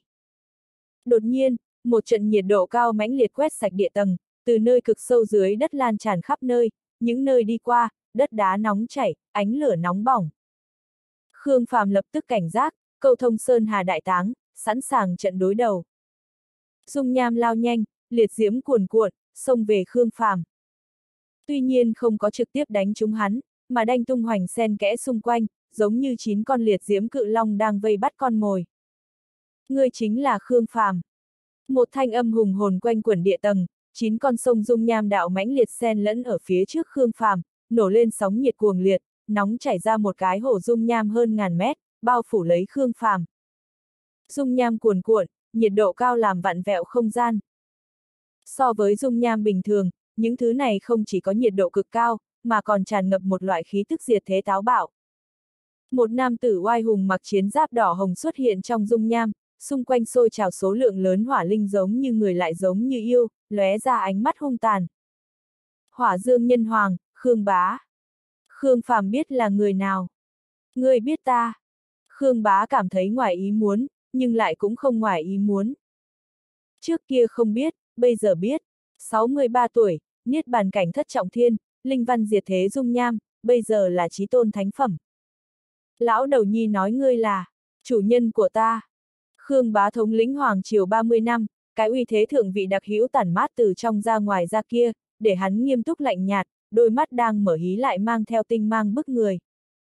Hắn đã nói như vậy, ta càng thích được xem là, huynh đệ, nhưng rốt cuộc có phải, huynh đệ, hay không, phải nhìn chúng ta làm sao ở chung được. Rất tốt, ta cũng không thích cách xưng hô chủ nhân. Tuy nhiên, Khương bá ta cũng không cần, huynh đệ. Ta chẳng cần biết ngươi là ai, ta là ai, giữa chúng ta lại có liên quan thế nào, nhưng mệnh của ua ta là do ta không do trời. Hôm nay ta tới là muốn cùng ngươi làm giao dịch, ngươi cho ta biện pháp biến đổi linh văn, Khương bá không ta tiếc cái giá gì, vì ngươi mà làm năm chuyện. Khương phàm cười. Ta nghĩ ngươi đã không có lĩnh hội được ý tứ của Diêm bá, cũng không có làm rõ ràng vị trí mình. Ta đối với ngươi, còn có mấy người khác, kỳ thật đều không có hy vọng xa vời. Có thể làm bạn, ta hoan nghênh, đối đãi huynh đệ bằng hữu, ta tuyệt đối không keo kiệt. Không muốn, ta không bắt buộc, vừa đi từ chỗ nào thì về lại chỗ đó, im lặng, tiếp tục sống. Mặc kệ là ta, hay là mấy kẻ bọn hắn, đều được tính là cường giả một phương. Chúng ta không thể nào bởi vì mấy câu của người nào đó liền từ bỏ đi bản thân mà, làm bạn, với ai, dù là thân phận người nào đó lại đặc thù. Diêm bá cho các ngươi thời gian, để cho các ngươi tự mình quan sát, chăm chú cân nhắc, mà không có mệnh lệnh cưỡng cầu, ép buộc thỏa hiệp, chẳng lẽ không phải tôn trọng, bản thân, các ngươi. Ta cũng là thái độ này. Các ngươi dùng ánh mắt của chính mình, nhìn ta cho rõ ràng, dùng chính thời gian của các ngươi, lại cân nhắc đi hay ở. Lúc nào nguyện ý tới, ta đều hoan nghênh lúc đó. Nhưng điều kiện tiên quyết là phải chuẩn bị kỹ càng. Khi Khương Phàm đang nói chuyện, rốt cuộc cũng dung chuyển được, mộ bia, trong thân thể, linh lực bắt đầu chậm chạp chảy xuôi, huyết mạch cũng bắt đầu thức tỉnh. Cân nhắc, không chỉ là cần thời gian, cũng cần căn cứ tình huống cân nhắc lợi hại. Bây giờ chúng ta đối với ngươi hoàn toàn không biết gì cả. Cân nhắc, từ đâu mà đến? Cân nhắc như thế nào? Ngươi nói cho ta biết thân phận của ngươi trước. Làm nhân hoàng quen rồi. Ngươi về hỏa dương hoàng triều đi. Khương Phàm ngưng tụ hỏa dực, mở ra dung nham, rời khỏi nơi này. Khương bá đứng ở trong dung nham, vẻ mặt lạnh lùng. Ngươi nói, hắn thật sự có biện pháp biến đổi linh văn. Dung nham kịch liệt cuồn cuộn, hở ra một hỏa linh hình người, yểu điệu tinh tế, ánh lửa bừng bừng. Thánh phẩm biến đổi đến thiên phẩm là tuyệt thế hiếm thấy, cơ hồ là không thể nào làm được, trừ phi có cơ duyên nghịch thiên. Ta thật sự không cho rằng hắn có khả năng kia. Thế nhưng, hắn làm được. Hắn sáng tạo ra kỳ tích, nhưng không có nghĩa hắn có thể trợ giúp người khác cũng sáng tạo kỳ tích, càng không thể trợ giúp mỗi người đều sáng tạo kỳ tích. Coi như hắn thật sự có biện pháp cực đoan gì kia, cũng cần vật liệu vô cùng đặc biệt, có thể ngộ nhưng không thể cầu, coi như có được, cũng không thể nào trăm phần trăm liền thành công. Mà, thái độ của hắn, ngươi cũng thấy đấy, nếu như nguyện ý giúp ngươi, cũng là cần ngươi tuyên thể hiệu chung. Hiệu chung. Ánh mắt Khương Bá có chút ngưng tụ, cái từ ngữ này với hắn mà nói quá trói tai. Hắn là nhân hoàng, chỉ có thể là người khác hiệu chung với hắn. Hỏa Linh quấn quanh lấy áo giáp hùng tráng của hắn, tiến đến hắn bên tai nói. Nếu như người thật không cam tâm, không ngại chờ một chút, quan sát thử xem, hoặc là bỏ lòng kiêu ngạo, chủ động đi theo Khương Phàm một thời gian. Nếu như hắn thật sự có cách biến đổi, tìm cơ hội lấy vào tay. Nếu như hắn không có, người có thể hết hy vọng rời khỏi. Mấy tên khác đều đang quan sát, chúng ta cứ chờ một chút. Khương bá không thể nào dễ dàng rời khỏi như vậy, thân phận còn chưa hiểu, bí mật trong vực sâu còn không có hiện ra, nhất là biện pháp biến đổi linh văn. Sau khi Khương Phàm triệt để thanh lý mất, mộ bia, hắn rời khỏi địa tầng, bắt đầu đi săn. Mục tiêu vẫn là những hoàng tộc hoàng đạo kia, là đầu lâu kỳ lân bọn hắn cướp được trước đó. Bảo bối như vậy, có thể so với huyền hoàng thạch, có thể cướp mấy thì lấy mấy cái. Mà, hắn muốn lợi dụng hành động cướp bóc, hấp dẫn càng nhiều lực chú ý, tránh cho mọi người quan tâm vực sâu quá nhiều. Ha ha, Lan nặc muội muội của ta, muốn ta không? Khương Phàm chân đạp núi cao, phóng lên tận trời, gọi ở phía trước đội ngũ cửu thiên thần giáo. Khương Phàm, ngươi còn dám làm càn, ta sẽ để cho ngươi không đi ra được thượng thương cổ thành này. Vẻ mặt bình tĩnh thanh nhã của Lan Nặc lập tức kích động. Không thể để cho muội muội sao? Gọi là cái gì, nữ? Im miệng. Bọn người Lan Nguyệt chăm miệng một lời. Chúng ta tìm một chỗ nói chuyện, chỉ cô và ta. Khương Phàm nháy mắt mấy cái với Lan Nặc. Nằm mơ. Cô không muốn cùng ta bàn bạc. Không nên nha, bây giờ trong lòng cô hẳn là có rất nhiều ý nghĩ mới đúng. Ta không có gì để nói với ngươi. Cô xác định. Không cần tự cho là đúng. Ta muốn làm gì, ta tự mình tới định, không ai có thể ảnh hưởng ta. Lan nặc nhìn thẳng Khương Phàm, ánh mắt, giọng nói đều là cảnh cáo. Lan đạo đi đến trước mặt bọn hắn, tự mình rằng co với Khương Phàm. Hừ hừ, ta thấy hắn không chỉ tự cho là đúng, còn tự mình đa tình. Ta nói chuyện cùng lan nặc của ta, người có chuyện gì, tránh ra. Làm càn, còn dám khinh nhờn lan nặc, ta mặc kệ ngươi là xí thiên giới hay là lam địa giới, ngươi nhất định phải chết tại thượng thương cổ thành này. Giết ta à, trước tiên ngươi cần phải hỏi lan nặc của ta một chút xem có đồng ý hay không. Khương Phàm lại thổi một cái huyết sáo vang dội với lan nặc. Lan đạo sư huynh, bắt sống. Đáy mắt lan nặc hiện lên ý lạnh. Nàng chịu không được phần tư thái này của Khương Phàm, nghiễm nhiên là xem nàng như nữ nô. Vây quanh, Lan giận ra hiệu với các trưởng lão. Các trưởng lão cửu thiên thần giáo lập tức tản ra, bọn hắn xuất hiện tại trước mặt Khương Phàm, đầu tiên liền đã chuẩn bị sẵn sàng. Gia hỏa này đã lấy mất hai cái đầu tổ kỳ lân, còn có di cốt tiên tổ hoàn chỉnh. Chớ nói chi là những mầm móng vĩnh sinh thần thụ kia. Đây quả thực là cái bảo khố tự nhiên di động. Những ngày này bọn hắn vẫn một mực tìm kiếm Khương Phàm, không nghĩ tới chính hắn lại tự đưa mình tới cửa. Người quá phách lối, xí thiên giới cuối cùng cũng chỉ là hoàng tộc, người thật sự cho rằng tiến vào nơi đó, thiên hạ không có người dám động ngươi. Linh văn quỷ bí trên chán lan đạo ba động, cùng vùng thiên địa này giao hòa, khí thế cả người đột nhiên thần bí cao lớn lên, như một thần tử, khống chế mảnh thế giới này. Linh văn của hắn và Lan Nặc đều là linh văn truyền thừa cổ xưa nhất Vĩnh Hằng Thánh Sơn, như ý. Như ý, có được tâm niệm hải vô thượng, có thể thôi diễn vạn pháp vạn đạo, diễn hóa trí lý đại đạo. Một hạt bụi, có thể diễn biến thành thiên sơn. Một giọt nước, có thể nuốt càn khôn vạn vật. Một sợi kình khí, có thể lay nhật nguyệt tinh thần. Bất kính với người coi như phách lối.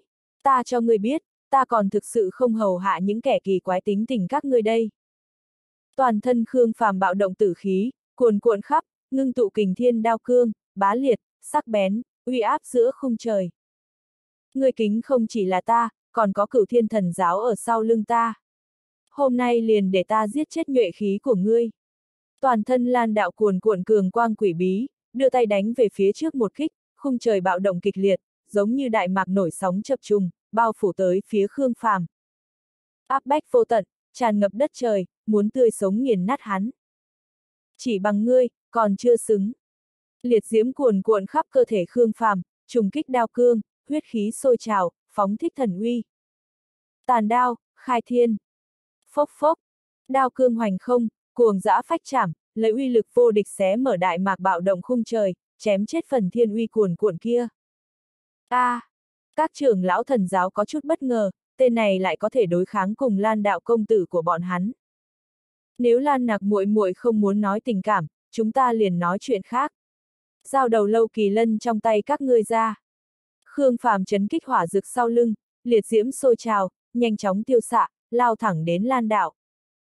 Đây chính là mục đích thực sự của ngươi, ăn cướp hoàng đạo. Thứ không biết sống chết. Lan đạo huy động năm ngón tay phải, huy động kiếm khí lạnh thấu xương, trong chốc lát, kiếm khí cuồn cuộn, tăng vọt mấy chục lần, dài đến trăm mét, chém về phía Khương Phàm. Năng lượng đất trời bạo động, bất luận là uy lực ngũ hành, hay là nguyên lực tinh khí, đều mãnh liệt hội tụ. Kiếm thế tăng vọt, chém vỡ trời cao, cường quang sán lạn như mặt trời. Khương Phàm lao tới, liệt diễm vần quanh hai cánh phía sau, càng phun trào tử khí, giống như hai thanh tuyệt thế thiên đao, ngang nhiên phách chạm.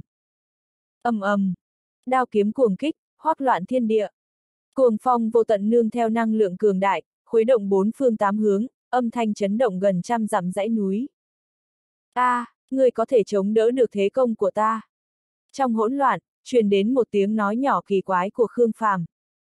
Lan đạo giận tím mặt, chết tiệt, người vẫn rất ngoài ý muốn, lời này không phải hẳn là ta nói sao. Khương Phàm vỗ cánh bay lên, thẳng tới 5.000 mét trên không trung, rầm rầm rầm, liệt diễm cuồn cuộn, cuồn cuộn như biển lửa bao phủ khung trời. Cường quang sáng chói, dọi khắp nơi trên dãy núi. Nhiệt độ cao mãnh liệt, không gian vặn vẹo. Một bức tranh rung động lòng người, trải rộng ra trong biển lửa vô tận. Có phượng hoàng bay cao, uy hiếp tám phương, có thiên bằng kích thiên, hồi hộp dân chúng, có chim loan vén núi, thánh uy cuồn cuộn, càng có khổng tước dương cánh, bá tuyệt một phương. Nhiều loại mãnh cầm dục hỏa mà sinh trong liệt diễm, toàn bộ đều ngẩn đầu lên trời gáy to, cung phụng tuyệt thế đỉnh cao trên bức tranh, Chu Tước. Chu Tước phục thiên thuật.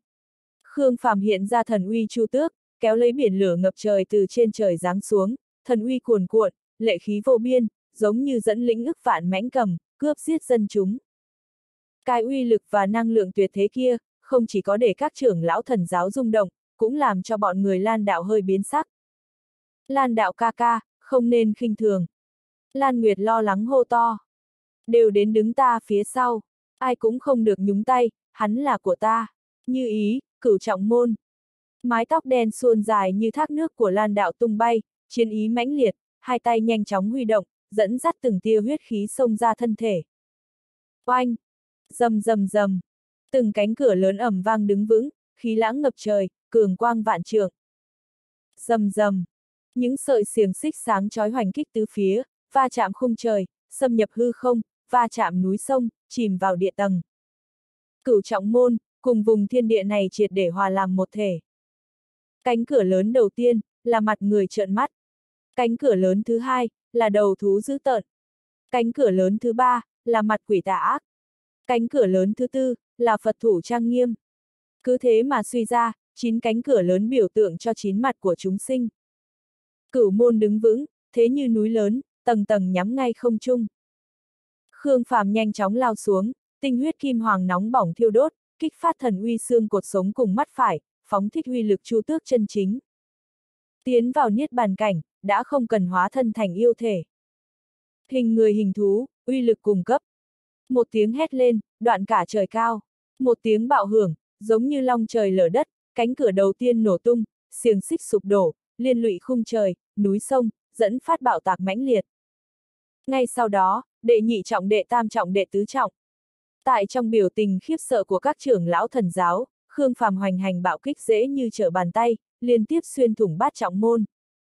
Cửa lớn sụp đổ, xiềng xích vỡ vụn, đất trời vặn vẹo, dẫn phát tầng tầng bạo tạc. Khương Phàm cường thế vô địch, thân thể bảo tàng mở ra, hắn đã hiện ra thần lực chu tước. Linh văn lại lần nữa thăng hoa, hắn đã đụng vào vấn đề thánh vương. Nhưng, lúc đang va chạm đệ cửu trọng, trong chốc lát, cửa lớn ầm vang mở ra, trước mặt Lan Đạo đã diễn biến ra được kiếm nhận phong bạo mãnh liệt, thế như cự long, gào thét, đối diện bao phủ Khương Phàm. Phốc phốc phốc, huyết nhục văng tung tóe, Khương Phàm tháo chạy. Người muốn lĩnh giáo thiên tài thần giáo, ta thành toàn cho ngươi. Lan đạo dẫn dắt máu tươi Khương Phàm phun ra, ngưng tụ thành ba thanh huyết kiếm, bề mặt huyết kiếm sáng bóng trơn trượt, cái bóng là cảnh tượng đát trời hỗn loạn. Có bầu trời, có núi cao, có rừng rậm, còn có năng lượng nổ tung nhấc lên thủy triều. Sau đó, ba tiếng bạo hưởng, ba thanh huyết kiếm thôn thiên nạp địa, cái bóng cảnh tượng trước đó được thu sạch nạp. Phạm vi không gian mấy vạn mét liền sụp đổ. Khung trời hắc ám, mây mù tiêu tán, năng lượng khô kiệt, chỉ còn lại lỗ đen. Thương thương thương, tốc độ của ba thanh huyết kiếm tăng vọt, nhanh chóng tiêu xạ trong lỗ đen, lao thẳng đến Khương Phàm. Một máu một thiên địa. Một kiếm một thế giới. Sau khi Khương Phàm nhấc lên hạ xuống, hắn cũng đã không trần chờ chút nào, lập tức huy động liệt diễm phóng lên tận trời. Hai tay chụp lại, bắn ra huyết mạch, mang uy lực kháng thiên, giết vào lỗ đen, thẳng đến huyết kiếm. Oanh! Huyết kiếm phía trước nhất ứng thanh bạo tạc, giống như là thế giới sụp đổ, dung chuyển càn khôn, năng lượng kinh khủng nổ lên chiều cường. Hai thanh huyết kiếm khác thì nhanh chóng phân tán, một trái một phải, tập kích Khương Phàm. Hai cái cánh sau lưng Khương Phàm bỗng nhiên rõ ràng, giống như hai thanh thiên đao, phách chạm ở hai bên, huyết kiếm liền vỡ nát. Ba nguồn năng lượng, giống như ba dòng lũ, chật ních trong lỗ đen, bao phủ lấy Khương Phàm. Khương Phàm thẳng tiến không lùi, lao thẳng đến lan đạo, hỏa vũ hoa lệ bao trùm toàn thân, giống như chiến giáp cứng cỏi chống cự lại năng lượng hủy diệt. Ngươi không phải là đối thủ của ta. Lan đạo chân đạp mây mù, đứng ngạo nghễ giữa trời cao, mái tóc đen suôn dài như thác nước, cùng y phục trắng tung bay. So với Khương Phàm cuồng bạo, hắn lại lộ ra sự phóng khoáng tự nhiên. Hai tay của hắn nhanh chóng diễn biến, từng giọt máu tươi từ trên làn da thẩm thấu ra, lít nha lít nhít, che kín xung quanh. Máu tươi bắn ra cường quang, chiếu sáng đất trời hỗn loạn. Bang, thương thương thương. 300 giọt máu tươi, diễn biến thành 300 sợi xiềng xích màu máu, cuồng kích bầu trời, giao nhau bạo kích. Toàn bộ bọn chúng đều tương thông cùng ý thức lan đạo, xen lẫn thành đại mạc tử vong, gào thét lên lao thẳng đến Khương Phàm. Toàn thân Khương Phàm bạo động liệt diễm, sôi trào giữa trời cao, thương thương thương, tiếng tranh minh vang lên chói tai, ba ngàn sợi hỏa vũ thành hình. Hỏa vũ cứng cỏi sắc bén, ánh lửa mãnh liệt, cường quang chói mắt, giống như ba ngàn con chu tước gáy to giữa trời cao, âm thanh chấn động trăm dặm sơn hà. Lan đạo nhíu mày, hai tay nhanh chóng giao thoa, 300 sợi xiềng xích một phân thành hai, hai diễn thành bốn, số lượng tăng vọt gấp đôi, toàn diện nghênh kích Khương Phàm. Âm ầm, giống như hai mảnh thủy triều kim huyết, toàn diện bạo kích tại khung trời hỗn loạn, nổ lên ngập trời, rung động lòng người. Bọn người Lan giận, Lan Nguyệt cũng hơi có phản ứng, Khương Phàm thật sự có thể giao thủ cùng Lan Đạo. Còn giống như thế lực ngang nhau. Thế nhưng Lan Đạo là người thừa kế mà Lan ra toàn lực bồi dưỡng, một trong những người được lựa chọn làm đại trưởng lão hay thậm chí chính là phó giáo chủ tương lai, bây giờ càng là niết bàn cảnh nhị trọng thiên, coi như bị áp chế, cũng sẽ mạnh hơn nhất trọng thiên khác. Khương Phàm mang theo diệt thế yêu hỏa, băng diệt tất cả xiềng xích, đuổi giết Lan Đạo.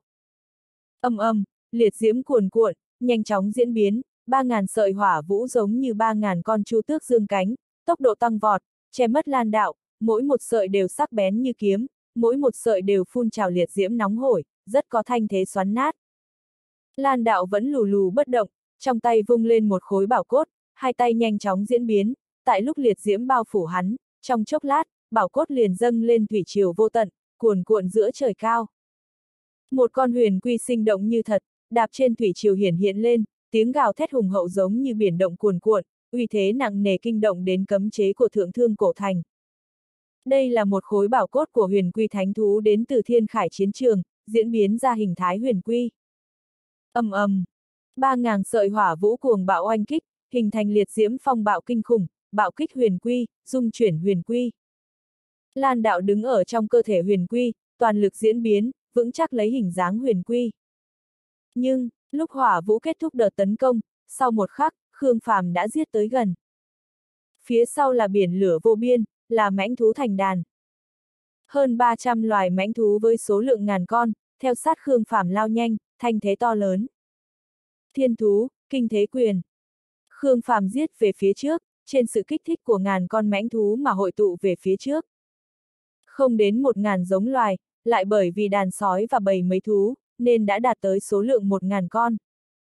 Mà ở sâu trong thú triều, lại là Khương Phàm đang lấy máu tươi chu tước ngưng tụ yêu hỏa.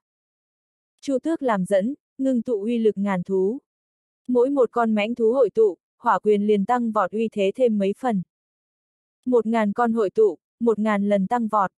Cuối cùng giống như là một vòng mặt trời hừng hực, trong mặt trời lại chính là chu tước đang xoay quanh ầm ầm, một tiếng bạo hưởng, vang vọng đất trời liền để cho bọn người lan nặc đau đớn co rụt thân thể, màng nhĩ oanh minh không dứt. Trọng quyền ngàn thú, lấy chu tước làm tâm, bộc phát uy thế kinh khủng. Huyền quy lắc lư mãnh liệt, bò đầy vết nứt, sau một khắc liền dẫn bạo, thoái hóa thành bảo cốt, gào thét biến mất đi. Lan đạo hơi biến sắc, nhưng vẫn không sợ hãi, đầu ngón tay hắn xẹt qua tóc dài tung bay, tùy tiện kéo đứt một sợi, vẩy về phía trước. Sợi tóc dài trong nháy mắt đã thẳng băng, tinh tế lại cứng cỏi, giống như độc châm đâm xuyên không gian, thẳng đến mi tâm Khương Phàm. Sát ý quyết tuyệt, ác độc hung tàn.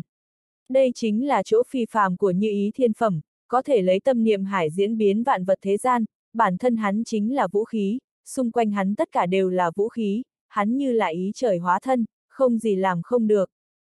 Ngay cả Lan Nặc đều ở phía xa âm thầm gật đầu, khâm phục thành tựu diễn dịch đăng phong tạo cực tại trên đạo pháp của Lan đạo, không hổ là lãnh tụ đời mới của Lan gia.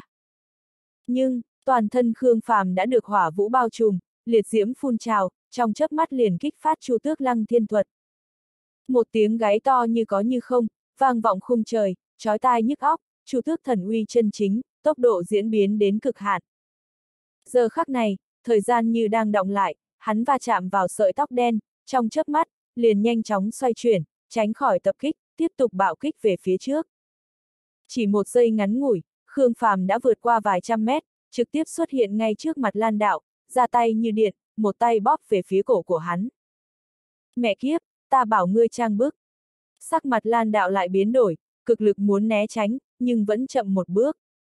Em mờ thanh, đùng, giòn vang. Khương Phàm bóp lấy Lan Đạo, không chần chờ chút nào, mấy triệu lực lượng bộc phát, răng rắc giòn vang, cố chấp bóp lấy cái cổ, vỗ cánh bay lên trời. Các trưởng lão đang vây xem nơi xa có chút ngây người, ý thức đều không có đuổi theo ánh mắt. Quá đột nhiên. Khương Phàm, để Lan đạo lại. Lan nặc biến sắc, lập tức tế ra hư thiên kính. Hư thiên kính bỗng nhiên phóng đại, giống như khay bạc chiếu dọi bầu trời, chiếu ra hết thảy mọi thứ, cũng bao gồm cả năng lượng bao phủ dưới Khương Phàm. Toàn thân Khương Phàm lấp lóe tinh quang, ngưng tụ lỗ đen, trước khi hư thiên kính chiếu thấu năng lượng, cưỡng ép tránh thoát, sau một khắc đã xuất hiện ở ngoài trăm thước. ầm ầm, Khương Phàm bạo động liệt diễm, hai cánh vùng đánh, lấy tốc độ kinh người vào tới núi cao, biến mất không thấy gì nữa. Người đâu? Các trưởng lão quá sợ hãi, đánh thật hay, làm sao lại đột nhiên liền tóm lấy Lan đạo rồi. Lan Nguyệt che môi đỏ, vừa rồi đã xảy ra chuyện gì? Tình hình thế nào mà hắn lại đột nhiên nghịch chuyển? Chẳng lẽ từ lúc bắt đầu là Khương Phàm đã cố ý yếu thế, tạo thời cơ một kích công thành? Khương Phàm, đi ra cho ta. Gia Gia Lan Đạo là phó giáo chủ Lan Quỳ, ngươi không thể trêu vào hắn, ngươi càng không dậy nổi cửu thiên thần giáo. Lan nặc hô to, tên điên này triệt để thả mình sao? Giết Diệp Trục Thiên, lại tới bắt Lan Đạo. Khương Phàm, cút ra đây. Ngươi dám đụng một sợi lông của Lan Đạo, cửu thiên thần giáo sẽ san bằng xí thiên giới ngươi. Các trưởng lão thần giáo liên thủ đánh nát núi cao, nhưng nơi nào còn có bóng dáng Khương Phàm. Bọn hắn tức giận lại sốt ruột, chủ quan, quá chủ quan. Tên điên này ngay cả Diệp Trục Thiên cũng dám giết, nói không chừng còn thật có thể giết Lan Đạo. Khương Phàm bóp lấy Lan Đạo xông vào sâu trong địa tầng, lột mất Linh Châu không gian trên cổ hắn, cưỡng ép đánh nát. ầm ầm, Linh Châu là không gian tự thành, có núi thủy linh thảo, sau khi nhận trọng kích liền trực tiếp nổ nát vụn. Ban dược linh bảo bên trong toàn bộ đều đi ra. Nhưng, ngoại trừ mấy khối bảo cốt tổ kỳ lân ra, thì cũng không có tìm được đầu lâu tổ kỳ lân. Chẳng lẽ đang ở trên tay lan nặc, nàng hẳn là đang nuôi vạn linh huyết thụ, nếu như vạn linh huyết thụ có thể áp chế tổ kỳ lân, còn đến mức nào? Khương Phàm nói tiếng tiếc nuối, dắt Lan đạo nhốt vào tầng thứ hai của thanh đồng tiểu tháp.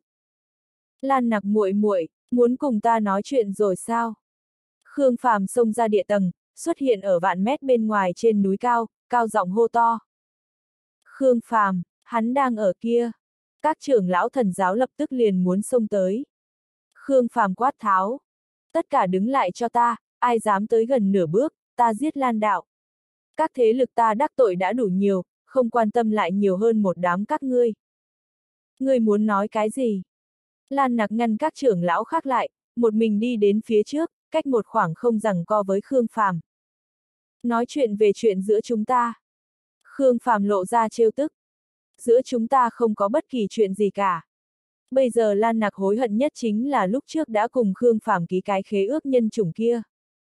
Tuyệt tình như vậy sao? Ta nghĩ cô đều muốn điên rồi. Khương Phàm cười hắc hắc. Ngươi có bị bệnh không? Lan Nguyệt cũng nhịn không được, chỉ vào Khương Phàm quát lớn. Khương Phàm, ngươi còn dám đùa giỡn Lan nặc ta. Lan giận muốn nói giết hắn, vậy mà lại không có dũng khí nói ra miệng. Lan nặc thở sâu, ép buộc mình tỉnh táo lại. Giữa ta và ngươi không thể nào có cái gì cả, đừng mơ mộng hảo huyền. Cô đã nghĩ thông suốt. Ta rất rõ ràng. Vậy thì tốt, cho ta chút bồi thường, ta sẽ không lại tiếp tục dây dưa với cô, chuyện giữa chúng ta từ đây thanh toán xong. Ngươi muốn cái gì? Đầu tổ kỳ lân. Mơ tưởng. Xem ra cô vẫn muốn ta quấn lấy cô, tâm tư của nữ tử. Vô sỉ, đổi điều kiện khác. Ta muốn gốc cây kia. Mơ tưởng. Ta muốn cô. Nằm mơ. Sinh hài tử cho ta. Ta giết ngươi.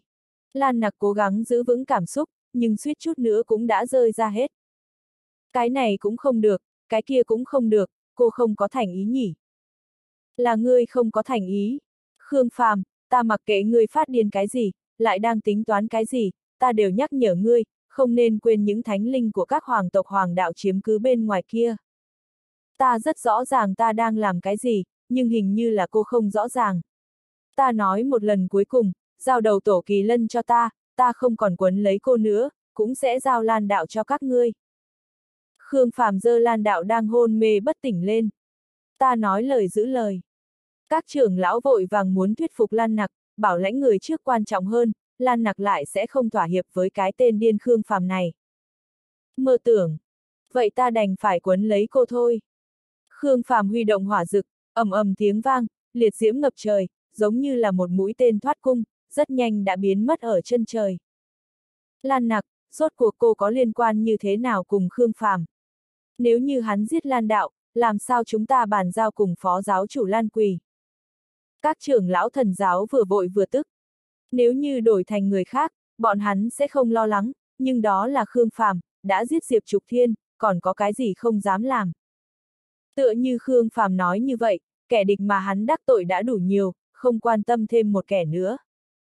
Hắn không dám giết, ta cam đoan, lập tức đuổi theo cho ta, làm lớn chuyện lên, hấp dẫn hoàng tộc hoàng đạo khác đuổi theo. Lan nặc cầm hư thiên kính trong tay, đuổi theo Khương Phàm. Tên điên này rốt cuộc muốn làm gì? Lan Nguyệt sốt ruột đuổi theo, nàng cảm giác Khương Phàm không còn là Khương Phàm trước đó nữa. Mặc dù trước đó rất điên cuồng, nhưng còn có chút khác chế, bây giờ hoàn toàn là phóng túng, bất chấp hậu quả, không hề sợ hãi. Nếu như không phải thật sự điên rồi, thì chính là có mục đích đặc biệt gì đó. Tốc độ của Khương Phàm cực nhanh, giống như đâm xuyên trong tầng mây, con người sáng ngời nhìn thấu dãy núi rừng rậm, tìm kiếm mục tiêu mới. Sau nửa ngày, hắn đã bỏ lại thần giáo đang đuổi theo ở xa xa, cũng tập trung vào lôi chiều đang sôi trào nơi xa. Lôi vân nặng nề bao phủ rừng rậm, lôi quang bùng lên, thiểm điện cuồng bổ, tràn ngập uy thế hủy diệt táo bạo. Tại giữa mây đen cùng rừng rậm, lôi chiều sôi trào vô tận, xen lẫn thành hình dáng một con kỳ lân. Uy nghiêm nóng nảy, thú uy cuồn cuộn, giống như là lôi kỳ lân chân chính đang gầm thét trong dãy núi, phát tiết lửa giận, chấn nhiếp vạn thú. Loan Hồng Hy, ha ha. Khương Phàm đột nhiên lao xuống, rơi xuống bên trên ngọn núi cao nguy nga, lấy thương sinh cung từ bên trong thanh đồng tiểu tháp ra. Mặc dù chỉ là phục chế phẩm, nhưng tuyệt đối là một trong những vũ khí mà phù sinh hội luyện chế thành công nhất, cũng càng thích hợp với bây giờ Khương Phàm. Mái tóc ngắn của Khương Phàm tung bay, vẻ mặt kiên nghị, thân thể cùng nặng nề thương sinh cung giống như trời sinh một thể. Thương sinh, tạo hóa. Quốc vận cuồn cuộn, vô hình vô chất, thao thao bất tuyệt điên cuồng vọt tới, rót vào trong thân thể Khương Phàm, hội tụ đến thương sinh cung. Thượng thương cổ thành nhận đại đạo cảm ứng, khí tức tạo hóa đang yên lặng từ trong vô số bí cảnh hầm mộ dâng lên, tràn ngập đất trời bao phủ tới, ngay cả cấm chế ở không trung cũng đều bị quấy dày, vẩy xuống năng lượng vô hình thần bí. Oanh! Thương sinh cung run rẩy kịch liệt, phát ra ánh sáng vạn trượng, từng luồng từng luồng sóng gợn mạnh mẽ mãnh liệt hội tụ, trên thương sinh cung hình thành trường tiễn chói mắt. Đó là cái gì? Tại nơi Loan Hồng Hy bế quan, các trưởng lão Chu Thiên Thần Điện lập tức cảnh giác, ngắm nhìn đỉnh núi bên ngoài mấy chục dặm. Ánh sáng hừng hực, giống như là mặt trời treo ở đỉnh núi. Giữ vững tinh thần, chú ý đề phòng. Phương Tĩnh nhắc nhở. Loan Hồng Hy đang thử dung hợp đầu hồng hoang tổ kỳ lân, không thể bị quấy nhiễu. Đương nhiên, hẳn không có ai dám tới quấy nhiễu. Cái ánh sáng mạnh mẽ kia hẳn là người nào khác đang hiện ra võ pháp, không liên quan với nơi này. Nhưng, ầm ầm, một tiếng bạo hưởng, long trời lở đất, chấn động hơn 10 dặm dãy núi. Sát sinh tiễn thoát cung nổ bắn bay ra. Giữa một hơi thả ra uy thế giống như là biển gầm, cuồn cuộn bộc phát. Quốc vận mãnh liệt, tạo hóa cuồn cuộn. Thời gian tránh lui, không gian nhường đường. Sát sinh tiễn xuyên thủng mười mấy dặm, thẳng đến năng lượng đầu nguồn chỗ rừng sâu, cũng chính là chỗ cái đầu tổ kỳ lân kia. Loan Hồng Hy đang chìm đắm ở trong bế quan, trắng trợn cướp lấy bên, kỳ lân hoang lôi, trong xương sọ.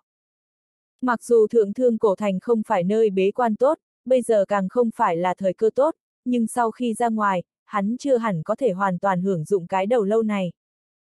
Dù sao đây cũng là đầu của hồng hoang tổ kỳ lân, mỗi mảnh xương đều ẩn chứa vô tận ảo diệu, huống chi lôi đình cường đại bên trong còn tượng trưng cho lôi nguyên hồng hoang, ai nhìn thấy đều cũng sẽ trông mà thèm.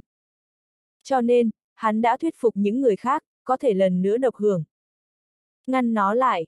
Lúc này, không trung đột nhiên truyền đến giọng la to kinh hoàng lo lắng gào thét, nhưng gần như là đồng thời, một mảnh cầu vòng kinh thế đã xuyên thủng núi cao rừng rậm, bạo kích đầu lâu kỳ lân ầm ầm, đầu tổ kỳ lân run rẩy kịch liệt, nhận lấy phần thiên uy giống như cuồng kích này, lập tức kích thích lôi chiều vô tận, so với trước đó còn mãnh liệt hơn mấy lần, càng có phần thú uy yên lặng bộc phát hơn.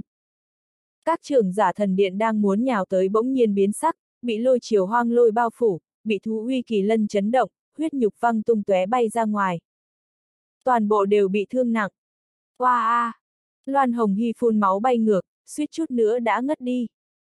Hắn đang thử thôn vệ đầu tổ kỳ lân, đương nhiên là nhận trùng kích nặng nhất, không chỉ là thân thể, còn có linh hồn. Khương Phàm lù lù bất động, sau khi ăn vào hạt giống vĩnh sinh thần thụ, lại lần nữa ổn định thương sinh cung, chỉ về phía lôi chiều đang bạo động nơi xa. Giống. Trong rừng rậm, đầu lâu hồng hoang tổ kỳ lân bị va chạm giống như đã sống lại, hoang lôi kinh khủng sôi trào không dứt, cuồng kích khung trời, xé rách lôi vân. Hình dáng kỳ lân càng thêm rõ ràng, thú uy cuồn cuộn, gào thét với dãy núi. ầm ầm, mũi sát sinh tiễn thứ hai được bắn ra, bao quanh quốc vận cùng tạo hóa, uy thế tuyệt luân, bay ngang hơn 10 dặm, tinh chuẩn đánh vào bên trên đầu lâu kỳ lân đang thức tỉnh. Bạo tạc mãnh liệt lại lần nữa kích phát, lôi chiều nóng nảy lại bành trướng uy thế, quét sạch mấy vạn mét dãy núi, cây rừng vỡ nát, núi cao sụp đổ, các trưởng giả thần điện bị thương nặng lại lần nữa bị lôi chiều bao phủ. Cơ hồ bị tách rời. Quá đột nhiên, cũng quá cường đại. Khương Phàm nhồi đan dược vào trong miệng, thu hồi thương sinh cung sau đó bay thẳng lên trời, liệt diễm cuồn cuộn, hai cánh vung đánh, lấy tiểu quang mang thánh thuật phóng tới, tốc độ liên tiếp ộ tăng vọt, hình thành âm bạo cuồng liệt, xông về năng lượng đầu nguồn. Hống hống hống. Hình dáng hồng hoang tổ kỳ lân cực kỳ rõ ràng, nó đang nóng nảy gào thét. Thời điểm Khương Phàm đuổi tới gần đó đều cảm nhận được uy hiếp to lớn, lôi uy táo bạo cao cấp hơn lôi điện bình thường, cái phần khí tức hồng hoang kia, uy thế thần tổ vạn lôi kia, cứ như đang thẩm thấu vào linh hồn. Ngươi là của ta. Khương Phàm tế lên 30 sợi xiềng xích, xông ra khỏi thanh đồng tiểu tháp, xuyên thủng lôi điện, cuốn lấy đầu lâu tổ kỳ lân. Khương Phàm, đồ của ta ngươi cũng dám cướp, ngươi chán sống. Loan Hồng Hy ở phía xa gào thét, ánh mắt khiếp người, da thịt đẫm máu bắn ra lôi chiều ầm ầm tiếng vang, dãy núi bạo động. Toàn thân hắn sôi trào lên lôi chiều, giống như một kiện thần binh phát ra uy thế hủy diệt. Dầm dầm dầm, ngũ đại khí hải dâng lên năm mảnh thiên lôi, thiên lôi bao quanh hồng hoang lôi nguyên vừa mới hấp thu, ngưng tụ thành năm cây giáo, giống như dùng tốc độ ánh sáng đánh về phía Khương Phàm. Khương Phàm muốn cưỡng ép kéo đầu hồng hoang tổ kỳ lân đi, thế nhưng cái đầu này đã bị đánh thức, uy thế cực kỳ táo bạo, trong lúc nhất thời lại không kéo được. Giữa lúc nguy cấp, hắn chỉ có thể vung mạnh quyền oanh kích. Nhưng, dưới sự khống chế của mãnh liệt loan hồng hy, năm cây giáo nhanh chóng giết tới đột nhiên nổ tung, hóa thành lôi hoang sấm cuồng bạo, che mất Khương Phàm. Uy thế to lớn, cuồng dã vô địch, xé rách ra thịt Khương Phàm, thẳng tới nội tạng hải cốt. Khương Phàm ngửa mặt bay ra mấy ngàn mét. Thù của tần ngao thương bọn ta còn chưa đến báo với ngươi, ngươi cũng dám tới. Qua! Wow. Loan Hồng Hy đang muốn hành động, lại há miệng phun máu, thương thế quá nặng, sau khi mãnh liệt bộc phát, toàn thân đều nhanh chóng suy yếu, suýt chút nữa thì đã quỳ trên mặt đất. Khương Phàm rơi xuống đất, lại nháy mắt đã huy động lực lượng. Tiếng âm vang tranh minh, tàn đao rút ra khỏi khí hải giống như ra khỏi vỏ, mang theo tử màu tím khí mênh mông. Tử khí cuồn cuộn, liệt diễm vần quanh, ngưng tụ thành đao cương. Tế thiên thức. Khương Phàm giơ cao tàn đao, tử khí tăng vọt uy thế, phóng cao lên trời đến trăm mét, liệt diễm nhấc lên, giống như chu tước quay quanh, một loại uy thế huyết tế thương thiên to lớn ẩm vang bộc phát. Mây mù cuồn cuộn giữa không trung, sức mạnh cấm kỵ tại thượng thương cổ thành tràn ngập đất trời vẩy xuống. Đại địa dung chuyển, khí tức táng diệt mãnh liệt lao ra, hội tụ tại đao cương. Chém! Mái tóc ngắn của Khương Phàm bay loạn lên, ánh mắt nóng bỏng, hắn gầm lên giận dữ, giống như thiên em mờ, vang vọng hoàn vũ. Liệt diễm vờn quanh đao cương trăm mét, ngưng tụ uy thế của trời cùng uy lực tai nạn, ầm vang bổ ra, giống như pháp tắc tỏa liên khổng lồ, hoành kích trời cao, bổ ra mấy ngàn thước. Loan Hồng Hy gầm thét, ý thức đang cưỡng ép câu thông dung hợp đầu tổ kỳ lân, muốn điều động năng lượng phản kích. Kết quả tổ kỳ lân táo bạo lại không phản ứng chút nào. A a a! Loan Hồng Hy gào thét giống như nổi điên, lần lượt câu thông, đầu đau muốn nứt, mạch máu vỡ nát. Sốt cuộc! Tại lúc trường đao giết tới trước một khắc, rốt cuộc đầu lâu hồng hoang tổ kỳ lân cũng có phản ứng, mặc dù rất yếu ớt, nhưng vẫn dâng lên hồng hoang lôi chiều cuồng bạo, để hình dáng tổ kỳ lân được ngưng tụ di chuyển đến phía trước. ầm ầm, tiếng nổ mạnh kịch liệt, cường quang trói mắt trong nháy mắt khuấy động vạn mét trên dãy núi. Cứ như đao bổ kỳ lân, tràng diện rung động tuyệt luân. Gánh vác, tổ kỳ lân lù lù bất động, lôi chiều vô biên, đao cương đều vỡ nát. Nhưng, Loan Hồng Hy chỉ lo phát cuồng, chỉ muốn chặn đánh, năng lượng bạo tạc lại lần nữa trùng kích tới bao phủ hắn, huyết nhục văng tung tóe, bay lên khỏi mặt đất. Ý thức hôn mê không thể kiên trì được nữa, sau khi hắn rơi xuống thì đã trực tiếp ngất đi.